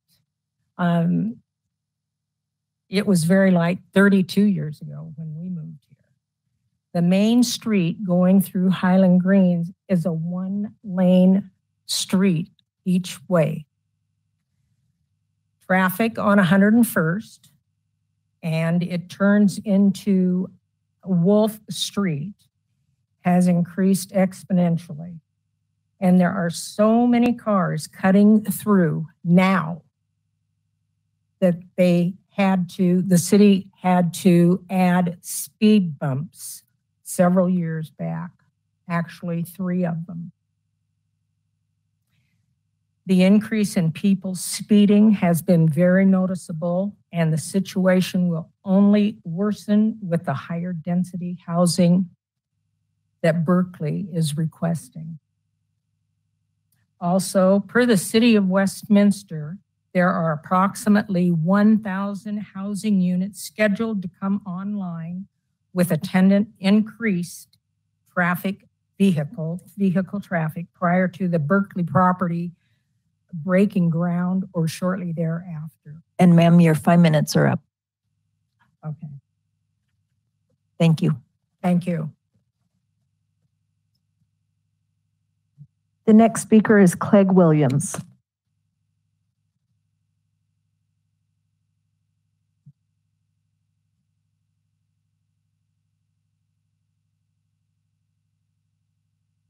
My name's Clegg Williams. I live at 3413 West 109th Circle in Legacy Ridge.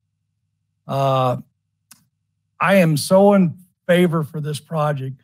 The, the, just what, uh, Councilman, uh, talked about earlier, that the, the means for a single family house now is right at $653, I think is what it is. And, or six, 600, yeah, $650,000, excuse me. And this brings the property value, uh, gives a diverse neighborhood of a, of an entry level, which I have three kids uh, that would, you know, love to be up here by us and they can't afford anywhere. Uh, but, you know, outside of Denver for the most part. And you you're dealing with a local builder you've dealt with, you know their reputation, you know they stand behind what they do.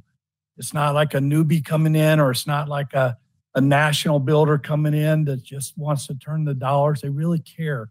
Uh, you know, the one of the uh, vice presidents of Berkeley lives in Westminster. He's a Westminster resident. I trust him uh, to make the right decisions for our community. He lives here. He's a neighbor, uh, and it just it just the the the traffic flows. I've seen people come out of Waverly and make. I go up and down Sheridan four times a day, and those people come out. They make U turns on there. It's dangerous for them. It's dangerous for the other oncoming passenger uh, vehicles coming both north and southbound. Same as people come out of Highland Green on 98th and they make a right hand turn and then they make a U turn right there. That used to be blocked off and they had U turns blocked. They lifted it and now we've had a couple deaths there. So, you know, they having a four way stop there for everyone makes it safer, not only for the people coming in and out of those areas, but for the people traveling through those areas. But it's time that this is a major planned community that has a lot of diversity in the housing. And there's not been a project in my recent memories. I've been Westminster resident for 20, I was first third homeowner in Legacy Ridge. So 27 years. And uh, since Legacy Ridge. And this is uh, going to be a great asset to the community. It's good for the neighborhoods. It's good for the city in every respect. Uh, it also protects 104th because the only way you're going to, and the, and the visual sight lines coming down 104th looking toward our mountains, which we all love. Uh, but if you just let other people go in there and, and build these, these, these huge, uh, developments and stuff, it's just not, they, they can't make it affordable, uh, to build those houses and that's not going to solve any issues for it. So I'd appreciate the uh, consideration to let this go through. Thank you. Thank you. The next, next speaker is Tom Pringle.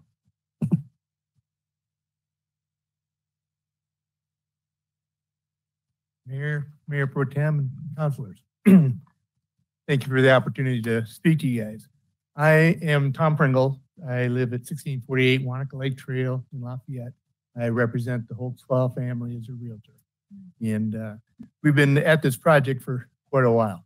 So, um, and Holtzclaws, they own the property, the central, the centerpiece of the, the three properties that we're tr- trying to put together. And that's what, uh, hopefully we can get this uh, comp plan And so we've been working many years with the city staff and uh, I've worked with many builders.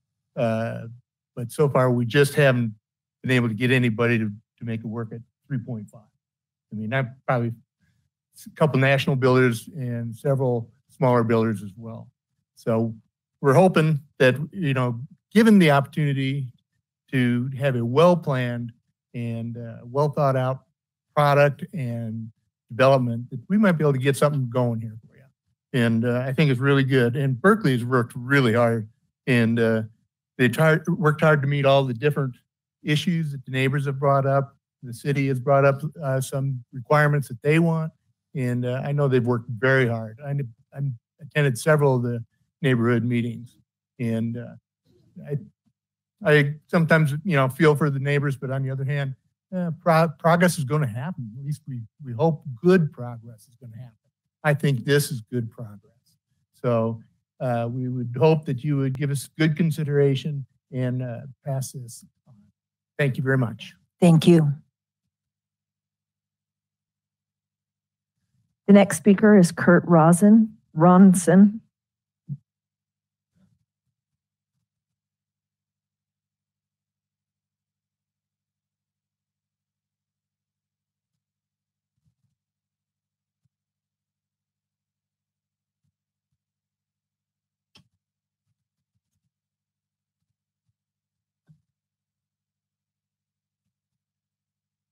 Mayor, Mayor Pro Tem, Councilors. Kurt Ronson, I live at 4655 West 99th Place. And uh, two things I'd like to talk about. The first thing is um, just piggybacking on the concern about the traffic coming into Highlands uh, Greens. I think what we'll be facing is a lot more traffic than even the speed bumps can handle.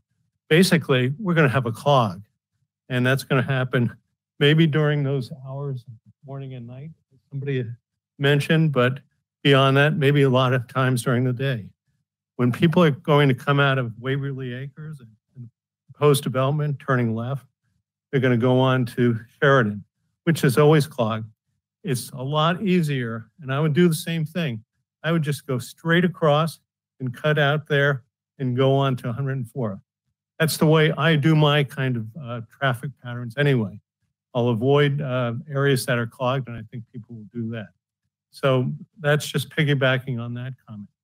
One other thing is in respect to the property itself. Somebody mentioned a lot of dead trees.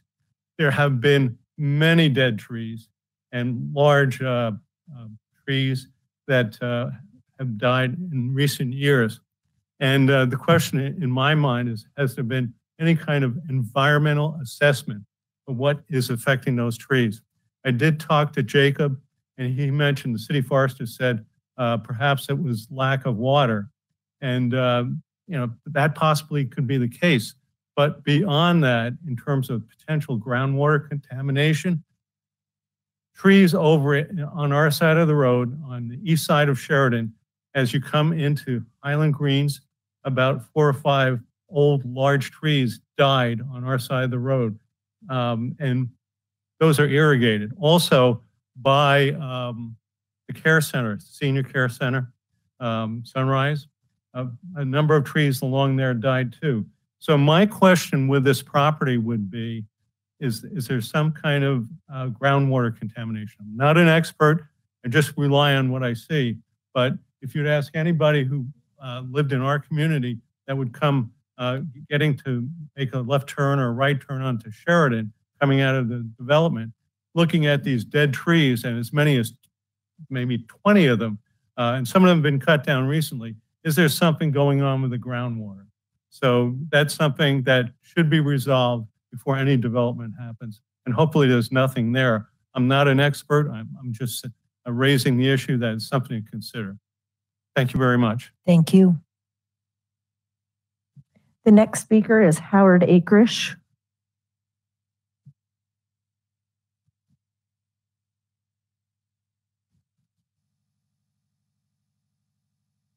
Welcome. Thank you, Mayor, Mayor Pro Tem, councilors. Uh, I have some issues to talk about regarding the development in particular and just some higher level issues uh, as well. You know, you know, people in generally, in general, you know, focus on their own life and issues that are important to them, and they put their trust into city government for doing the things that improve their quality of life they would prefer prefer to focus on you know, raising their families, hanging out with friends, traveling, doing their hobbies. Uh, and I felt that way when I first moved to Westminster over 40 years ago. I thought the city government then was very responsive to the citizens.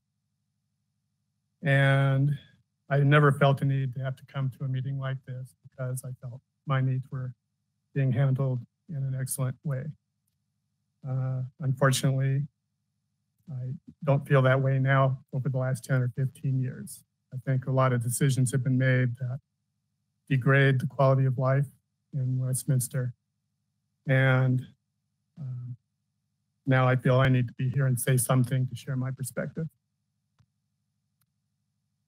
Um, recently, I attended, attended the City Planning Commission meeting regarding the Berkeley Home application and uh, I came away unimpressed with the process and the depth of thinking and and analyzing and thinking about this project.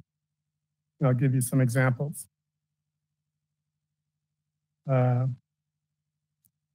you know, when I attended the meeting, there was a PowerPoint presentation similar to the ones we've seen tonight. There's a lot of high level uh, criteria that we're looking to meet. I think they're all great criteria, but they're still high level. Uh, I didn't see a lot of depth in thinking and taking the high level criteria down to a more detailed level. And, you know, I think, uh, you know, that the process, I think, needs to be made better. Um, Several people from the neighborhoods raised legitimate concerns about the impacts of the new development on their quality of life, mainly about traffic on Sheridan and through their neighborhood and water usage in the city. In both cases, city experts opine that the effects of water usage and additional traffic, additional police, fire, and emergency service would be, quote, negligible, like negligible.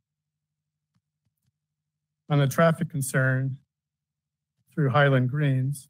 The city traffic manager said it would be negligible because it's faster to stay on Sheridan, which goes at 40 miles an hour to get to 104th and cut through Highland Greens, which is marked at 25.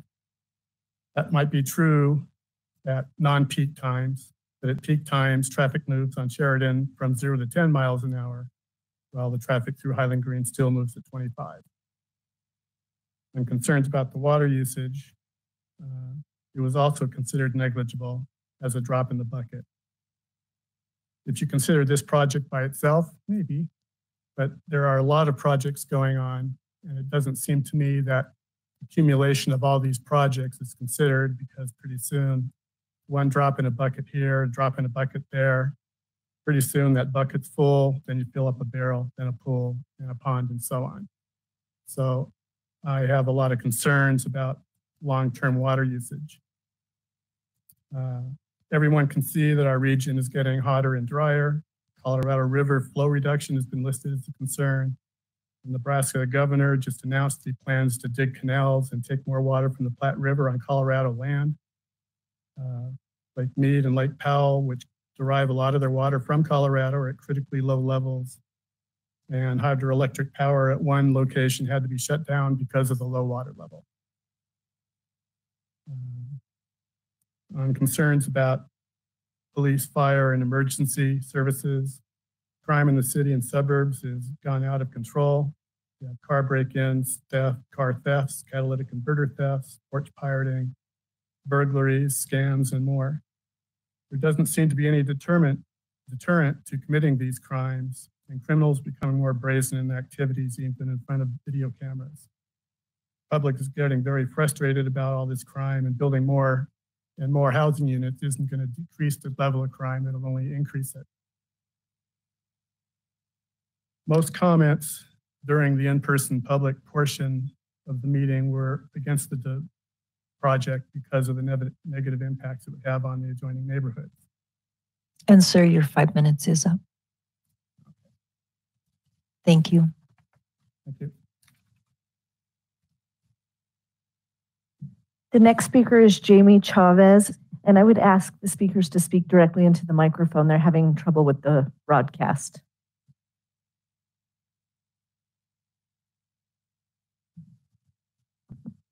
Good evening. Thank you for the opportunity to be here. Um, my name is Jamie Chavez. I live, at 9751 Eaton Street.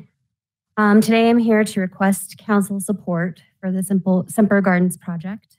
Um, as a newer resident of Westminster, I've really enjoyed this city. Um, two years ago, we moved into the Highland Village neighborhood uh, with my family. Um, as a mom of small children, I chose Westminster because it stood out for safety, uh, family friendly activities, high quality parks and open spaces, and good schools. Um, I also chose it because it offered uh, many of the things that I could not find in neighboring cities and towns. Um, my husband and I had very different requirements that we were looking for in a home and a city. And after a very long six month frustrating um, home search, uh, we found a home here in Westminster that checked off both of our lists for everything that we were looking for. Um, the Semper Gardens project, I believe, is one that meets a lot of those attributes that we were looking for uh, and that other people are looking for in a home. Um, Semper Gardens would be just north of my home. Um, as I leave home throughout the day, uh, my most traveled path is on Sheridan. Um, even during high traffic times, I have a safe and timely way to access Sheridan and to join the traffic there. Um, and I think that the plan for Semper Gardens shows um, that it would be similar to my experience in Highland Village. Um, I'm also a strong supporter of the open space as well. Um, I moved here from Windsor, Colorado, which has a lot of um, empty land, um, but that's really not usable. And so um, the opportunity to be able to use the grounds for parks and other types of activities and trails is really appealing. Um, additionally, uh, a few months ago, I sold my small business. And as a former small business owner, I know the importance of welcoming newcomers into your community um, as uh, a source of revenue and traffic um, and sustainability. Um, and so I know that local business owners in the area are definitely, um, you know, especially two years into COVID, would appreciate, you know, additional people here in, in Westminster to, to support their business. Um, so I hope that council considers that there are many residents of Colorado and outside of Colorado um, looking to make a place like Westminster their home, um, or just looking, you know, people around here just looking to upgrade their current living situation. Um, and I would ask for support for the project. Thank you. Thank you. The next speaker is Doris Weiss.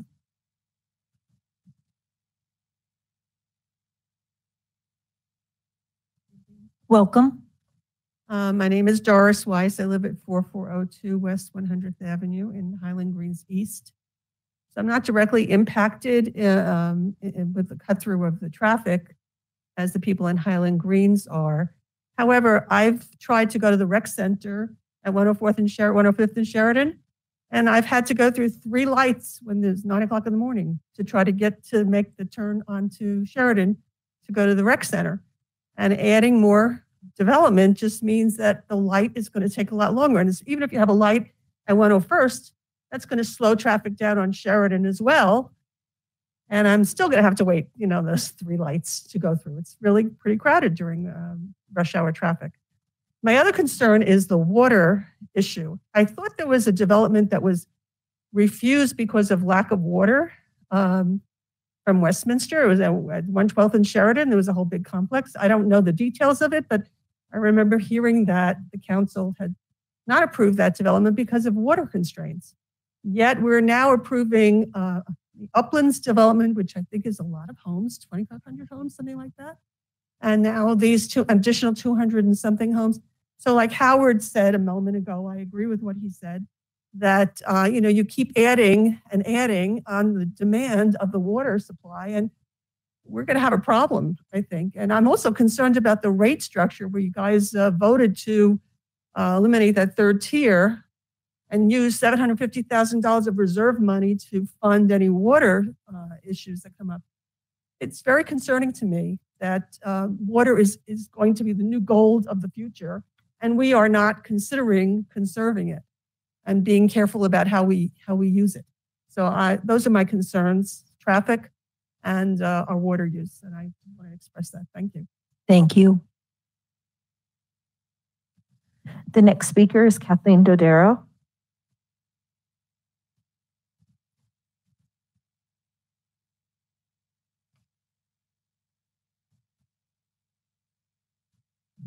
Welcome. Welcome, Mayor, Mayor Pro Tem, councilors. Thank you very much. I have just a couple of things to say. I was with Sharon Sealer when she did the signatures. Those people were adamant. They do not want this. In Highland Greens, this will be devastation. We don't approve the rezoning. There's no need to change this zoning. The comprehensive plan has been changed so much it's pathetic. Westminster's become a stack and pack. And that's what this will be. What are the benefits to Westminster? What are the benefits to Waverly Acres, Highland Greens? The first child that gets killed crossing the street at Hampshire Park is not going to be good. The answer is simple it's economically beneficial to Berkeley, to the developers. If the current zoning for the property is not profitable and necessitates a zoning change to make this project viable, then maybe this is not the best project for us to do. We've just approved uplands.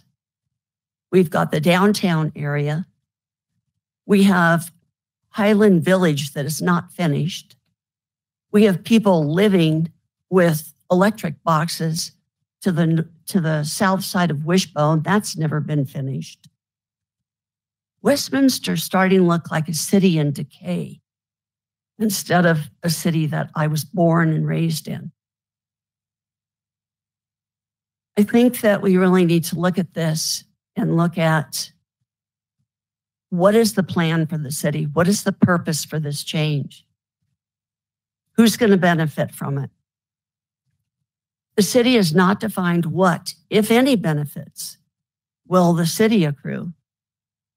What are, what are the costs to the city for the infrastructure that will be required to help this development?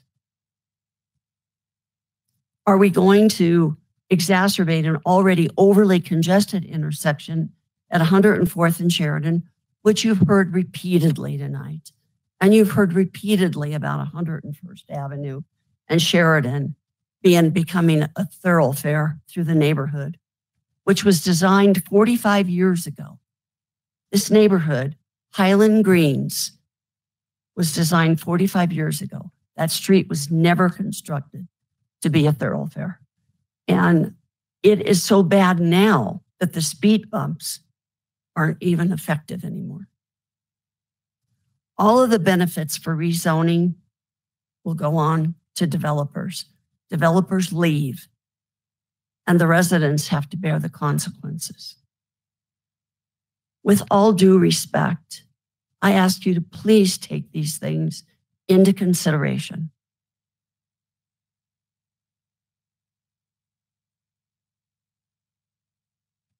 Thank you very much. Thank you. The next speaker is Brian Dias.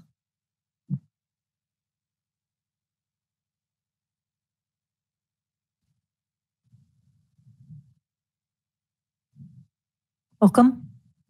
Hi, Mayor and councilors. Thank you um, for taking so much of your time to listen to what we all have to say. My name is Brian Dice. Um, I still live down the street, Highland Village, and uh, I am the chairman of the Westminster Chamber of Commerce. This year, I also am a residential real estate broker here locally in Westminster. Been doing that for about 25 years now and the majority of that time here in Westminster. I won't make you uh, endure everything I had to say last time. I think you probably remember my perspective on the problem that we have with not enough housing, not just here, but all over. The only thing that's changed since a few weeks ago when I was here is we lost uh, over a thousand homes nearby um, in the most horrific fire that I have ever seen. And that just puts more pressure on. It's not here in our city, but it's in our region. And we all know that that has a ripple effect um, in all the cities around them. So we've got people, some people will be looking for a home to buy until theirs is rebuilt. Probably be two or three years before that happens realistically. And a lot will be looking for a place to rent. Um, I have some clients actually um, and good friends who Fortunately, didn't lose their place, but it was damaged. And so they're living here in Westminster down the street, the Residence Inn, until their place is repaired. A lot of stories like that. I have a client who is uh, will be moving here in a couple of weeks from out of state, single mom, uh, two teenage kids, and uh, she's taking a job in Boulder. She figured out pretty quick she can't afford to live there. And so, like a lot of people, they come a little further out, and we're one of the great destinations that those people, you know, decide on. So she decided she wants to be in Westminster. I'm trying to help her find a place to rent here. Um, need a place with a backyard for their two dogs. It's tough right now for a lot of people, even tougher than it was already. I went on the MLS before coming here today. There are currently out of every category of home that we have condos, townhomes, single family 22 homes available in all of Westminster and the city of, I don't know, about 116,000 people, I think. There are 114 homes that are under contract. So that gives you an idea of the demand uh, and the shortage that we have. So again, we need to uh, maximize what land, we don't want to give up our open space. So the property that we have that can be developed, we need to maximize the use of that property, in my opinion. I've been driving by this particular uh, property for years and uh, wondering when something would be done there. Um, from what I've seen so far, it's not really being used other than um, Mayor Pro Tem DeMott's campaign signs when it's uh, election season. Just kidding. Um, but I, this, you know, this builder has, as it's been said already, has built three great communities here. Um, this will be their fourth. They've done a good job. I do not know them personally, um, but I can tell you I've never heard one bad thing, either from the new construction or resale of any of their communities that tells me something about who they are as a builder. It is tough that, to answer your question, um, Mayor Pro Tem DeMott, that medium now is in the 625 to 650 here in Westminster. The low end is what's hard to wrap our minds around is in the upper 400 to 500,000 is now a starter home. So these prices sound ridiculous. 900,000, I'm sure, is on the far north end where those larger single family homes are. And again, to give perspective, like I mentioned before, up at 128th and Huron in Tanglewood, those homes are now in the 800,000s. 800,000s. So if you want a larger home with a bigger lot and more of a yard and a full driveway on in every home, that's the price range you're going to be in is the eight or 900,000. Anywhere you go in the metro area, especially in the interior in cities like ours, where homes have already been, or where there isn't a lot of area to build, we have to go higher density. And a lot of them are higher density than what this community is projected to be. But in order to maximize that use, there have to be compromises. I feel like this is a good project and it's something that our community, it adds another 200-ish homes, but we need those. Thank you for listening. Thank you. The next speaker is Julia Abdel.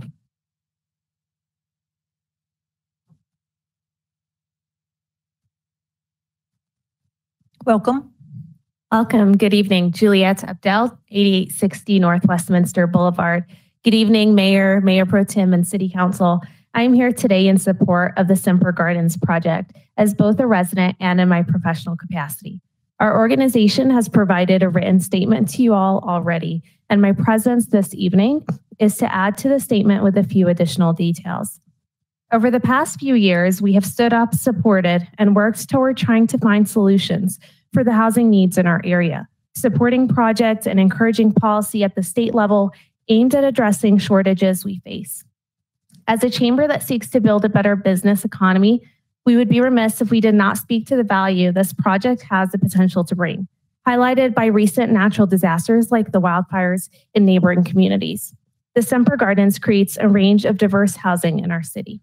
Berkeley Homes has had a history of working in our community with completed projects like the Schoenberg Greens, Connections, and Skyline Greens. And since 2018, they've worked with staff to bring this project to life. There are always concerns with development, including obstruction of our beautiful mountain views, a concern addressed with no apartments proposed, and a max two story build in this project. We boast our open space preservation in the city. And this project incorporates 40% of the open public land dedication to open space. Construction projects like this add temporary jobs to our economy and long after completion house the workforce that contributes to our area businesses. These residents invest their time, talent, and resources to keep our city thriving. Not to mention their ability to create generational wealth through home ownership is significant. Tonight, we urge City Council to vote in support of this measure. Thank you. Thank you.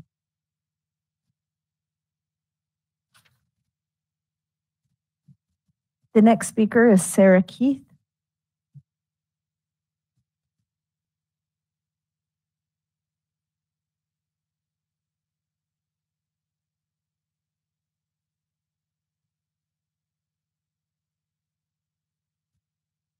Sarah Keith in the audience. Okay, the next speaker is Sandra Oyarzun Jasnik, and I apologize if I really missed the mark on that name.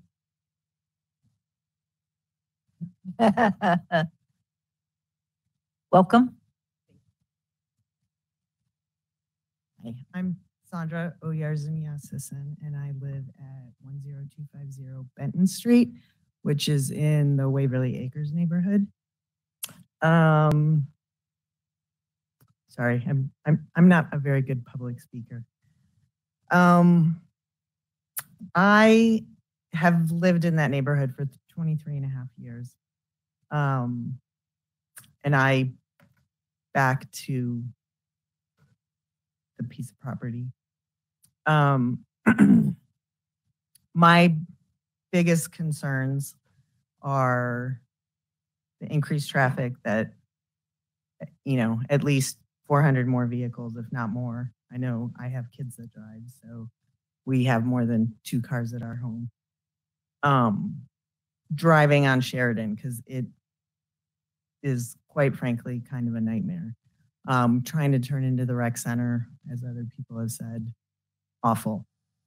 Um, I'm also concerned about the water impact. I know at the planning commission hearing, it was talked about and the water person, I'm sorry, apologize because I don't know people's titles, but the person who came to speak about water, um, like the gentleman talked about with the bucket. Yes, it was, it, it will have an impact. It wasn't a huge impact, but if you take into consideration, I'm not sure what the uplands numbers are, but that's adding a huge amount of water.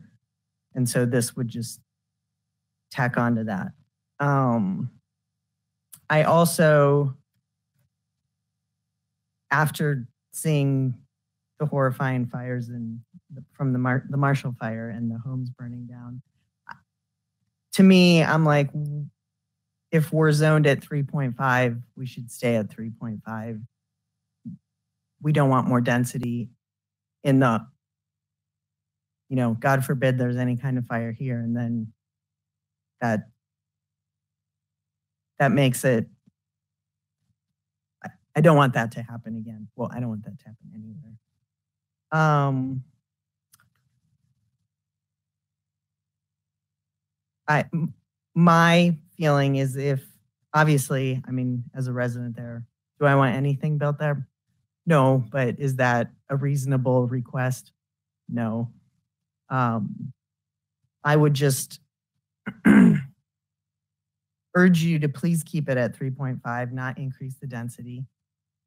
Um, I will say I'm one of the vocal people, don't want townhomes. Um, I would prefer if something does have to be built there, that it's just single family homes. Um, detached or, or attached or um, just not townhomes or condominiums. I know that was talked about before also. Um, and then my other thing is I know people talk about the whole we need affordable housing. I, I mean, I bought my house 23 and a half years ago. So it was, I think, 160,000 then. I don't think I could afford to buy my house right now. Um, and so it's probably, I think I went on Zillow and it's marked at about 500,000. Um, so to me, 400, a $400,000 townhome, you know, affordable, I guess, is um, a relevant term because I couldn't afford a $900,000 home either. So at any rate, thank you for listening to me. I just strongly urge you to please leave it at 3.5. Thank you. The next speaker is Greg Jasnick.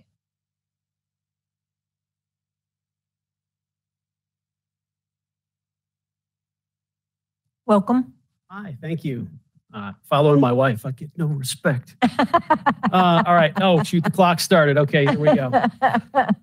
Greg Yassis in 10250 Benton Street. Thank you again for listening today. Uh, thanks for your attention and your consideration as we review yet another request for an increase in density of this residential development. Um, we are asking that you please keep it at R3.5 uh, for these properties under review. Um, based on the agenda tonight, the presentation uh, made by the city manager conflicts with the recommendation of, of the planning commission. You brought that up. The re- removal of townhomes was a primary concern of the existing neighborhood, and I'll try to get to that very quickly here. Um, for it to be glossed over does us a disservice. Um, get my finger where I'm stopping. Uh, the desire to meet that term of mixed housing seems to be more of a feel good, right? And I understand, uh, Councilor Ezeadi, your concerns about affordable uh, housing across the across the city. Um, while we're speaking about terms that affordable housing must be discussed, as she said, we bought our house. It's now worth $500,000, and that's just crazy. Again, goes back to really looking at wh- where the planning commission is going to come into play here and what our actual plan is for the city. Um, the older established neighborhood of Waverly Acres represents about 85% of the homes. They are within that R3.5 uh, designation. The smaller neighborhood of Highland Meadows, which is represents about 33 houses, is, is again, and that I think has been very clearly uh, denoted here, that it is the larger piece and that gives you that overall average, which raises it, right? Again, our hope 33 houses out of the additional 130, some 130, 140, 160 that we have. Um, it, it makes it, uh, you know, there's a lot of houses there. Adding an additional almost 200 homes does have an impact. Uh, our neighbors, again, to the east have expressed that concern. Um, there's room for reasonable development at that R35 density. Uh, I have no doubt that it would require a lot of work on Berkeley Homes uh, or another developer to pivot to redesigns of older layouts uh, or new architectural strategies, but that's the job. Uh, they had already created alternate options prior to the Planning Commission's removal, uh, and they adapted to that very well, I think. Uh, the property owners have every right to reap the rewards, as do the as does the developers, right? But uh, and I would strive to do the same if I were in their position. Absolutely. I'm not on the clock here, right? Writing this email, making this statement, and the citizens present, uh, present and those who live in the immediate area aren't on the clock. They're here to make comments. They're here to make comments to you uh, to protect our neighborhoods that we live in from negative or damaging changes. Not from change, but from negative and damaging changes. Uh, I believe that most of us understand the importance of tax revenue for the city. Importance of resources, however, must weigh heavier than tax revenue. Planning Commission did address some of these topics individually. And this again is where it lays to you to look at all of this together. Councilor Baker, you, you brought up the fact that we need to look at this more of a city, uh, city level, right? And Councilor Ezeadi and Nurmela, you both had, had mentioned the importance of townhomes in this, but in this area. And how many townhomes are you going to add here? At most, I believe the number may be 30. Uh, maybe it's 20 townhomes. That again, at a 500,000 price point, 400,000 price point, is not doing anything for mixed availability. It really isn't. Um, and I hate to say the name of the city here, but you know, Broomfield, ah, Broomfield. Um, they've managed to keep spacing, right? They have taken advantage of areas and developed entire communities that are more specific to townhomes and condominiums and built communities around them. Found a place to do that Westminster Mall. We have that area. We have an area to do that sort of work in a very comprehensive area, right? Comprehensive way. Take take good planning, take some time and do it right. Um, and running up the street, uh, Westminster, as I believe you had said you had done, yes, there are townhomes uh, and there are apartments. And we thought about moving into that neighborhood at a $700,000 price point, and it's now not $700,000, right, for those single family homes. Um, it's rough. Um, it's rough. Uh, I will just answer two quick questions. I'll try and get these in. The question about the cul-de-sac, I know it's a pain in the butt. Uh, the reason that that came up, uh, we have about seven or eight families who live in that cul-de-sac, bought houses with a cul-de-sac. I grew up in a cul-de-sac. It is a special thing to live in a cul-de-sac where you don't have to worry about your kids. Um, to lose that was a piece that all of us as neighbors felt we needed to support. Um, uh, and then quickly on the downhill, I wanted to mention for 101st, and I know I'm out of time. Uh, on the downhill going into Highland Greens, I coached at that soccer, uh, coached soccer at that park there. The concern for the neighbors there is not that there are not speed bumps. It's that there is a significant downgrade from Sheridan down to that park. And as we all know, going downhill you just choose to gain speed. So that's the Your time, your that time stretch. is up, sir. Thank you so much for your time. I do appreciate it. And the next speaker is John Shields.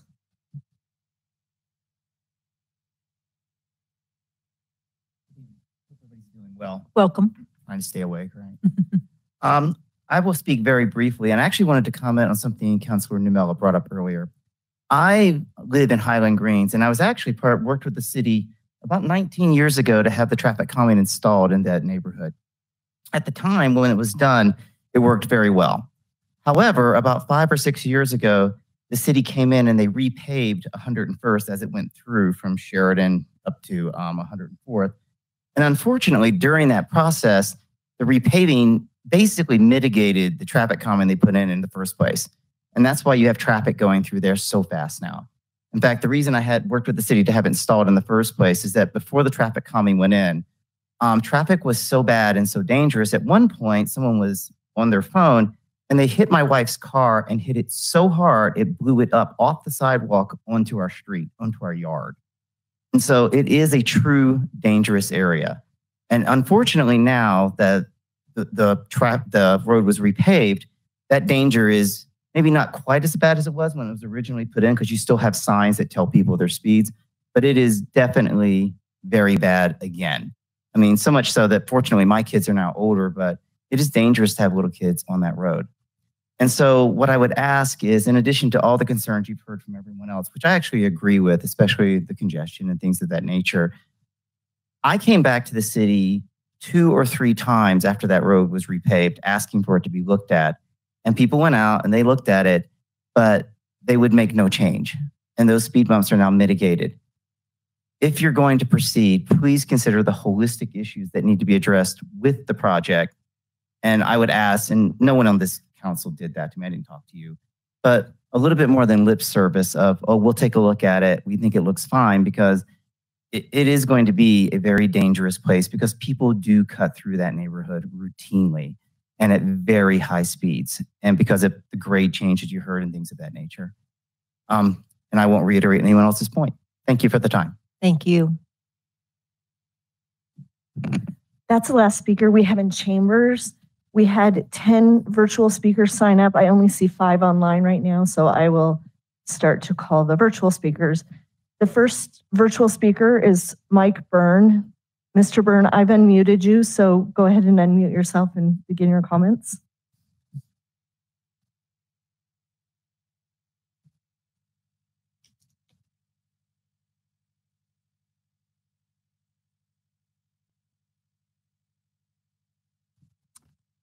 I'll go back to Mr. Byrne.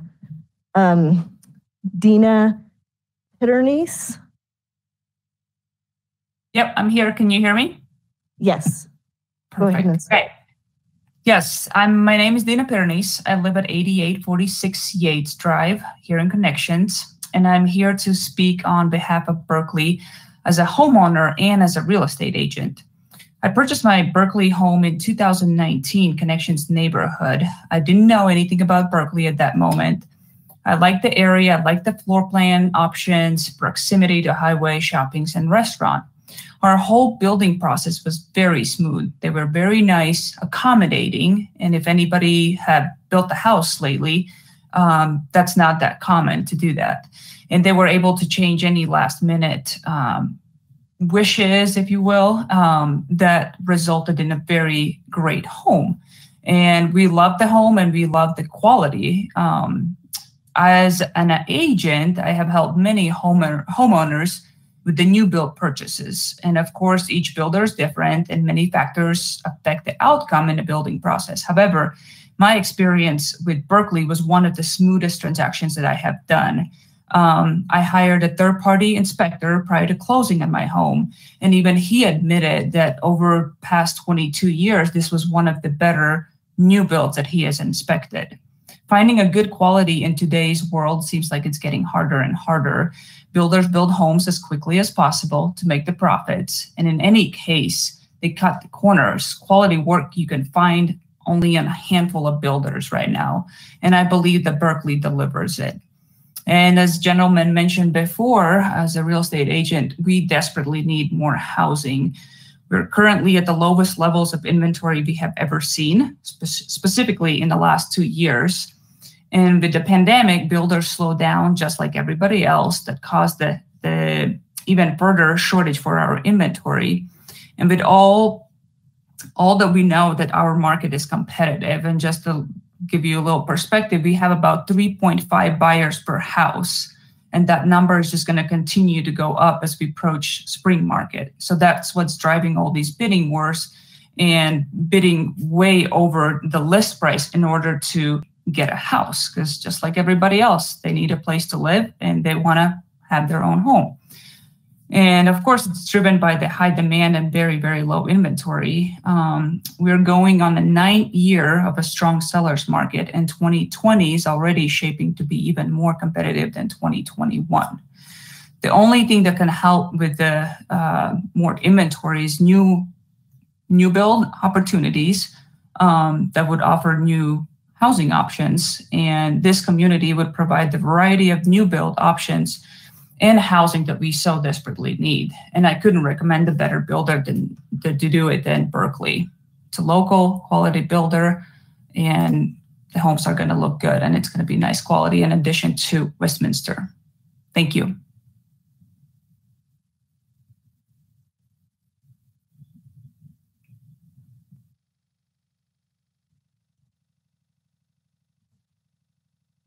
Mike Byrne or Byron, I've unmuted you. Can you hear me now? Yes, thank you. I see some people shaking their heads. Hi, I'm uh, Mike Byrne. Uh, I live at 2391 Ranch Reserve Ridge in Westminster. I've been there for, been in Westminster for over 40 years. I'm former chairman of the Planning Commission and uh, was on the Westminster Legacy Foundation Board for uh, for many many years. I've been involved in the city. My professional background is residential and commercial development, and I know some of you uh, know some of the projects I've done in Westminster. I did the Ranch Reserve residential subdivision. Uh, I've been working with the uh, the landowners, the Holtzcall family, for probably five years, and the Rubens family on the south parcel for about that long, and more recently with the Hahn family to try to figure out what's a, a, a good development for these parcels. And uh, I've worked with a number of builders that tried to, to make a project happen here. And it's it's a challenging site to to do as an infill. And you, when you add all of the costs of Sheridan and 104th and and uh, giving 40% of the land to PLD and so on along the hillside there where the valuable sites are, it's a, it's a challenging site. So we were very pleased to get Berkeley Homes to come in and and uh, uh, work with us, all three landowners. And I, I, think from a city council perspective, that's a big advantage versus you having to sit here and look at three different ODPs and PDPs on on all three different sites. So so I think that's something important. Uh, I've got some reasons why I would encourage you to consider supporting this. Uh, it meets all of the, the PDP and the comp plan, I mean, all the city's requirements um, as it indicated in the staff report. The proposal really does meet that, that housing diversity uh, issue that the, the staff has, has worked with Berkeley on. And there's, you know, a, a minimum of three types of, of uh, housing types, the traditional single family, the courtyard single family, paired homes and possibly townhomes, depending on what you decide. But even with the three products, if if you decide not to do townhomes, you've still got some good diversity there that that I think hits that missing middle. Those those small business people, and their employees, and the government workers, and a lot of them that, that can't afford million dollar homes that, that aren't going to be able to, to do that. And if you lower the density, which I know some people have talked about in the planning and zoning meeting in here, I've been involved in doing a lot of financial analysis for residential developments. And when you when you look at this parcel, and if you lowered it to the 137 and you do the 3.5 inches to the acre and you do 7,000 square foot lots, um, it just drives the price of the housing up. So you end up with million plus homes on this site. Um, number one, that doesn't meet our missing middle that we need in Westminster. Number two, I don't think I can find a builder or could find a builder that would be willing to put million dollar plus homes on that entire site.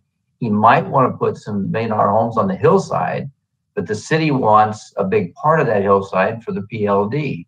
So you really need a builder like Berkeley that will come in and, and create as, as, as reasonably priced housing as you can.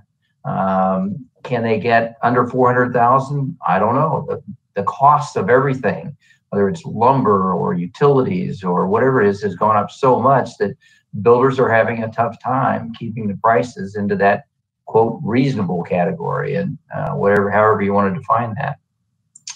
Also, this plan, the, the five units to the acre works a lot better from a water standpoint. You're you're really you get seven thousand square foot lots and you're using up more water. There's water studies that Berkeley's done, and and uh, you know, I know water is a sensitive uh, issue in Westminster. I live there and I talk to my neighbors about it. So this project is, is pretty good from a water standpoint. Um,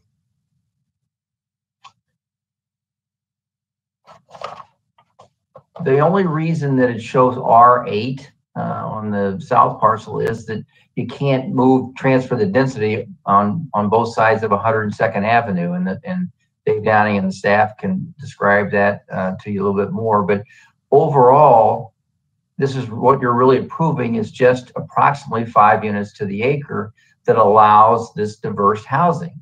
Uh, so you're not really approving R8 because that's Berkeley's willing to agree that they'll only do about five units to the acre. You just have to do that because the city staff has said, and, and rightfully so, they want the hillside um, next to 104th for PLD.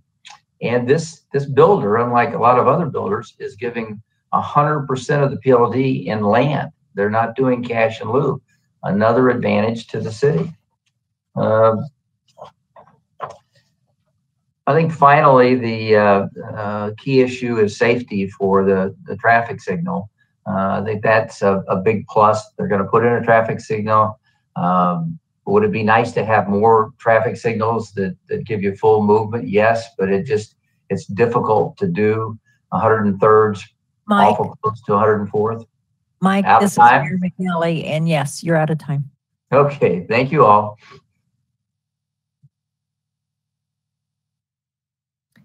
The next speaker is Tish Parado.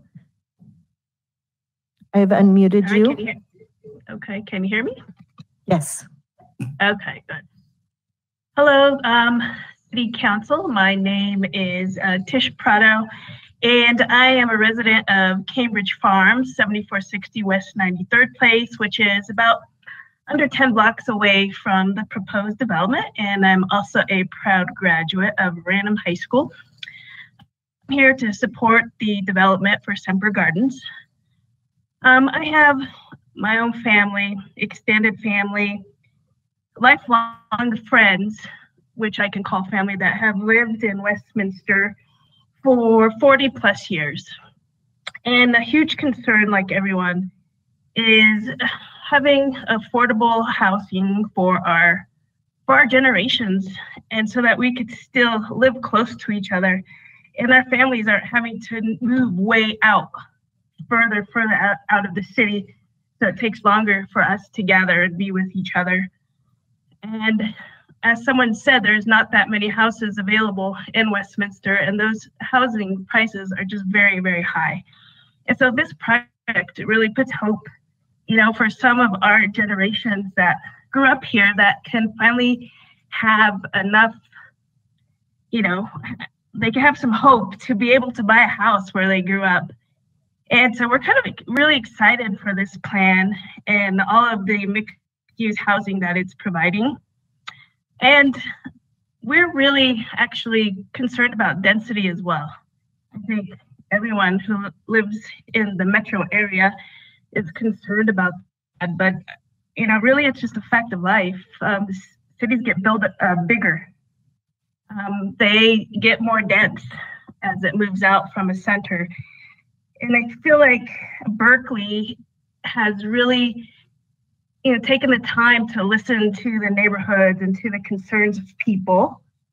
And you don't always get that from developers. And I think that um, they're doing just a really great job at listening, trying to to uh, address all those concerns. We are really, you know, looking at that intersection in Sheridan, and I feel like that full movement intersection is going to allow safe access along um, North Sheridan. So I hope you all unanimous, unanimously support this proposal, and I thank you for your time tonight.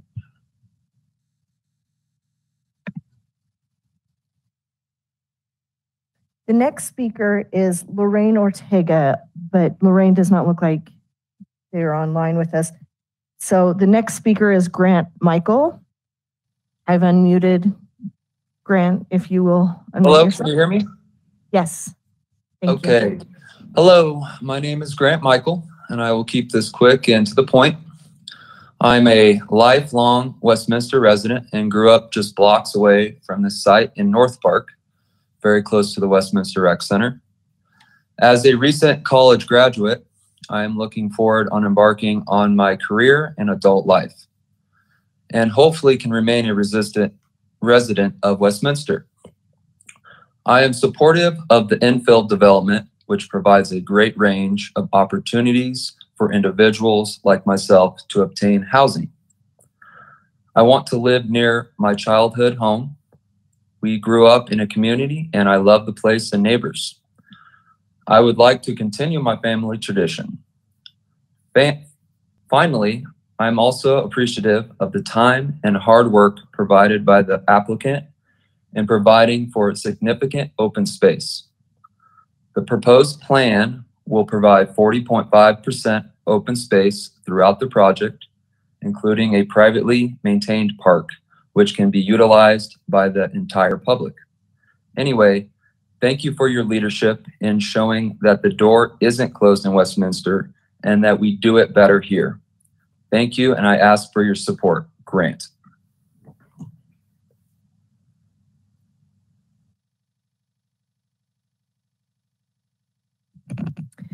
The next speaker is Linnea Nichols. I've unmuted you. Yes, can you hear me okay? Yes, thank you. Yes, I, am Linnea Nichols, and I'm the personal representative for the estate of Ruby Holtzclaw at 10115 Sheridan Boulevard. And I actually live in North Carolina, Charlotte, North Carolina. I'm coming to you from there where it's now 1.30 in the morning, so you guys have got to be tired too. Um, so I represent the center parcel of the three parcels we've been talking about tonight. And I hope you don't mind uh, me sharing just a little background on the property. My mother was actually born on that property in 1920, and she lived on the property her entire life. Uh, moved off for a little bit when uh, my dad was in the military, but she lived there her whole time. I was raised there. And this property actually has a lot of historical significance for Westminster. Uh, the very first owner was the Denver Pacific Railway and Telegraph Company, the first deed was in 1869. And yes, I have copies of the deeds. My parents kept all that stuff. Jefferson County doesn't even have them. I have them. Um, in 1889, it was incorporated into the Semper Land Company, which is very historic for Westminster. You're probably familiar with the uh, Semper Farm open space at Pierce and West 92nd. That's the house that once belonged to Charles and Julius Semper, where all these names came from. My grandmother actually knew them and she ran the Semper Cash store for them while in the 30s. My mother attended Semper School. So Semper has been big in this area. My grandparents bought the property in June of 1919. My grandfather died in 1924 of tuberculosis, leaving my grandmother and my mother to continue to farm that the rest of the time. Um, after my mom and dad married, they continued to help with the farming, and then they eventually built that second house on the property, and they continued to farm it until they died in 2012. And I don't know, I think Nancy might be the one old enough, but I just wondered if anybody else was old enough at the council to remember them. And I knew Nancy would take that the right way, I hope. Linnea, um, you know, they've remodeled the the inside here, but I know that we should have two seats towards the back, Leonard and Ruby Holtzclaw. So maybe when they name a park, they will consider keeping their name alive. I, I, wish you could see my smile through the through there. In fact, I've asked Berkeley if by any chance they could put a bench. If if this gets approved, they could put a bench in and at least put the names on there. But yeah, so they were very active. Um, I have to say that this property has had contracts on it continuously since we put it on the market in January of 2013. We had a contract 45 minutes after it was on the market. But Berkeley has been by far the best to work with, even from my end. I have to say, it hasn't been without all the challenges. You know, Sheridan's a major road. I saw it go from a dirt road to an oiled road to a paved road. Most people probably don't even know what that means. Widened to four lanes. Luckily, right after I left home because it was only 14 feet from my bedroom, is how far that road was. And then they widened 104th and made it the connector to 36. So the traffic just became a nightmare. So I have to agree that with that amount of traffic, it doesn't make sense to put large lot single family homes right up next to the road. It probably makes a lot more sense to put townhomes in there. Um, the existing 102nd is already city right-of-way, so that's a, not a problem. But I can't believe, I would think the neighbors would want access to, from Waverly to get out of there. My parents hated it. It was always so hard for them to try and go north. And even when they came home, they had to turn early, drive all the way around. It was a mess. Um, I've been very interested tonight listening to the discussion about the light at 101st because I don't think people are aware that this has been a requirement of the city for maybe at least 20 years. I know my parents were upset about it. They told me that the city of Westminster told them that whoever bought and developed that property had to extend that light and extend 101st, make that a four way light, which Berkeley is planning on doing. So it's not new news. This is something that the city has been looking at as a requirement for a number of years. Um, I have to say, I was encouraged when Berkeley wanted to put the three parcels together because we just have not had a developer that can do it with that R3.5 designation with the open space and the setback requirements that have to be done. Um, I like Berkeley because they worked with the city on other projects. They're used to working with you. The city has worked with them. I'll try and quicken it up because I'm looking at eyes. They're getting real tired. I like the houses they're going to build. You've gone, Linnea, you've gone over five minutes. Oh, can I can I just say one last thing? Yep. Real quick. It hurts to see this land developed. I'd love to have it stay a farm, but my dad, right before he died, said he wanted to have it sold and developed. And the people who move in there are going to love those views of those Colorado mountains and Longs Peak and be part of the history of Semper Gardens. Thank you. Thank you.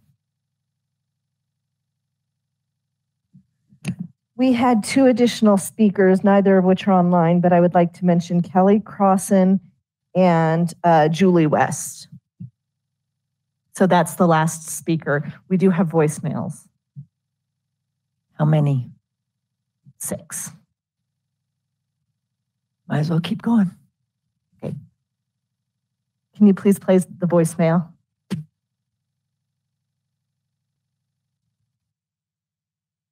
This is Jackie Mersch, and I'm grateful to have my small voice heard by the appropriate person. Thank you most kindly. Back in uh, 2019, I lodged a concerned objection to the proposal for the Berkeley Homes development on the west side of the Sheridan from 101st to 104th, etc., for the Planning Commission. And that thought, at that time, uh, my concerned objection was based on the precious, ever shrinking, and fully non renewable greenbelt resources that we have within our Westminster community. The events of the intervening months have only served to highlight and solidify our community's need for those spaces, and I wish to submit a fresh objection to the Berkeley Homes development for today's meeting. I'm a mother of children who have struggled to find affordable housing in this city, and I'm quite aware of this need, but the Berkeley Homes development is not going to fix this problem. Taking away the uh, rare and few undeveloped lands is not the solution, at least in my opinion. Um, I agree with uh, Mr. Lefcourt, uh, who made this assessment. He said the problem uh, is not nonstop uh, with nonstop growth is that it never pays its own way. We all get burdened with the demands for more water, sewer services, expanded police, fire, health care facilities, schools, the increase in crowds, traffic, due to the in- inability of the road system to accommodate more vehicles. Um, and I agree with that. Uh, I, I agree that New transplants might love the change from their former homes, uh, but most long term residents of Colorado would agree that the rapid growth has done more harm than good. So I respectfully ask the Planning Commission or whoever needs to uh, hear these words to halt this development, as uh, in my humble opinion, it's not the way forward and uh, doesn't represent the true needs or desires of our dear Westminster. Thank you. Bye bye. Yes, my name is Dave White. I live at 5244 West 100th Court. That is Highlands Meadows. Uh, I am calling about the hearing for tonight. I'm unable to attend because we have sickness, but I need to put my comment in about what's going on. Uh, we get wrecks up here on the corner of 100th and Sheridan all the time, and the speed on there is ridiculous. I know the police can't be everywhere, but we we never get it. Anyway, if you start building houses on that southwest corner of 104th and Sheridan, it's going to get out of hand already. We already have an excess of 22,000 cars on Sheridan already. We need to not have this thing built. If those guys want to go, if you're a developer wants to build, go up to Superior where they need des- help, desperately help, really bad. So let's look out for people who need the help instead of just building this because we need the more revenue here. I think that's what we're talking about. Uh, appreciate your time. Have a good day. Hello, this is Shannon Farley. Uh, address is 10260 Benton Street, Westminster, Colorado. Uh, my house backs up to the fence to the north parcel of Semper Gardens and Waverly Acres. I'd like to request to keep the area zoned R 3.5 uh, with no townhouses.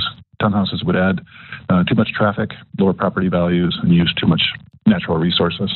Thank you for your time. Hello, my name is Cindy Riedel.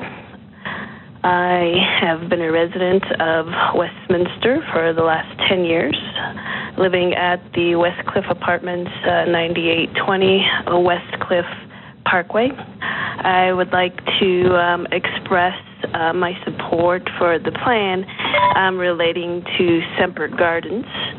Um, uh, the Berkeley team um, has really spent a lot of time reaching out to the to some of my neighbors actually and to the residents in Westminster and I just think that this project will be an amenity for all the people who live there and others um, all around the city of Westminster. And so we really appreciate the efforts um, and the transformations to the plan that, that, create the community compromises that are needed. Um, so I hope that this project gets passed because it's really hard um, to find good housing with um, different price points. Uh, I would really love to get out of an apartment and be able to live in a home and able to afford a home. And I think this project is is heading in that direction. And so I'm just really excited and hopeful that um, it gets approved tonight. Thank you so much. Hello, my name is Jen Rue. I am calling in today to show support for the comprehensive plan amendments and the PDP for Semper Gardens located along 102nd and Sheridan. As an active North Metro community member, I appreciate the developer being transparent and showing us their site plan. Um, I understand that many developers don't usually show the site plan or spe- plan specifics before submitting uh, comprehensive plan amendments. I appreciate the fact that the site plan is buffering all of the single family homes with similar products while pushing the denser products more towards Sheridan. This project was first brought up to us in 2018, and since then the site plan has changed drastically due to community and staff input. Um, I believe the developer has really listened to the voices and concerns of the residents in this area and has provided compromises to address those concerns. In the end, this will result in new housing with community amenities and connections to a regional trail, which is awesome. Uh, none of the new traffic will drive through an existing neighborhood, and that is successful infill. I urge you all to please support this project. Thank you. Bye bye. Good morning. My name is Lucy Sieber, and I reside in the Waverly Acres development, which is adjacent to the proposed Berkeley Homes upzoning. I vehemently oppose the upzoning of the properties under consideration at tonight's City Council meeting. My advice to City Council is quite succinct. Don't do it. The developer Berkeley Homes claims that they cannot build at R 3.5 zoning designation. They state they require R5 to achieve a profit. Newsflash, by what stretch of the imagination, excuse me, is our community obligated to support their bottom line? No obligation whatsoever. Additionally, there has been much controversy over crumbling and taxed infrastructure. It is best to address those issues than add 500 new best friends and their respective vehicles to our area. At the rate Westminster is going, we are not building any type of sustainable future. Additionally, one can refer to the 2020 community survey regarding residential growth, which was viewed as negative or somewhat negative. 57% of the respondents cited too much growth in the community in the 2020 survey as compared to 31% in the 2010 survey. There's also the concept of community perceptions. Three of the candidates posted pre election signs on the northernmost property, the horse property. You are now voting on this measure. I highly doubt that any of you scaled the fence to post your signage.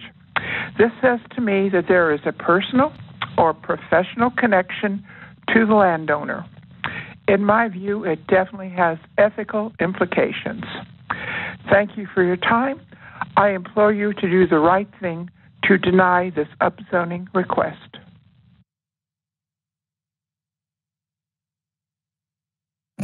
That was the final voicemail. Thank you. Any further co- comments or questions from council? I will close the public hearing. Councillor Emmons? I wasn't clear whether or not, I know it was sent uh, to various entities. I'm assuming that our police and fire department have reviewed uh, the proposal on this.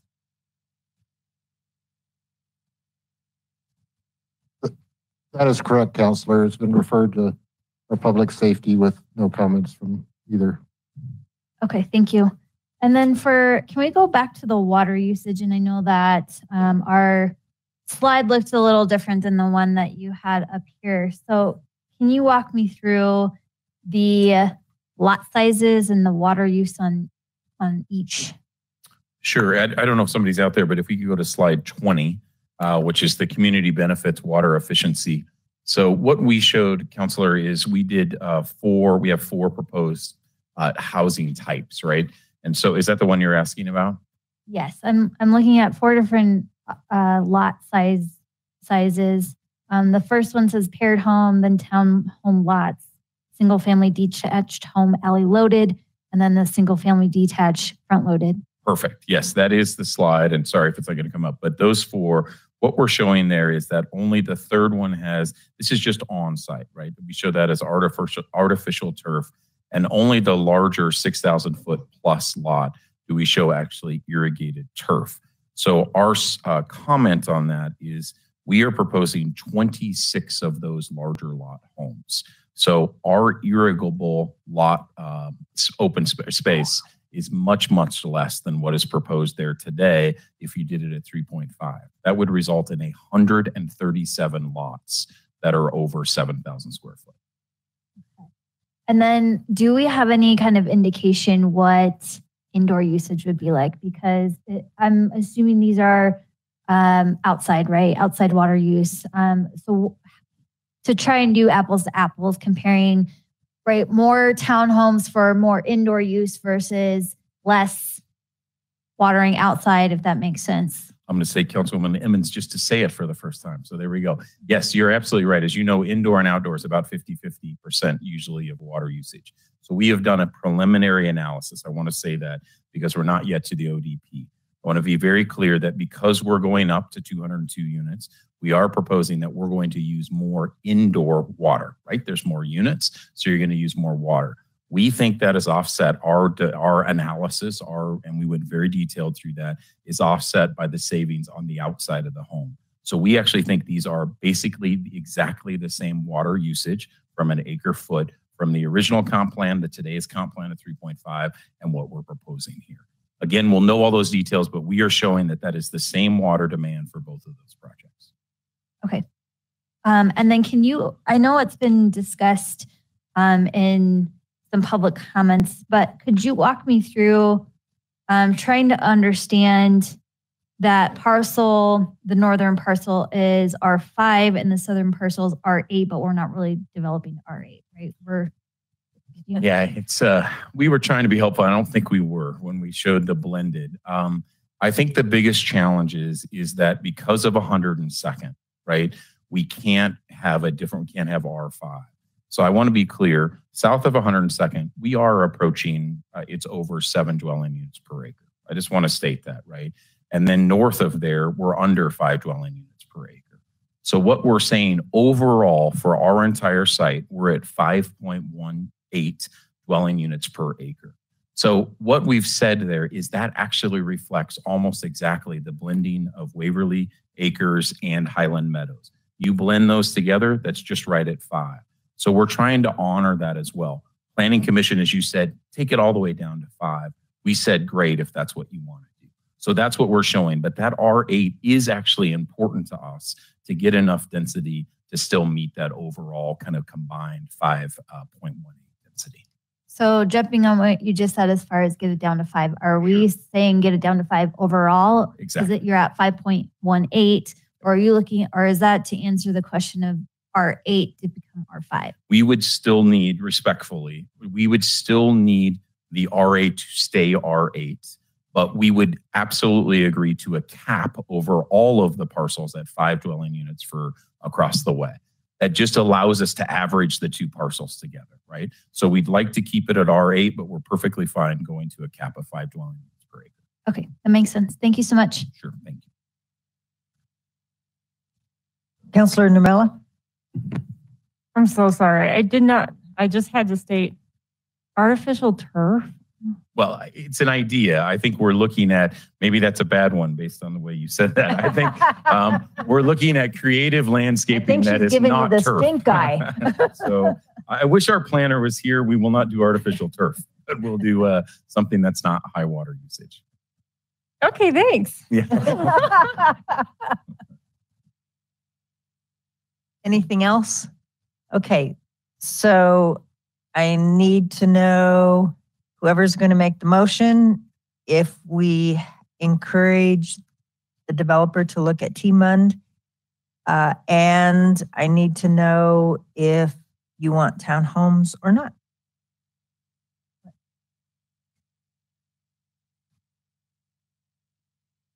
Everybody just doesn't want to get to the things. Does anybody have any closing things? It isn't in my written comments, so So- I'm headed straight to going to I'll try to be quick. get out of here. I'll try to be quick. There's two things I'd like to add here. There, of course, there are lots of public comment about 101st Avenue, the, the intersection and potential cut through traffic. I, I think council is clear on this, but I want to say it one more time. Right now, northbound traffic on Sheridan could cut through Highland Greens if people felt like doing it. There's nothing about this proposed development that causes that cut through to occur. Staff does not believe that the cut, cut through would uh, be a significant uh, detriment here. We, we again, our observation has been there's uh, not a whole lot of the day where traffic is backed up from 104th that would cause someone to take a longer, circuitous, and uh, speed bump laden route as opposed to staying on Sheridan uh, up to 104th. The other thing I'd like council, you know, and, and if you wanted me to quantify this, I'll call Mr. Klein onto the onto the uh, screen here. But you got to remember that uh, there's a traffic distribution here that would cause traffic to go south from this site, traffic to go north, traffic to go north and then west over to US 36. So the northbound to eastbound traffic uh, is just one component of the traffic distribution that we're talking about here. And again, if you want that quantified, perhaps Mr. Mr. Klein could do so. The other thing, Mayor, I want to say is if staff thought that council would be making a horrible mistake to not allow townhomes in this project, we would tell you that. We're not telling you that. We're telling you that our opinion is that townhomes should be part of the mix, but we're not going to tell you it's a horrible mistake. And I'll just leave it at that unless you have further questions. Thank you. Councillor Nurmela. Thank you. Um, so we all are experts in our own neighborhood, right? Um, so I would just ask maybe um, similar to how we've heard from other residents regarding like Independence Drive and the traffic and the speeds. Um, can staff follow up with Highland um, uh, East and um, you know look at and seriously consider the um, conditions there because obviously the perception and probably the truth is that there are people that are going through and it may be just during that one peak one hour of the day but um, something can still happen during that time Counselor, we'll, we'll be following up. I, appreciate the gentleman who talked about the paving, the, re, the, the, the overlays on 101st and Wolff. Uh, regardless of the outcome tonight, we will be checking on that to make sure that those speed tables remain effective. Does, do you guys have any last comments for us?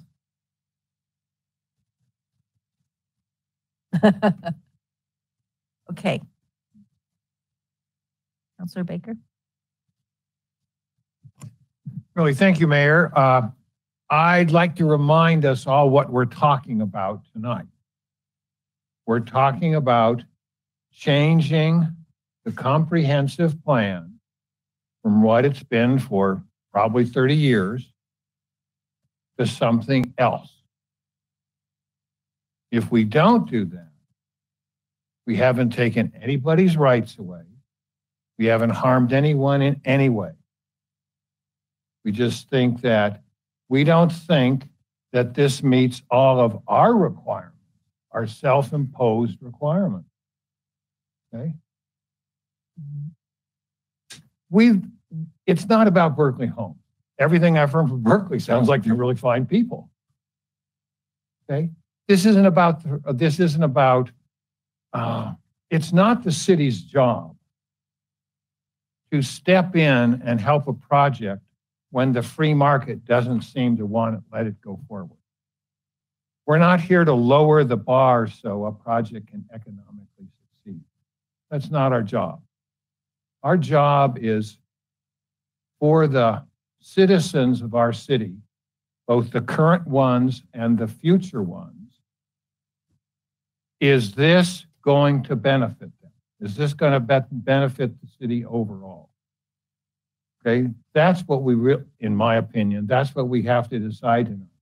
And as I walk through the uh, criteria of 11514A, number one, did the plan unit uh, zoning and the proposed land uses associated preliminary preliminary development plan are in conformance with the city's comprehensive plan. And of course, right now, unless we change the comprehensive plan, they're not. They're not in conformance with the plan that exists, which the plan that every participant knows that's what they were buying into when they jumped on this. Okay. Uh, uh, sub number three, are any exceptions from the standard code requirements or limited warranted by virtue of design or special amenities incorporated in the development proposal and clearly identified on the preliminary plan? No, they're still asking, even if we change the comprehensive plan, they're asking for three more ex- exceptions.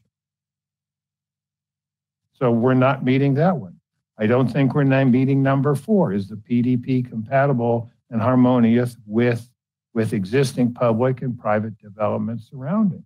No, I think this is significantly different, not only in their uh, extremely thrifty use of water, but in how dense the project is compared to Waverly Acres and to uh, Highlands Green. I think this is going to, in the end, even if we get rid of the uh, turf grass, not turf grass, the uh, artificial turf, it's still going to look significantly different. I think it's going to stick out like an eyesore. Okay. Uh, I don't think it meets uh, uh, number five, provides protection of development from really potentially adverse influences and for the protection of the surrounding areas from potentially adverse influences. There we get in the whole traffic thing, and, and I'm not sure exactly where that stands. I think they're both advantages and disadvantages. But again, and then if there was a case where this council should take money in lieu of a PLD, to me, this is the case. Because I think the offered PLD, even though our own rec department may want it desperately, I think it's terrible. I don't think it adds to our parks and the public usage at all. I think it's a gully. And if there was ever a case to take cash in lieu of that, this would be the case, in my opinion.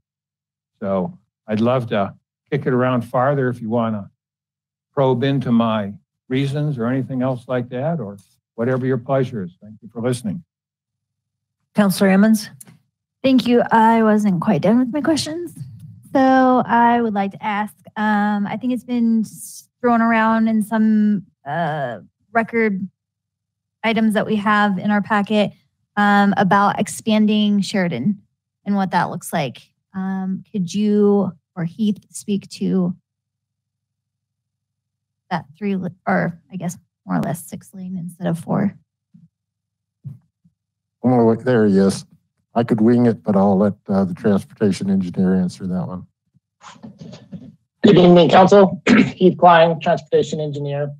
And yes, Councilor, the city is continuing to look at the volumes that we have on Sheridan for widening to be consistently a six lane facility from, you know, basically 88th Avenue once the Sheridan multimodal improvements are completed up to 120th. So we have a couple pinch points where we cannot get the full six lanes uh, without reconstructing and looking at it. So right now on our adopted budget in the year 2025, we have some money set aside to study and start to do the design for widening of Sheridan Boulevard. So we are looking at it. So for all of the my neighbors here in Highland Greens, when we do that, it is going to get rid of that kind of tree lawn that we're seeing for northbound Sheridan from Highland Greens Golf Course up to uh, Sunrise and all the way up to 104th. For southbound, there's already existing three southbound lanes. So for this development in particular, they are adjacent to the full th- six lane or three southbound lane facilities. Okay. And would that change then the nature of the left hand turns because now they're crossing three lanes and not two? Uh, yes, if you're if we're talking about for if this project were not to move forward uh, and the city does develop and push three northbound lanes, the southbound U-turn that is currently occurring at 101st Avenue will likely not be allowed because we will have now three lanes that can travel northbound. Currently, if there's an acceleration lane coming from far, the Highland Greens neighborhood to go northbound. And so that is that allows the Waverly Acres and Highland Meadows residents to do the U-turn there and then start going northbound. If the city uh, is to widen Sheridan Boulevard, that we will need to turn the southbound movement to be a fully protected. So you would only be able to turn when there's a green arrow. Okay, and then would that warrant then a traffic signal? Because I can see that becoming a problem. Uh, it, it could be a problem. We'll continue to study. So uh, I believe there was a gentleman that left a voicemail that it lives in Highland Meadows. It is uh, has been requested by both Waverly Acres and Highland Meadows to have a traffic signal at 100th Avenue and Sheridan Boulevard. The problem with that is, as I've discussed to council before, we follow the manual on uniform traffic control devices. And so there needs to be warrants that are met. Those neighborhoods are existing. There has been no additional development, no additional trips coming out of that uh, subdivision. So it has never met the warrant for a traffic signal at that location. So what we could do would we would evaluate when we're going to the the six lane facility for northbound. We would have to look at elongating potentially the southbound left to make sure that there is that possibility that people can either t- continue to do a U-turn or Highland Greens residents can turn left and go into their neighborhood. Okay, great. Thank you so much. Thank you. Anyone else? Thoughts on Team Mund? Mr. Baker? I mean, Counselor Baker, sorry. Uh, No, I would be against that. Okay. Counselor Seymour? Uh, not in favor. I think we can control that otherwise. Not in favor. Counselor, I mean, Mayor Pro Tem? Not in favor. Nurmela? Of course, I'm in favor. Counselor Ezeadi? In favor. And I was in favor, but the noes have it. So you're not structured to that. Um, Townhomes, Counselor Baker? Counselor Seymour? Prefer not. Well, this is interesting because I live in a townhome, right? Because uh, my first home that I could afford was a condo off of 119th and Federal, and um, it was, uh, you know, single single woman buying their first home. It was all I could afford. I couldn't buy a single family home uh, in Westminster, and so um, I'm impartial to it. Uh, I think townhomes, especially if they're owner occupied, are very valuable. Um, they're very different than uh, condos. I know that the, we have, um, uh, what did you say? Um, condo defects um, for construction defects, not condo defects. Let me correct that. Construction defects. Thank you. Um, and so townhomes, and I will say that when I uh, sold my condo, my first home in 2020, uh, it was very difficult to find a townhome, my next level up in Westminster. And so townhomes themselves have a value add uh, to owner occupied because you're not owning the owner. And so um, I'm I'm for townhomes. Um, you know, I, I'm still working through all the ins and outs of the conditions. Um, so yes, I'm impartial townhomes. Mayor Pro Tem. Um, along the lines of, I really have been an advocate of having a wide mix of um, the missing middle and things that people can start and work their way up. Um, I actually like the townhomes. I grew up in countryside where I still live, and it used to be you'd have the smaller single family homes and then the medium size and the bigger, and that's really the way that um, countryside has developed over the years. So I'm actually in favor because I think it's product that we need in the city. Counselor Nurmela? I too was a townhome dweller.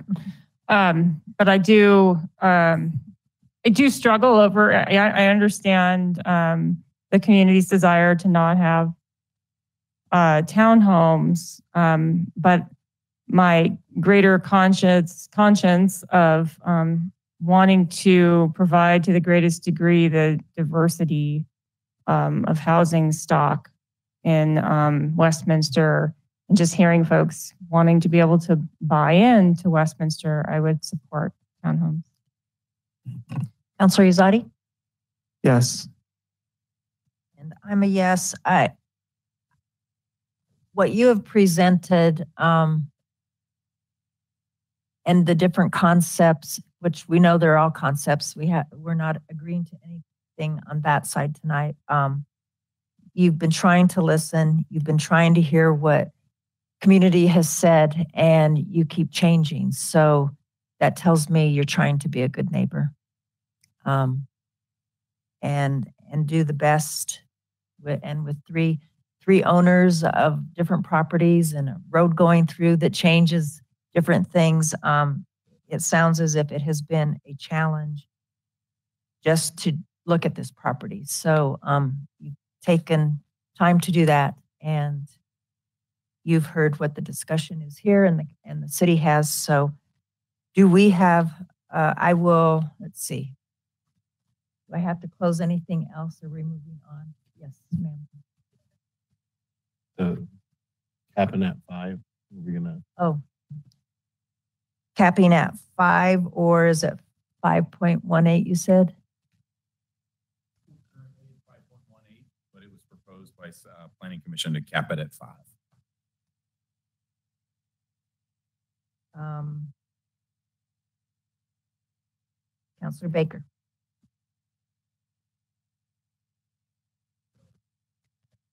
Do you want to cap, do you want to cap it at five? Counselor Seymour. Well, it's gonna, it could be a moot point, but um, what, what is the differential between 5.1 and 5? Half a house? Five total on that? Seven houses? No. Counselor Emmons? Yes. Mayor Pro Tem? yes. Counselor Nurmela? Yes. Counselor Ezeadi? Yes. Have it. So five. Um, anything else?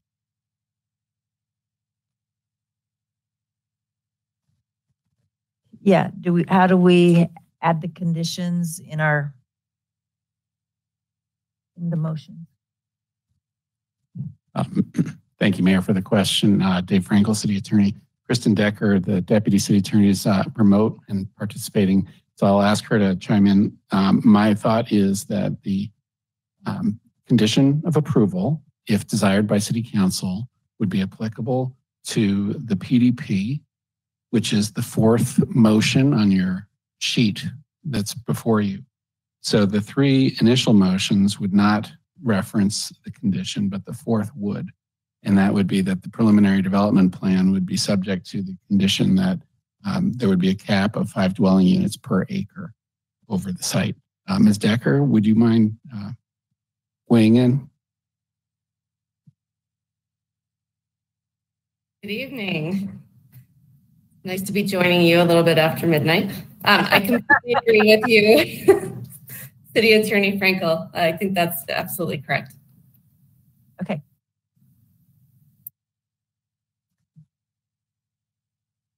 Are we ready? That's the only condition we have to add, right? Because the other things we all lined up.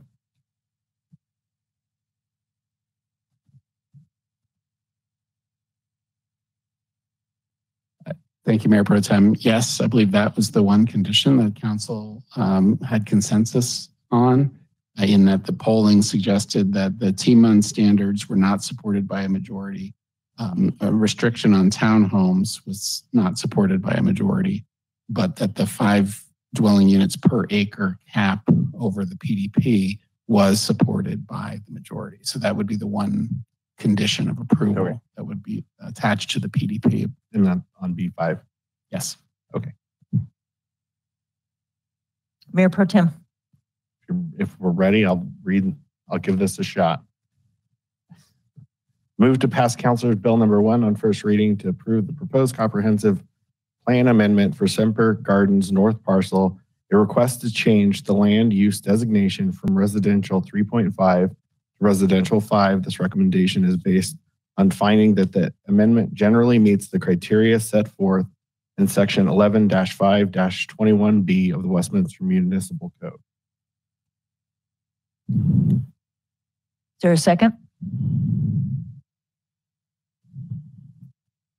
Counselor Nurmela? Second. It's been moved and seconded to pass Counselor's Bill number one.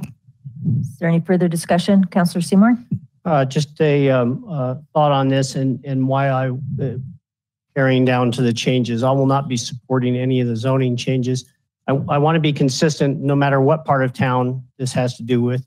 It also has to go with uh, earlier this evening that uh, my consideration on parcel B where I did not want to change that from 3.5 to 5.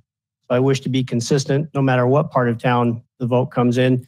Um, I've said this before in other land uses. We have we have rules. People develop based on those rules. So I think we should maintain those.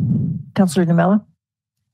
Um, I just want to say, you know, uh, I don't know, how long ago was it? Nine years ago, I mapped the R35.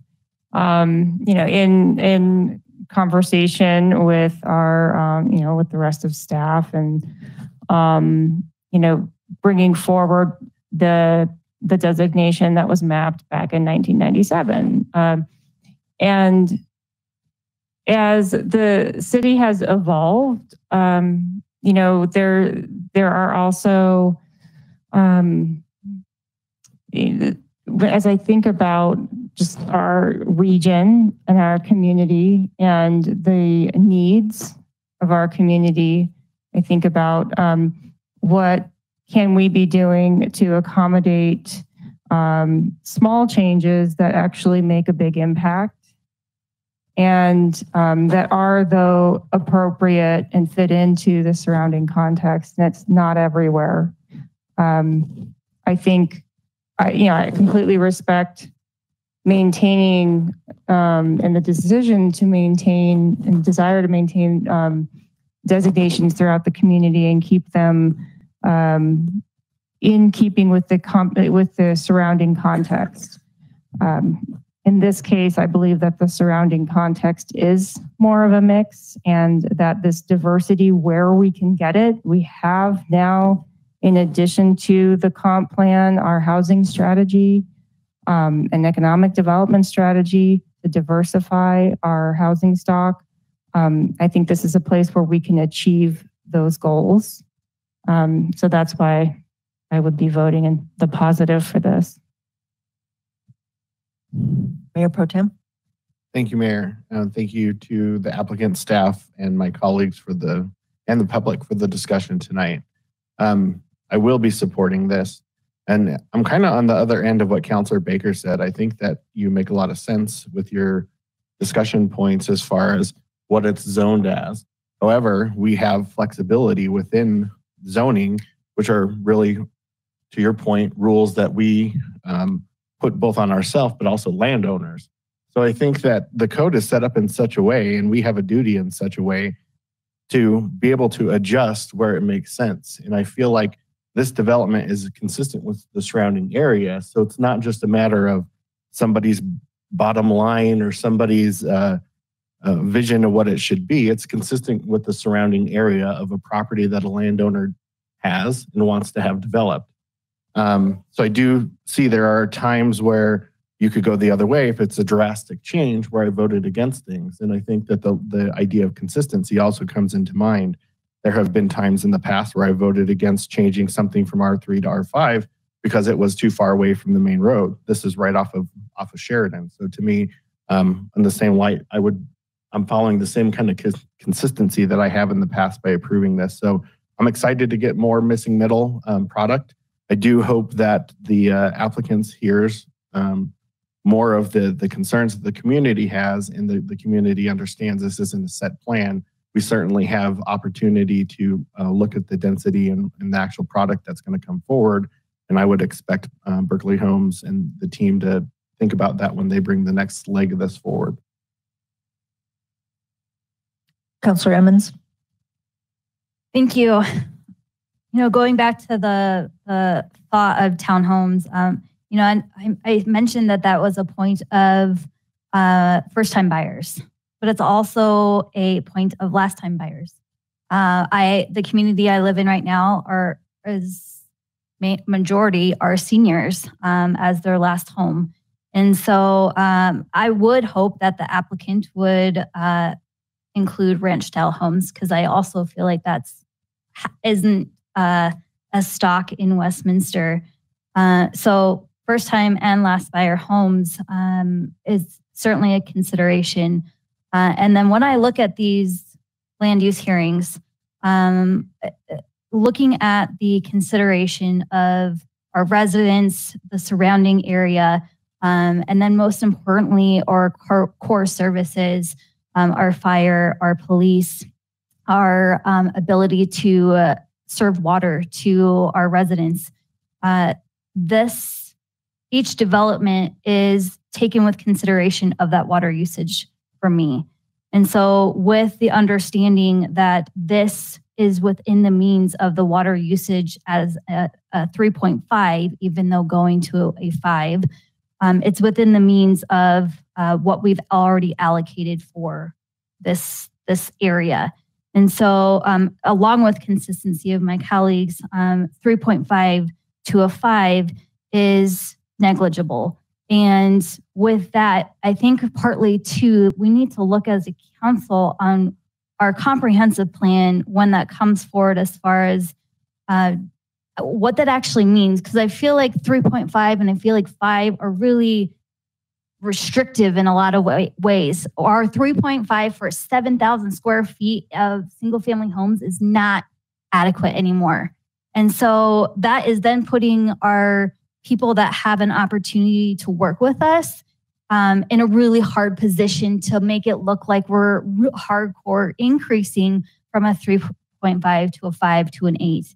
Um, and I will say that going from uh, when I first read the application, I didn't realize until tonight through the discussion um, that we weren't going to a full three point or yeah, 3.5 to a full eight because that was I was a hard no on that. Um, and understanding this is a project as a collective, um, understanding that is a 3.5 to now a hard five um, is more in line with my thoughts on being able to approve it. Um, so I will be in favor of this tonight. Anyone else? Um, to you folks, I, I just know looking at what you had to deal with, um, and again, with three developer folks that own different pieces and parts of land, um, you've come up with uh, four different types of things. And I just have to say to the, I have where I did the townhomes vote, and I have yes five and two no. Is that not true? That that we that they could do townhomes. Yeah, I thought you said we said no. They no to them.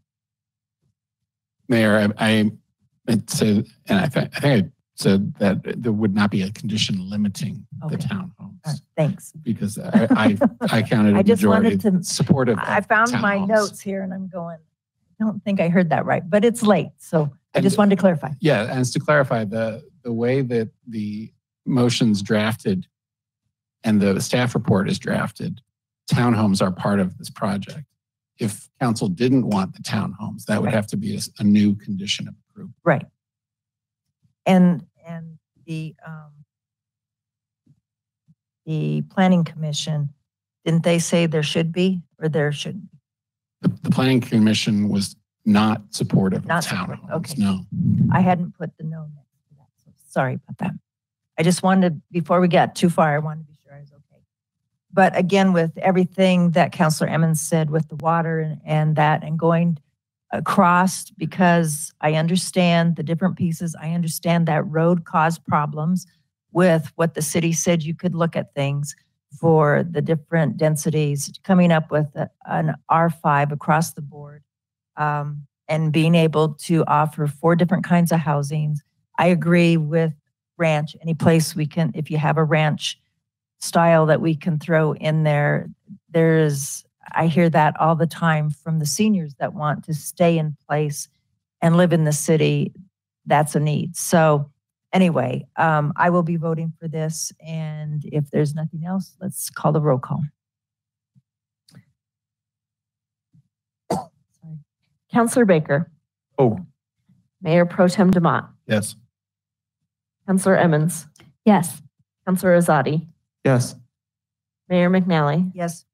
Counselor Nurmela, Yes. Counselor Seymour. No. The motion passes on a 5-2 vote. That brings us to Councilor's Bill number two, Mayor Pro Tem.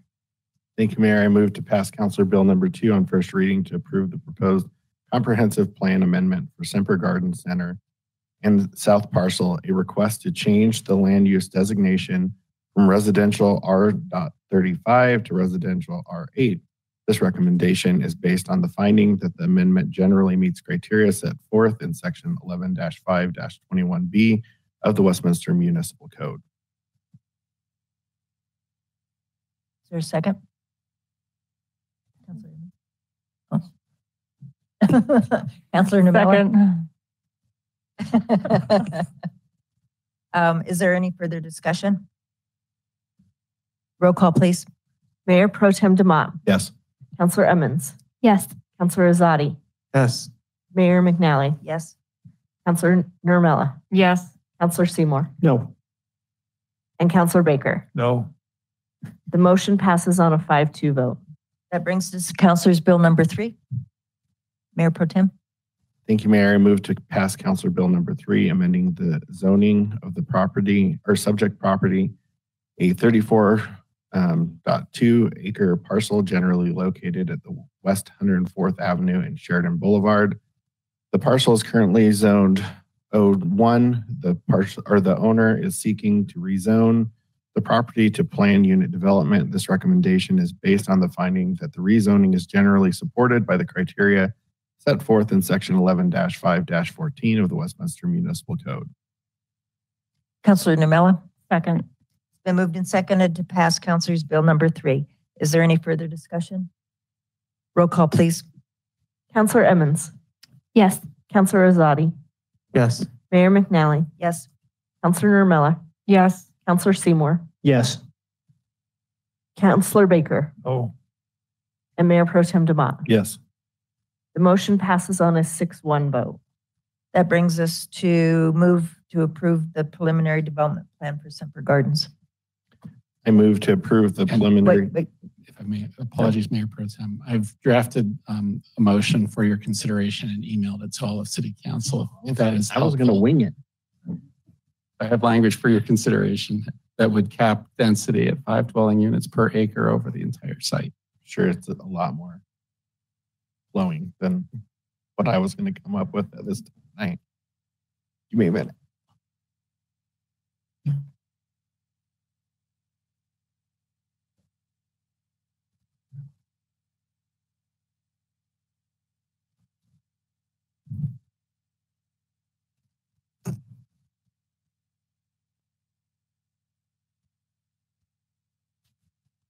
Probably came through my phone.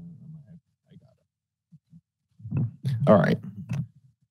I move to approve the preliminary development plan for Semper Gardens, subject to a condition of approval capping density at five dwelling units per acre over the entirety of the project. This recommendation is based on the finding that the preliminary development plan is generally supported by the criteria set forth in section 11-5-14 of the Westminster Municipal Code. Counselor Nurmela? Second. It's been moved and seconded to approve the preliminary development plan for Semper Gardens, subject to the condition of approval capping density. Um, is there any further discussion? Counselor Seymour? Oh, sorry. Roll call, please. Counselor Ezeadi, Yes. Mayor McNally, Yes. Counselor Nurmela, Yes. Counselor Seymour, No. Counselor Baker, no. Mayor Pro Tem DeMott, Yes. and Counselor Emmons. Yes. The motion passes on a 5-2 vote. That brings us to motion to adopt Resolution 5, amending the 20, Mayor, if I could just, just to close out the, um, the hearing item, um, if the applicant, uh, would uh, be willing on the record to accept the cap of five dwelling units per acre over the entirety of the site as a condition of approval for that PDP, um, that would, I'd appreciate just having that on the record. We accept for certain. Yes, thank you. Thank you. that brings us to a motion five, amending the 2022 police sworn pay plan. Council, or Mayor Pro Tem. Thank you, Mayor. I move to adopt resolution number five, amending the 2022 police sworn pay plan. Counselor Seymour? Second. It's been moved and seconded to pass resolution five. Is there any further discussion? Mayor Pro Tem? I just want to take the opportunity to thank the police officers who serve the city and who are here tonight late, um, as well as thank City Manager Andrews and uh, Chief Haubert for working hard to uh, make sure that we address um, retention and attraction of police officers. And I know this is a piece of that overall work that you're doing, and I truly appreciate it. And thanks for being here so late, Chief. And your troops. Anything else? Roll call, please. Mayor McNally, Yes. Counselor Nurmela, Yes. Counselor Seymour, Yes. Counselor Baker, Yes. Mayor Pro Tem DeMott, Yes. Counselor Emmons, Yes. and Counselor Ezeadi. Yes. The motion passes on a 7-0 vote. Thanks. That brings us to resolution six, urging public uh, health agencies to support rights of individuals and businesses to be free and to choose how to protect themselves. Counselor Seymour. Mayor, I move to adopt resolution number six, urging public health agencies to support the rights of individuals and businesses to be free to choose how to protect themselves from COVID-19. Counselor Emmons. Second. It's been moved and seconded to adopt resolution six. Is there any further discussion? Counselor Seymour. Just a quick point, Madam Mayor, just because of the late hour. Um, this is based on science. We, we have actual data that is on the Tri-County Public Health site that shows three counties side by side. And if you would look at the differentials between November 24th's mask order between Adams County and Arapahoe County and compare it to Douglas County, the differentials are the same. So we have an incubator, we have the data, we have facts. Any, oh, Counselor Nurmela. I have a, question on interpreting the language.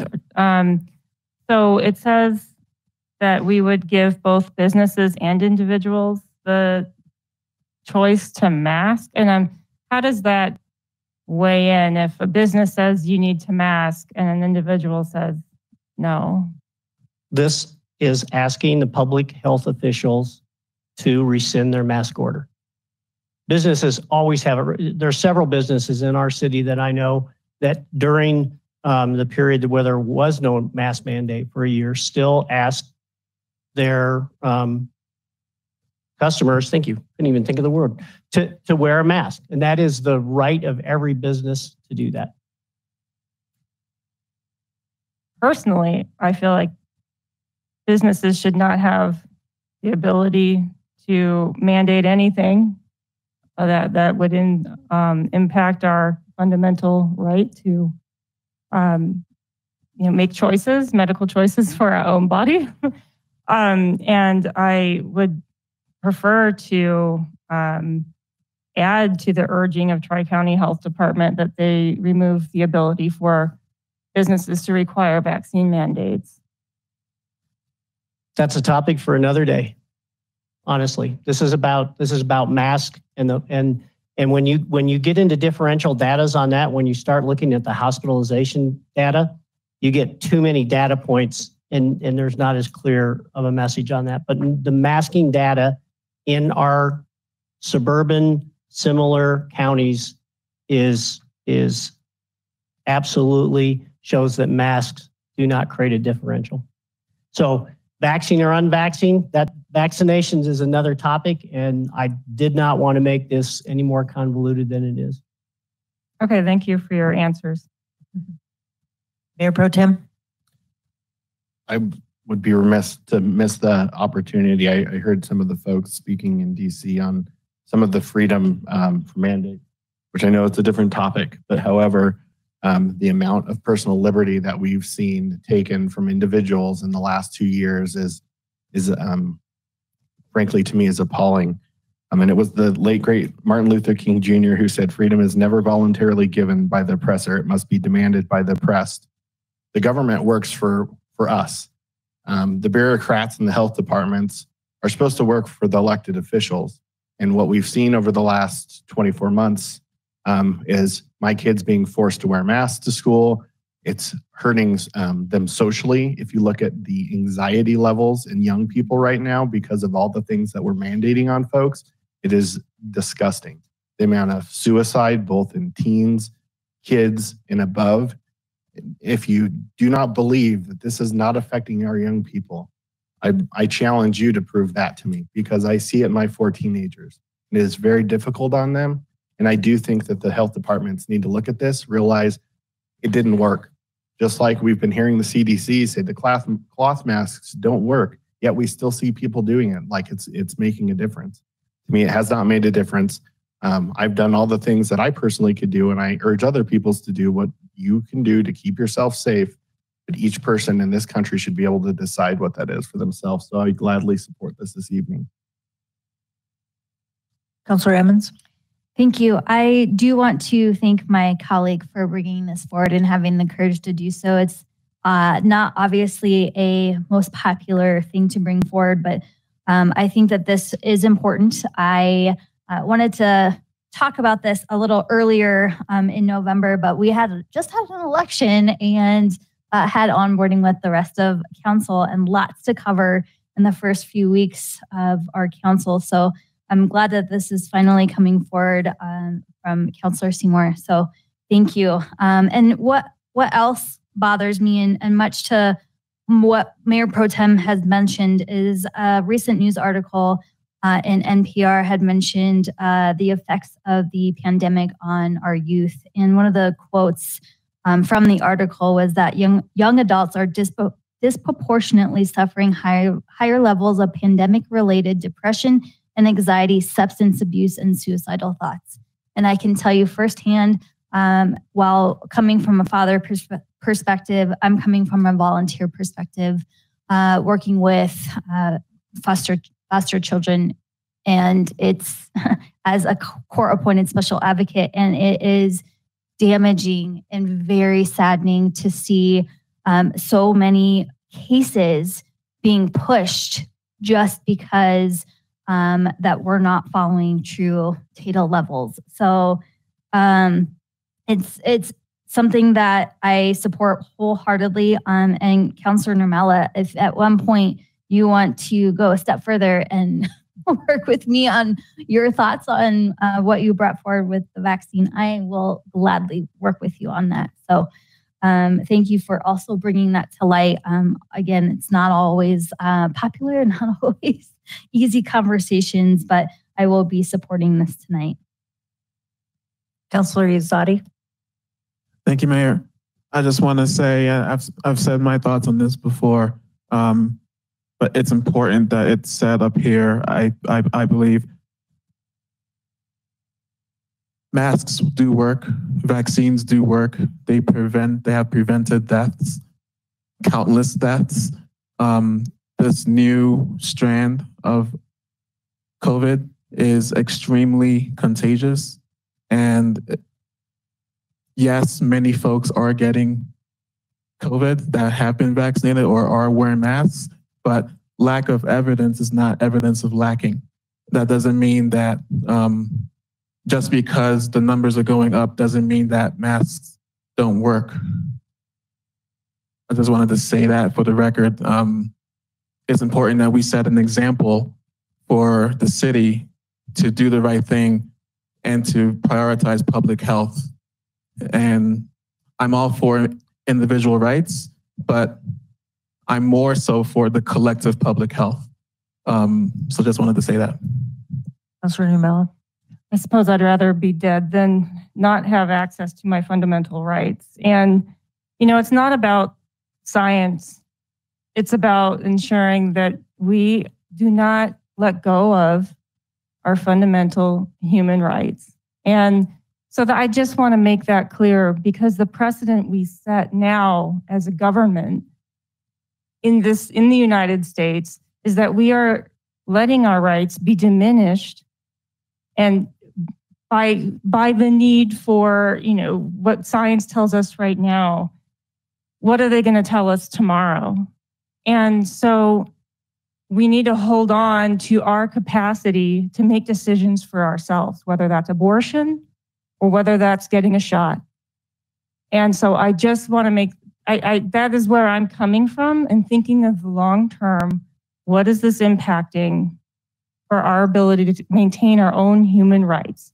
So, long story short, um, I you know honestly, I this with this particular um, uh, urging for Tri County. Um, I'm not for business, you know, I won't be supporting it because I'm actually not for businesses being able to um, tell people how to live their life. And primarily it's, um, you know, it's for when we talk about the other measures in the first recital of this, and I construe that to be um, a vaccination mandate. And um, I just, so there's some pieces that I, I don't agree with on this. So thank you though for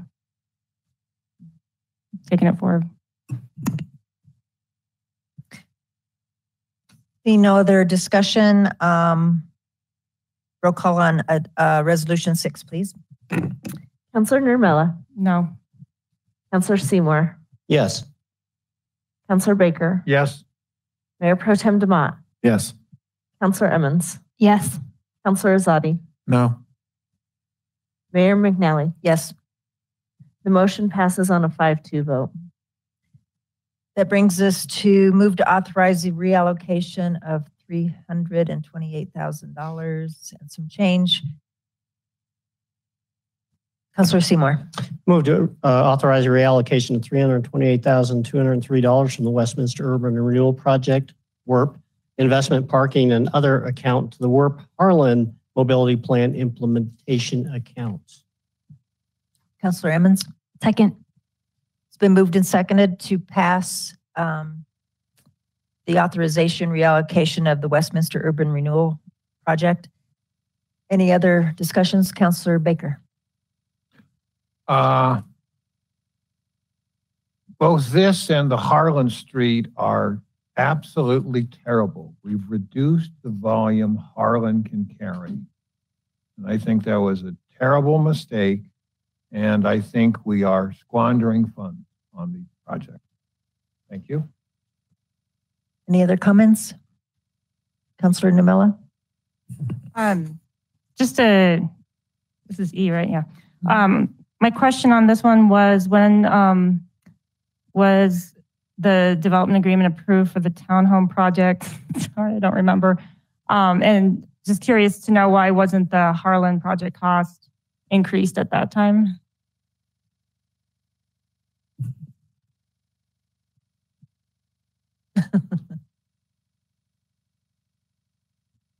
I could ask uh, John Burke to uh, join us and answer that question. Thank you, John. Yes, good morning, councilors, and thank you, Councilor Nurmela, for that question. And uh, yes, the uh, the second reading of the development agreement for downtown Westminster residential was approved by council. It was uh, May 10th of 2021. Uh, the construction drawings were then being advanced by the developer at that point in time, and then the Harlan Street project was currently under construction. That took a pause, and we know that we are going to be uh, top lifting Harlan Street uh, this coming spring uh, with the uh, asphalt, uh, reinforced fiber asphalt on that. So we want to make sure that we are able to get this uh, the water tap connections done prior to that top lift payment. So all this was in play, and now is just the right time to get that done before that work is started back up on Harlan Street to clean up that roadway and make it a better surface for both pedestrians and vehicular traffic. Thank you. Go ahead. So, but the idea that we would um, pay for this portion of the public improvements, was that already in the development agreement? And we just hadn't, we just chose not to update the Harlan contract until now? Yeah, the timing was such that, yeah, section 2.4 of the development agreement specifically identifies that the city would be constructing these particular water uh, connections into Harlan Street because of the complexity, the age of the line, uh, the depth of that sewer, the water line uh, as well. So, yeah, it was just a timing uh, thing for us to actually get the construction contract priced out and through final design. That final design wasn't completed until uh, August of 2021. And so that was why we had a change of say uh, after the contract was initially you. Any other discussion? Counselor Baker, I have to say, when you're coming off of Westminster Boulevard and 92nd and that first light, that is the worst intersection in this city. I have almost gotten hit four times. Nobody understands it. It's horrid. It, it's horrid. A roundabout would have been better. Okay, roll call, please. Counselor Seymour, Yes. Counselor Baker, No. Mayor Pro Tem DeMott, Yes. Counselor Emmons, Yes. Counselor Ezeadi, Yes. Mayor McNally, Yes. and Counselor Nurmela. Yes. The motion passes on a 6-1 vote. That brings us to E2. Oh, I'm sorry. Um, Counselor Seymour. Thank you. I move to authorize city manager to execute a contract change order with Jalisco International, Inc. in the amount of $296,203, thus bringing the contract total to $2,214,448,000.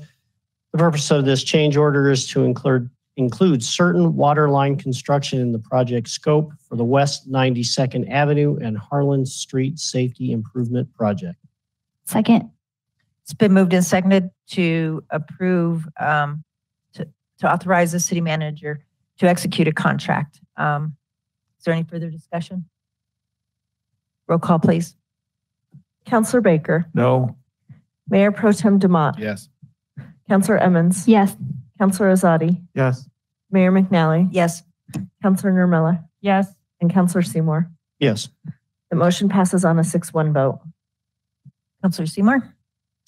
Move to authorize city manager to execute a contract amendment with Otak Inc. in the amount of $32,000, thus bringing the contract total to $312,961. The purpose of this contract amendment is to provide additional construction management services required for the West 92nd Avenue and Harlan Street Safety Improvement Project.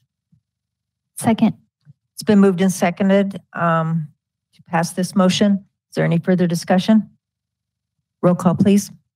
Mayor Pro Tem DeMott, Yes. Counselor Emmons, Yes. Counselor Ezeadi, Yes. Mayor McNally, Yes. Counselor Nurmela, Yes. Counselor Seymour, Yes. and Counselor Baker. No. The motion passes on a 6-1 vote. Seeing no other business before us, do we have a motion to adjourn? So moved. Second. Moved and seconded to adjourn the meeting. It is 12:45 a.m. And we move straight into the WEDA agenda, incorporating the rope. Oh, I'm sorry. Do you approve? do you- You- Aye. Say aye if you want to adjourn. Aye. Opposed? Motion carries. That takes us to the WEDA agenda, incorporating the roll call from the previous meeting. We have minutes of uh, meeting from January 10th. Mayor Pro Tem. Move to approve the minutes of the January 10th, 2022 meeting as presented. It's been moved and seconded to approve the minutes from January 10th, 2022. Is there any further discussion? All those in favor say aye. Aye. Aye. Opposed? Motion carries. Counselor DeMott, I mean, Mayor Pro Tem DeMott. Uh, Thank you, Mayor, or Chairman. I move to table resolution number 217 to February 14, authorizing the interim executive director to execute a purchase and sale agreement for a portion of Lot 2, Block A1, and a part of Track E in downtown Westminster with 4775 Holding LLC. Second. It's been moved and seconded to, um, did you say table? Table this um, agenda item to February 14th. Is there any further discussion? Roll call, please. Board Member Baker, Yes. uh, Vice Chair DeMott, Yes. Board Member Em- Emmons, Yes. Board Member Ezeadi, Yes. Chairperson McNally, Yes. Board Member Nurmela, No. Board Member Seymour. Yes. The motion passes on a 6-1 vote. Is there a motion to adjourn WEDA? So moved. Second. It's been moved and seconded to adjourn the WEDA meeting. Um, all those in favor say aye. Aye. Opposed? That brings us to study session. Presentation, whatever we're doing at one in the morning.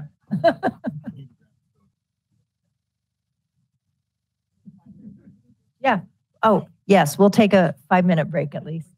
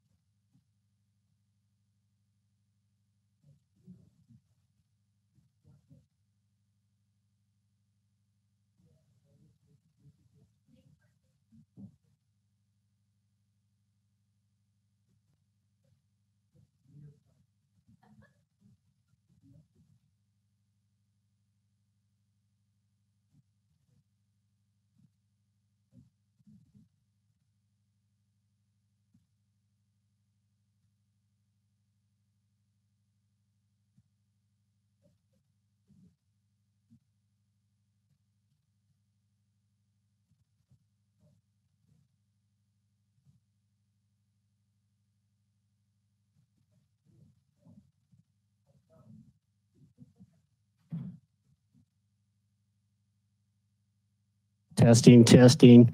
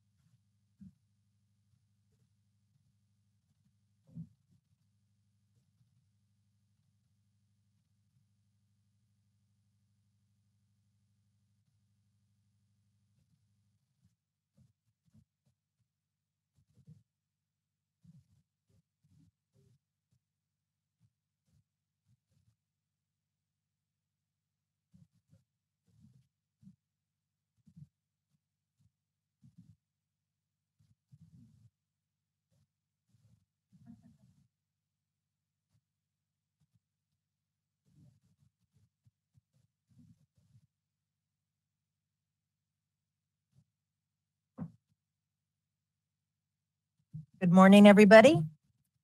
Still here?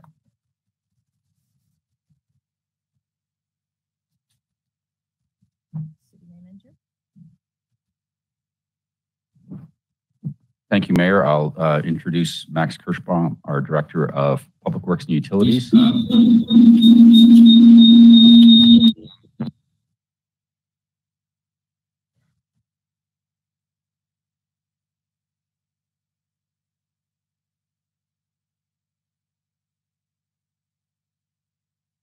They tell me you should be fine now. They muted the microphone. Let me try that again. Thank you. Uh, thank you, Mayor. Thanks, uh, everybody. I'm introducing Max Kirschbaum, our Director of Public Works and Utilities, uh, to present 2022 water and sewer rate alternatives analysis. This stems from a proposal um, submitted by Councilors Baker and Seymour regarding uh, potential reduction in the water and sewer rates and the fixed water uh, meter fee um, and uh, also at the same time uh, providing additional analyses with uh, other options around that proposal. So uh, Mr. Uh, Kirschbaum has a very brief presentation, and then we'll open it up for question, discussion, and feedback from City Council. Thank you. Good evening, Mayor, Mayor Pro Tem, Council. If I could have the next slide, Ryan, thank you. Uh, just as by way of a little bit of background, in your roundtable discussion at your November 15th meeting, uh, water was clearly identified as one of your overarching themes. Two weeks later, on the 29th, um, there was considerable discussion again uh, in question and answer sessions and uh, uh additional questions and concerns raised about rates specifically. That, that then was followed by, in early December, a proposal from Councillor Baker with support from Councillor Seymour to the interim city manager to evaluate a specific proposal. Uh, for the rest of this presentation, that will be identified on slides as option number one. And then uh, staff did prepare a couple of additional alternatives for your consideration. Next slide, please. On the 10th of January, uh, council decision was to set the tier three water rate at equal to the tier two water rate. Uh, Secondly, um, a, a second consideration is that any additional rate reductions would, would provide relief for uh, some medium and high water users in the scenarios provided, and you'll see specific details on the slides to follow. Since 2019, the utility had embarked on a, an eight-year uh, process in which to uh, rebalance rates between residential customers and other classes of customers, primarily uh, commercial customers. As it was pointed out in the cost of service study, residential ratepayers were paying less than a, a fair share compared to commercial uh, customers. Uh, next point of consideration as we look, before we look at the numbers is that um, the utility calculates the utility condition index and does so separately for water, wastewater, and then a combined amount. The, uh, uh, the trend line continues on a, in a downward, on a downward path, both for water and sewer infrastructure. Uh, currently, the water uh, utility condition index is at 44 and the sewer condition and utility condition index is at 33. Uh, on the sewer uh, side of the utility fund, uh, there are necessary capital improvements in order to meet state and federal regulations as they and as they are described in a permit uh, that allows us to discharge effluent into Big Dry Creek. Um, those are those are the featured projects in the not only the current year of utility uh, funding for sewer infrastructure CIP work, but as well in 23 and 24, as they as they would be planned in order to meet the state and federal mandates as well as our permit requirements. Slide, please. So uh, on this slide, um, we list the baseline condition, which was already approved on the 10th of January. The numbers shown in red are reductions. So you see the, the uh, in that baseline case, the tier three adjustment that council approved, setting it equal to the tier two rate. Option number one is, as I described, the proposal from Councilors Baker and Seymour. And then options two and three are uh, other options that you may wish to consider that uh, uh, staff has prepared for your consideration. In uh, you, you can see um, all this does is try to restate in a table format what what those reductions would look like compared to the status quo. Um, unless there are any questions on that, I can move forward to the next slide. Just, just real quick question on that. With the proposal from Councilor. Uh, I'm sorry, can you go back to that slide? I didn't mean to say next slide. Um, just real quick question. So I see on their option that you've matched up tier three to tier two. Was that the intent of the counselors was to change tier three or was your intent to freeze tier three in that proposal where we reduced it to? tier Uh, no, absolutely. Tier two would be effectively the top rate. We actually talked about just eliminating tier three completely. But we just let it be the same. But yeah, we would reduce tier two and tier three would always be the same. Okay, I just want to make sure that my understanding was there. Thank you. Unless I missed this, was there um, a comparison to the 2018 or pre-water increase rates? But where, do, do we have those? That option number one is uh, fairly similar, if not exact, to a, a rate prior to that. So it's close. So we didn't have a third tier in 2018? Yes, we did. Yes, we did. Uh, If you want, I can read off the uh, tier rates in 2018. Tier one was 1 to 4,000, and it was $3.21. Tier two was 5 to 20,000. It was $5.32. And tier three, 21,000 and above, was $7.92. Okay, thank you. You bet. Uh, I also, well, I've got the whole water thing here, so I could give you any other rate you want to. Like I give you Yeah. multifamily and blah, blah, blah. I was just looking for the basic. um, Gotcha. Yeah. So the option number two would be a, uh, a reduction uh, to $6.35 at the tier two slash tier three rate. Option number three would be to uh, set that at $7.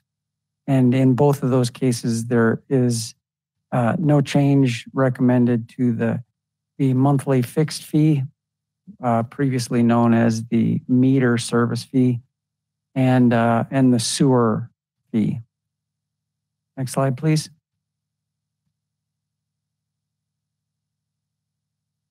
So this slide uh, then shows what, uh, what those changes would mean to the low, the medium, and the high use customers. And just for, just for reference, um, as we have, as we have used those terms before when we do comparison of rates, especially with our comparison uh, municipalities and uh, district water providers, the, the low water user is, it is an average of 36,000 gallons per year. The medium water user is an average of 83,000 gallons per year. And the high water user is 150,000 gallons per year. So uh, in the, so what you see here is how does that affect each of, the- if, if you read across uh, each of those, the, the baseline, the option one, two, and three, you'll see the, the uh, annual dollar amount that uh, that average customer would see, as well as what that percent, what that percent rate reduction would be at, at- in that location where it says, uh, you'll see a couple of cases where it says no change as well. As no change was proposed in options two and three for sewer. If I could make, it at this point, just make a case, uh, a statement that is uh, regarding the first 6,000 gallons of water use and uh, particularly as it may, it, it, it pertains to all water users, low, medium, and high, but for the, maybe for the low water user. Since 2013, so that's 10 years worth of data, since 2013, the volumetric cost, which is what we call tier one, two, three, the volumetric cost for the first 6,000 gallons of water has increased a, a total of $6. So it's $6 for 6,000 gallons over 10 years. So very slight increase uh, in that, in the, in the rate to the low, rate changes into the low water user. Next slide, please. And this is what each of those, uh, the, the baseline, which we've already talked about, uh, as a $750,000 impact to the utility fund. And then what our estimate for the option one, two, and three is in the water fund and in the sewer fund. And again, you'll see on options two and three, no change recommended for the sewer reduction, uh, going back to the, the consideration slide for the mandates for uh, permit requirements as well as meeting federal uh, EPA standard.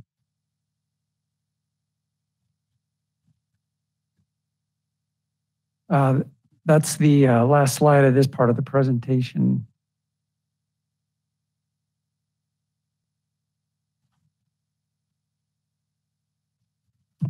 Um, so we aren't looking at alternatives that are slightly higher as well, so that we can look at not losing seven hundred and fifty thousand dollars annually.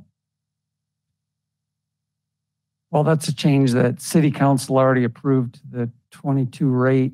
Uh, We did not, we did not develop a scenario that would um, uh, uh, account for or recover that loss. Right. Right, but I thought that this, this was an interim solution that we would all be presented with information that would help us understand the, you know, um, pros and cons and, you know, moving forward. And some of that should include, um, you know, higher rates than $8 for tier three. So maybe there's some, um, you know, moderate reduction doesn't have to be this, even though this is like, uh, you know, immediate relief, this doesn't, it doesn't mean it's the right answer. But, you know, I, I thought we were going to look at um, how do we move forward sustainably and that we would be looking at um, staff giving us the information to make the decision as to whether or not it would be higher or lower than what we currently have. This is like, I thought 750,000 was bad on an annual basis, but like 2.2 million, it's pretty significant. Yes, it is. So, I don't know, colleagues, um, would you be willing to look at the broader analysis than just reducing, reducing, reducing? Mayor Pro Tem? Um, when I think of, of broader, there's a couple things. I mean, I, I am, I don't know if these are the right numbers or not, but I'm not looking to necessarily increase or decrease. What we really need to try to, I mean, I would like to find a way to decrease, but to me, we have to have that whole picture. That's why the, um, the, the options for the path forward are so important to understand um, what are alternatives to 2025? Because at the end of the day, when we talk about that's been one of the biggest drivers of the increases in rates, um, you know, I don't, it's, it's hard to say if this is the right number if we don't have the long-term plan. I mean, to some extent, we're just figuring out um, a short-term solution. And I, I, I've always approached this as that. Um, what I'm not seeing here is what does that, and I mean, I, there's more information in the agenda, but in terms of when you say we could take a $750,000 hit this year, and you gave us good information about what that would actually do to um, capital improvement program. With these, I'm not seeing that same kind of qualifier of what does this actually do to our ability for you know this year or next year. And so I think that's part of what I want to learn. And I know some of that's not going to be um, ironed out tonight. Those are longer term things, and I hope that's pretty um, quickly forthcoming, especially when it, in uh, in terms of the the the site for the, the water 2025. The other thing, though, I want to understand, and so like this just hit me funny, and I if you know we've had so many water discussions in my time. If I'm missing this, I'm, I apologize. But I understand you talking about balancing between commercial use and um, residential use. But I have to imagine that a commercial user is using more strain on the system. So when you when you talk about being fair, are you talking like per thousand gallons? Because you know part of the uh, idea that's always been put forth is that the people in the third tier are using more strain because they're using more water, and there's more strain if the more water you use, and it's not just it shouldn't be looked at as a per thousand gallon um, thing, and that's why we charge you so much more in that tier. On top of, it's always been mixed in that there's a conservancy component. So I'm trying to understand is is that the right thing to do, or why did we decide that was where we wanted to try to start focusing some um, equability when we look at water rates back in? I think that was probably 14 to 16 time when we started seeing some shift in um, in in the incremental increases we saw before.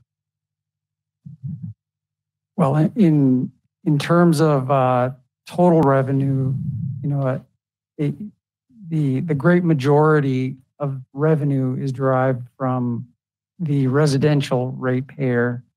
Uh, But what cost of service study examined and, and looked at all aspects of that uh, service delivery. So one of the, the change that was made to commercial rate also was to set that uh, per gallon rate a little bit higher uh, uh, than the the tier one rate. It was near the tier two rate, and then and any usage over that amount on a monthly amount uh, uh, quantity of use is a was a surcharge. In other words, if uh, using more than the tap fee paid for, it would be charged as a surcharge, or the commercial customer would be offered the opportunity to recalculate the tap fee.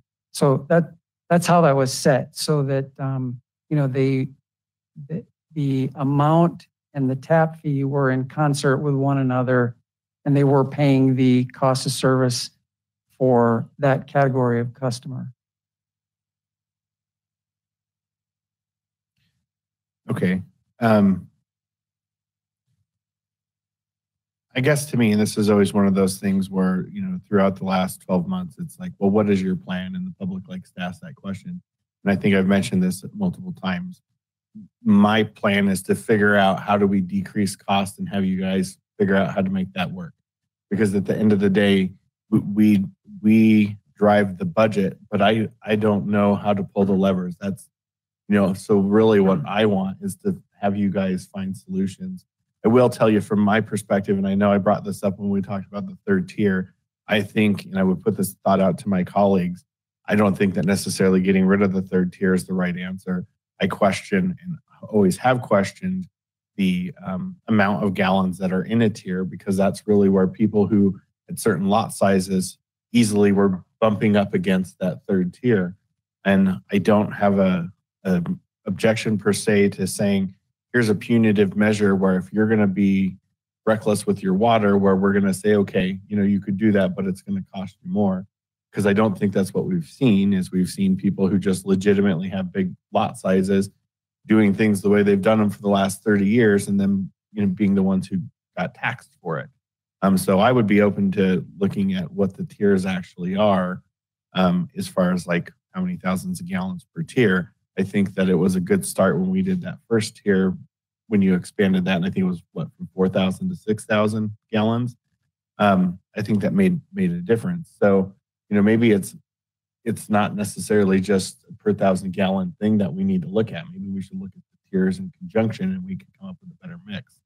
Um, I don't know, just a thought to throw out there. But um, at the end of the day, I still like when these dollars are thrown out to me, like, well, what does that mean in terms of actually um, fulfilling our obligations as far as the utility? Well, and I see um, Deputy City Manager Doors here. In one, it seems like it was back in March. It was said at a council meeting or maybe a planning session. I don't know, but the $400,000 plus was out there of unpaid water bills. I never heard that number again. Did we get it? Are we are people paying those off or what? Here's my whole point. We don't have a sustainable city and people able to live here if we have that kind of an amount of money that people can't pay their bills. I know COVID was here. I know people were losing their jobs or lots of things happened. But when we have three to four buckets so people can pay a water bill, we're not a county. And so we don't have money running coming in from different places.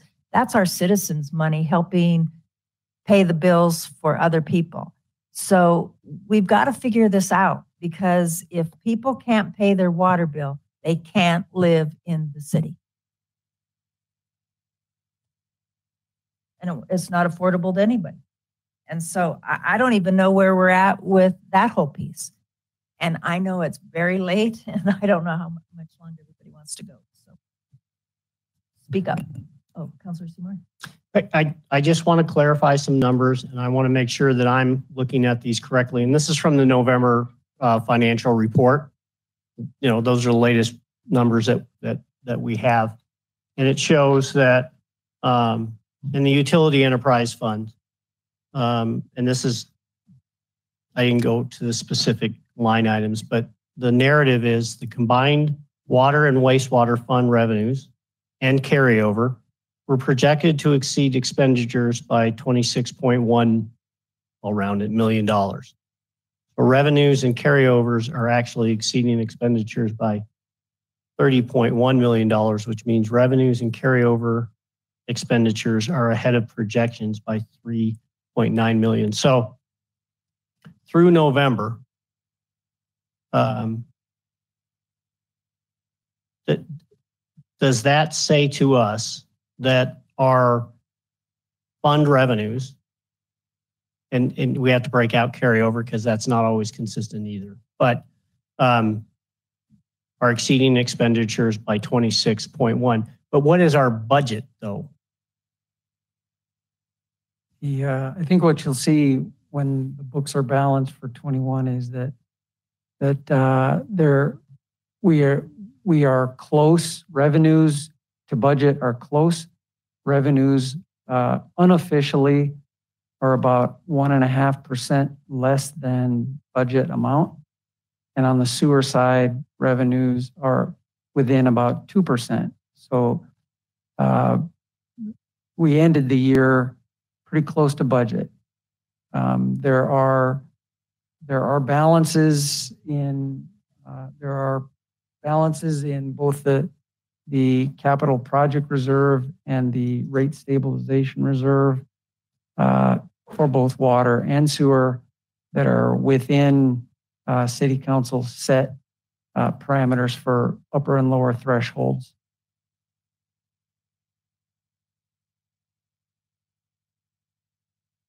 Okay, thank you. I'm, I'm going to go to specific line items too.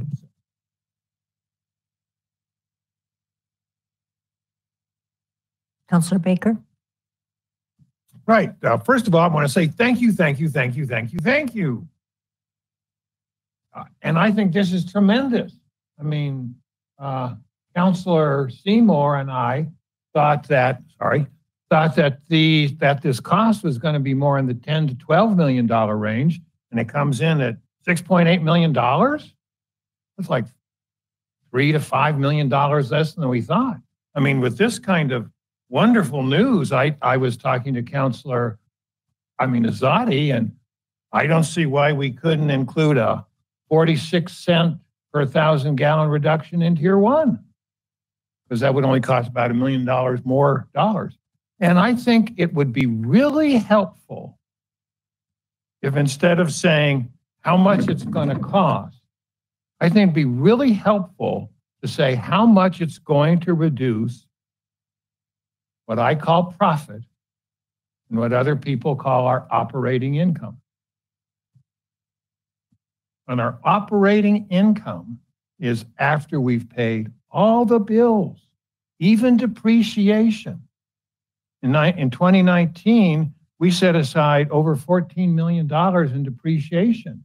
So those are dollars we can immediately turn around and build new miles of sewer pipe or build new water lines or something else like that, it just gets recycled around. So in addition to all the depreciation, in like 2019, we had an operating income of $14.6 million. And I think in 2020, it was like $20 million, wasn't it, or 22?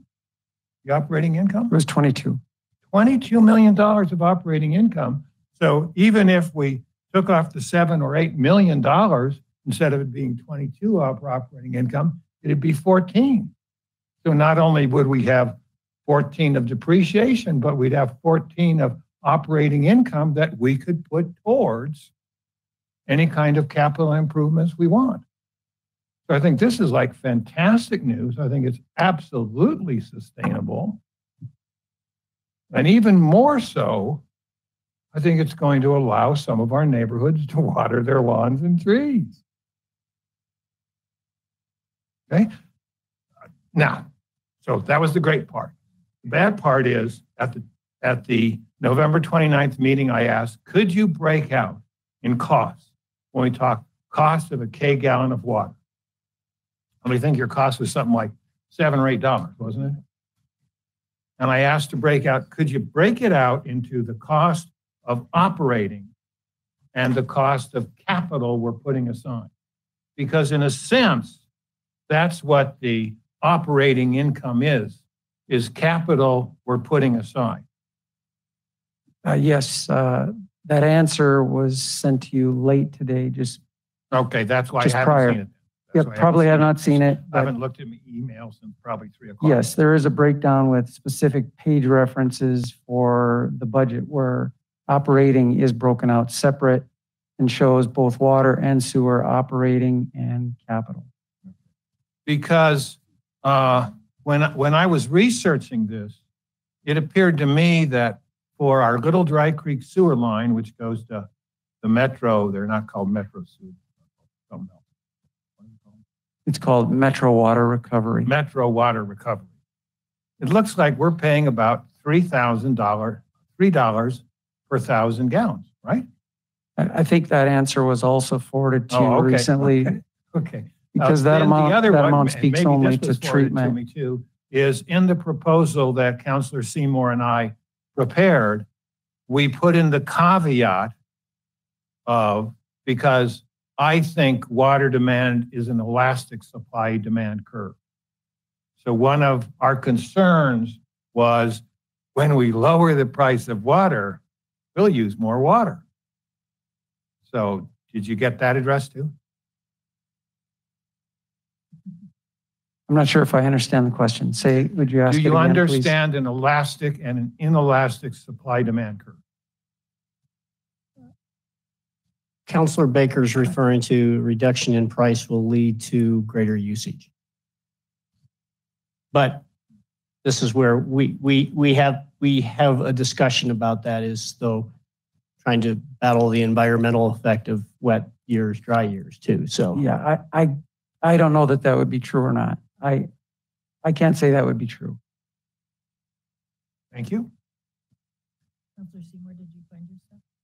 Uh, yeah, I, I found the uh, line item, um, uh, in, in the financial report itself and, and, uh, I knew where that was too. And I just wanted to clarify too that, um, with that $22 million that was last year for 2020, correct?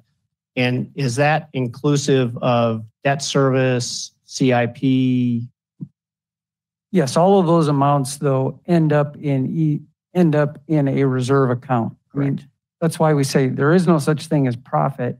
It's in the reserve account, either the capital or the uh, rate stabilization reserve. And and there is a, uh, a hierarchy for how that money uh, ends up in each of those accounts. And um, in, in both cases, but particularly on the water side, um, there, there has been a cash build over the recent years for the specific purpose of Water 2025 to have, to have the cash balance necessary to be able to issue the appropriate amount of debt to execute that project. So perhaps what maybe what uh, Mayor Pro Tem was getting at earlier is um, you, as a council, you did ask for a side-by-side comparison of the Water 2025 project and an alternate scope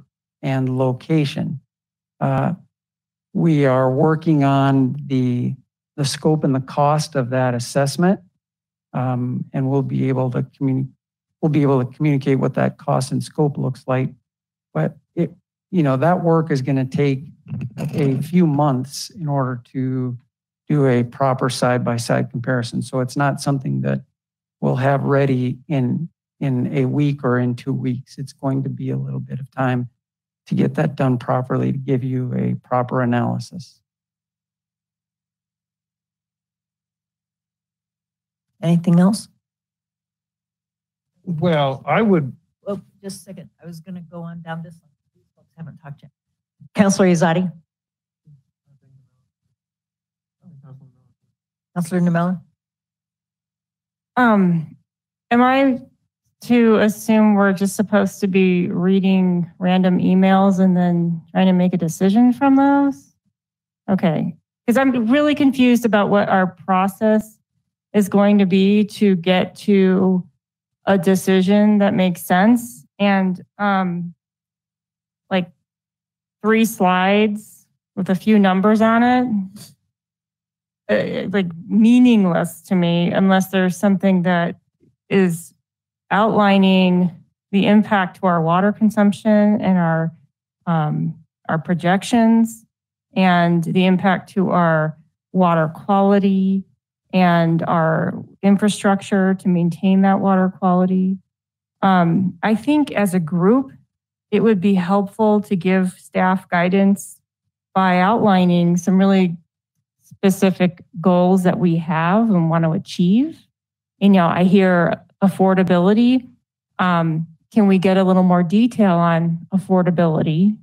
Um, and in terms of defining what does that mean, because it, that's going to help set a parameter.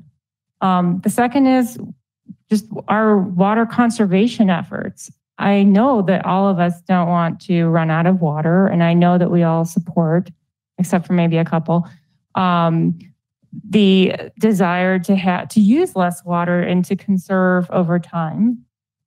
Um, and to ensure again that we have a water treatment plan and infrastructure plan that ensures that we can keep our water quality where it's at um, and that we're able to maintain. You know, when I hear about like we paid all our bills, uh, when we talked about uh, the need for a billion dollars or whatever the heck it was of infrastructure improvements, doesn't sound like we paid all our bills and that we're just swimming in profit every year. I'm assuming those dollars are dedicated to maintaining a really long term capital improvement program. So, um, and you know, I, I'm I'm fine with considering different ways to achieve the end goal, and I think that we should have some alternatives to consider. But I think um, as a group, we need to just give staff some better guidance to say, here's what we want you to achieve. Give us some options on how we can get there. And then we, and then, but let us know what these mean. Is it, you know, it, it that's where I'm at. I'm, I'm, I hear, I hear everybody talking about, you know, these different aspects, but we're not, we haven't set a standard. What's our standard? Councilor Ezeadi. Thank you, Mayor. Um, most of my questions, uh, Councilor Miller has nailed perfectly. I just want to add, in addition to process, so what's our process and what's our standard? I'm very curious on timing as well. So I know we won't have answers for the side by side for the plant, but timing reg regarding these rates. To my understanding, and just had a conversation with Councilor Baker where I think we are not on the same page. So I'm curious if the council is not on the same page regarding the timing of the rate reductions. It was said multiple times, probably over multiple different council sessions, that this is a temporary reduction. We use the word temporary to the public. Are we all on the same page on that? Is this no longer a temporary reduction? Because I'm getting some conflicting. I, I don't ever recall, and I can go back and listen to it. I, there was no conversation about temporary. We voted to eliminate it, eliminate tier three, and then we're going to have continued discussions on the entire package. So I recall Councilor Nurmela, I think it was, asking multiple times, can we put a timeline? Because we said it was temporary, can we put a timeline? And the answer to her was, um, I'm not sure what the answer was actually, but I, but I remember that question over and over again she asked. I know, uh, Councilor Smith, do you remember this? Yeah, because I supported it. And then we had more discussion because it was, there was a talk of a temporary um, timeframe on it. And then um, even down to, I think, I think we said three months um, as far as uh, the temporary stage. However, I've rescinded my thought on that when we had more discussion as far as um, whether it should be temporary or um, moving forward with a vote of what we did, which on the vote, there was no set. Um, I think you're confusing the two, but um, on the vote, there was no temporary on it. It was part of the discussion, yes, but on the vote, no. So I think just to finish my thought there, um, the strategic plan retreat, this is clearly a topic that we need a plan for, a, strategic plan for, and I would advocate for what has been said regarding process, standard, timing. Let's set some goals and let's try to meet those goals and have the city align to those goals because I think right now it's kind of scattered how the process is working. Mayor Pro Tem. I don't disagree, except until we get alternative solutions from the city, we're kind of playing darts here. So, I mean, at the end of the day, we, we need to do that. And I think where you may have heard me say something like temporary is this is a temporary solution. This is not the solution to me.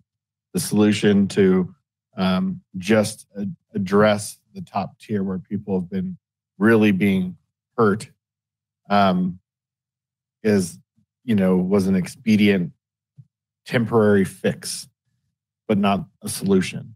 Um, I do think that we need to look at the the tiers. I would be interested to know, you know, and I don't know, like, so when we talked about this before and you worked through these calculations, um, I think it was Councilor Nurmela had talked about like a way to be able to plug numbers in and, and see what the difference is. Is it, is it a big lift um, for your team to be able to look at this and say, if you change the third tier to 30,000 gallons, you know, what does that do to, to uh, revenues?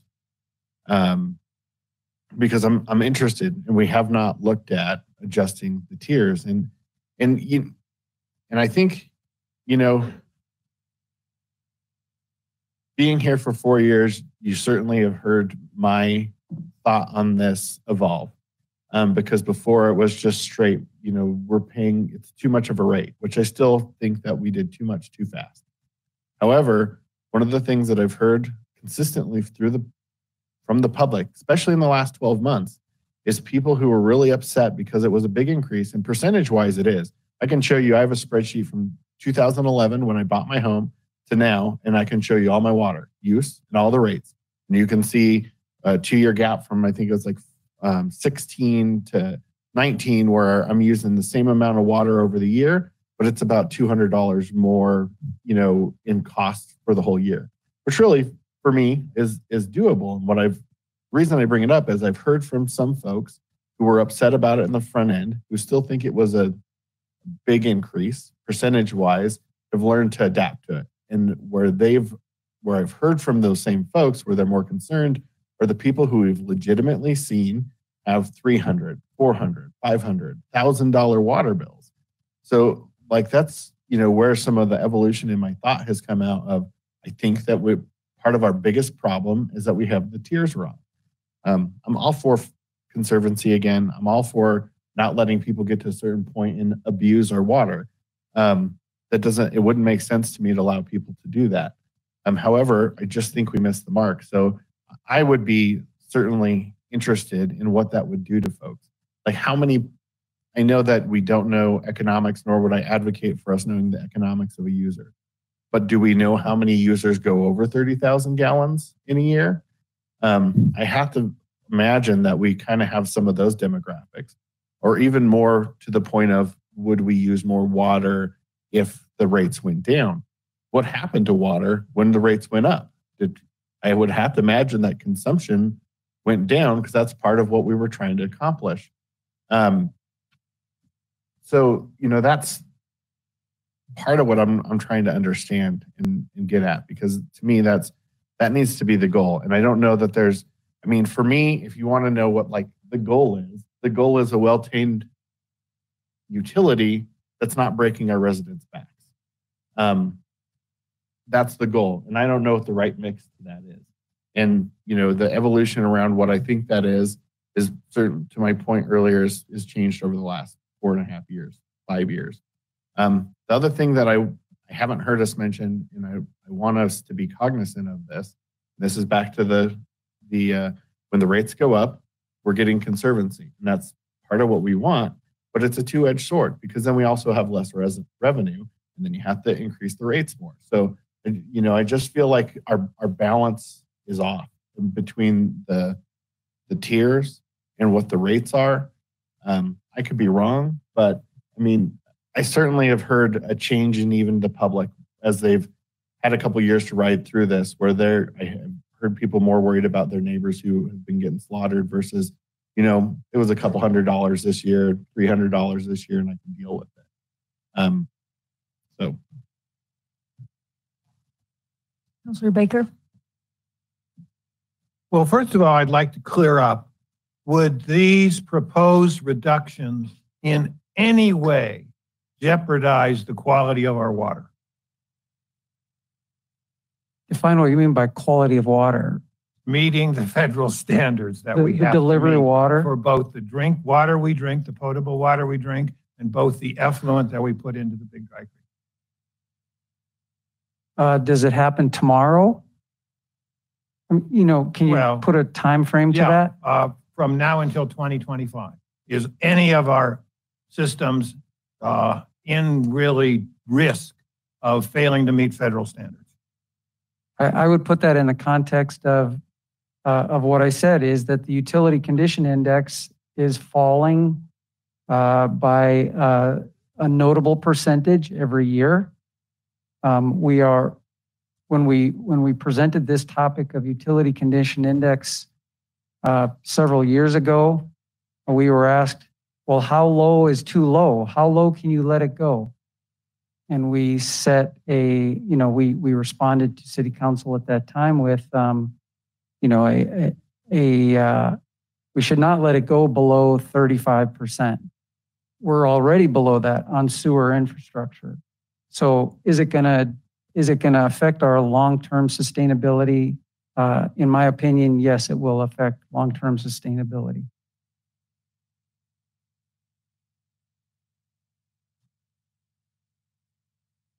Well, it's up to council. Uh, I did not find a lot of information in that answer. Uh, I find it uh, very difficult to believe that Pueblo can run a sustainable water system and charge $2.98 per thousand gallons as their highest rate. Or Fort Collins can do it for 375. Or Denver can do it for 574. I- It's just, and obviously the Denver, the Metro wastewater recyclers, I still can't get their name right. They process sewage for three, roughly three dollars a thousand. And we're charging our residents right now seven dollars and eighty-four cents a thousand? I believe they're actually looking at increasing their fees and Denver Water does not do any water conservation efforts and they are just starting to look into that. They have first water rights and they don't really worry about it because they're going to get the water and then the rest of us can fight over it. Right. So, and- yeah, I, I think we need to have standards. Like I mentioned, you know, if there is a minimum tolerance for our utility condition index, let's set that as one of our standards. And But isn't that a made-up number? Isn't that a number that we just made up? our utility conditions, like Yeah, our how many times we have breaks. Is a made-up arbitrary value that we've placed on it. And some different engineer could come up with a different scheme. It's, it's a subjective value. Okay, so let's use objective. I'm sure there are objective values There are that we can objective use. components to it, but I'm sure there's tremendous subjective judgment involved in it. I, well, I I think you're meaning to say subjective, but I would, I No, would, I meant to say subjective. yeah, that's what you. Value judgment Okay. on the part of the engineer. Um, engineering, rather black and white. So I would say that we should be able to work with staff to have them give us some objectives that are, um, or I should say, standards that are objective to work toward and to work with as minimums for how we, what is our tolerance for water delivery failure? What is our tolerance for water quality? Let's lay that out and then let's figure out to the extent we can what a, a plan is to get us to, you know, meet or, you know, rise above those standards. I am all for working with staff. And I'm all for giving our uh, water users in the city immediate, permanent relief from the high prices. And at a price of $6.8 million, which then would really reduce our operating income or profit in my book from 22 million to 15 million, that's a price we can easily afford. And then we can work with staff and, and see if that is. And we can also have this whole next year to find out if it is going to increase water consumption. We can find out a whole bunch of things. I don't think taking this step immediately puts us in any jeopardy or risk whatsoever. Going The- from a $22 million operating income to a $15 million operating income, we're still $15 million ahead. I, And I don't agree with your opinion. We have a $180 million cushion in the bank. I, I don't agree with opinion lead, leading such a essential utility for all of our survival in the community. And I don't want to go by like what, which way the wind's blowing on it. However, I do agree and believe that we can meet your desire to give residents relief. So they don't, they are not mutually ex- exclusive. And maybe relief is the wrong word. I want to give them a fair price for what they're paying for. And if these other cities can have a price much less than ours, why can't we at least come close? No, this is not relief. This is a fair price for a valuable commodity. I'm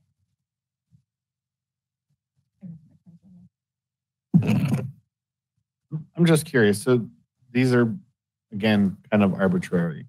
So trying to get to process and in results. And I know that really the long-term thing we need, to answer is, is the elephant in the room is, is what's going to happen in 2025. But if you put that aside for a minute and say we, we weren't doing that, we're just 10 years ago and you have your budget.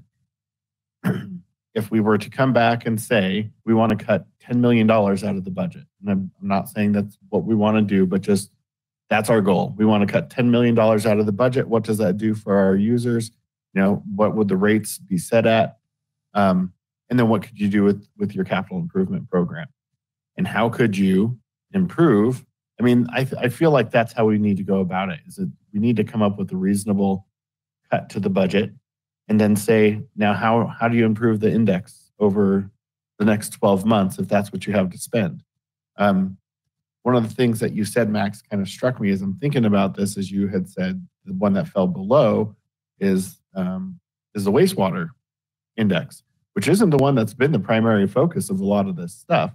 I mean, most of it's been in in uh, potable water. So um, I feel like maybe that's one way that we do it. And I mean, I don't think we're going to solve that tonight.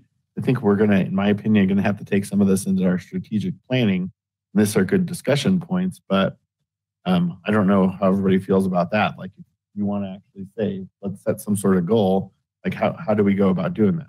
Be overall budget? Would it be if we say, you know, what's the minimal amount you need to improve the the index by two percent in the next year, um, or keep it from dropping any further over the next two years?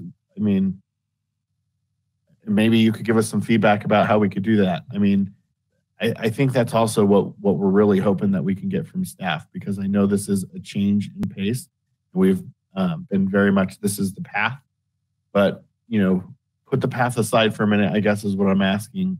And how could we reasonably make an impact to our budget not hurt the utility, and be able to help residents. Uh, And, and no solution is not the answer, I guess is, is where I'm at with it. Like, we can't continue on that this is the only path because there's got to be another path. There's multiple paths to do anything. So um, whether or not they all fit Westminster, probably not, but there's got to be more than just this one we've been on. Counselor Ezeadi? Thank you, Mayor. um, to uh, to follow up on what MPT said, I think I completely agree. I think we need a financial metric. And to what Councilor Nurmela said, we also need a quality metric. And this is a conversation we should have in the strategic planning retreat. This needs to be in this plan, those two metrics, and then we track against it.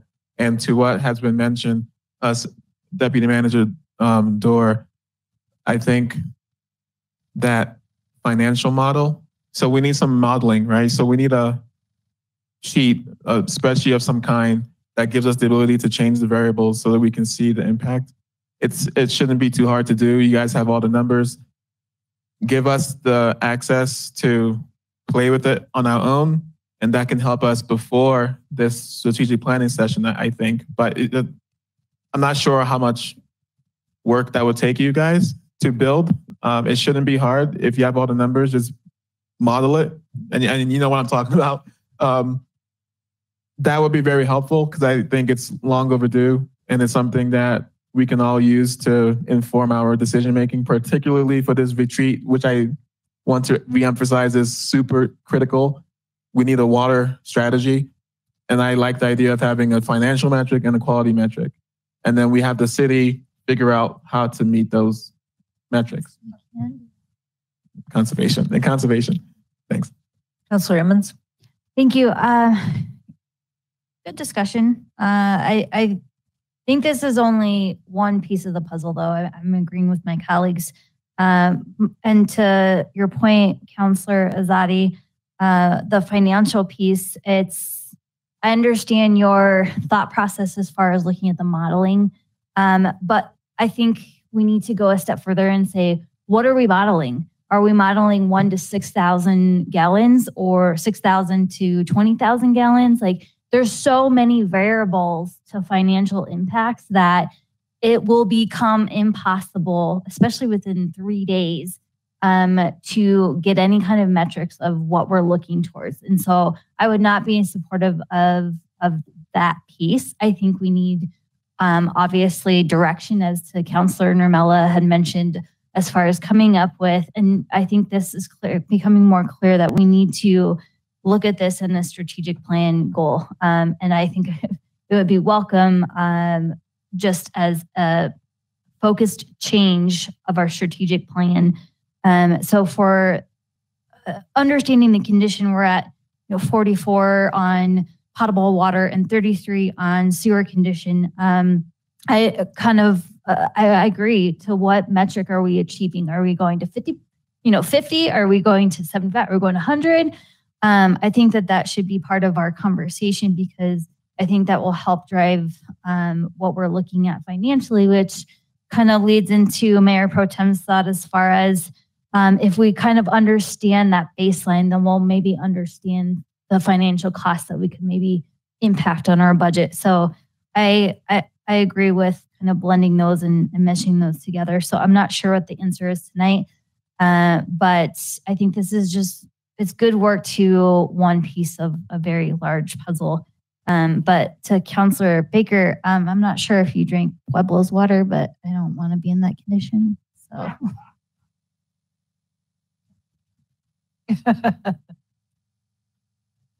All right, I, I, I don't disagree. I mean, for myself, water's probably the number one piece because there's so many things that fall under it. Comprehensive land use plan.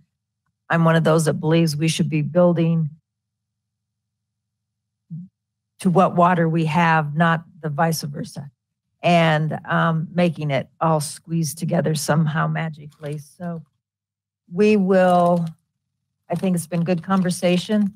We continue to think about it the rest of the week and Saturday, we write down your thoughts as you go. Everything's open for discussion and you've got three days, four days, for um, brainstorming as you're doing other things and free flowing and write those down so that you can bring them to, to um, strategic planning and we can maybe put some more teeth into it. Anything else for the good of the order? Yes, sir. Mayor, if I could, I wonder if council has a preference as to timing for the executive recruitment firm next steps. I understand there are at least two firms now that have um, responded to the inquiries of the city. And I'm wondering whether council members have a preference as to when we might put something on your calendars to talk about your next steps, whether it's interviewing these firms or otherwise. Um, being that one of the other primary goals of this council needs to be hiring a city manager, is that something that um, we could spend half an hour of time during our retreat on? Would that be appropriate to have executive session for half an hour to give direction or come up with direction? Perhaps talking next steps. And I think reaching out to your two firms and, and trying to schedule some time with each of the firms might make some sense as well. I feel like uh, that's got to be a priority and timely. Like we're, we're not going to meet on the 31st. So if we could fit some time in over the weekend, I think it would make sense if my colleagues would agree.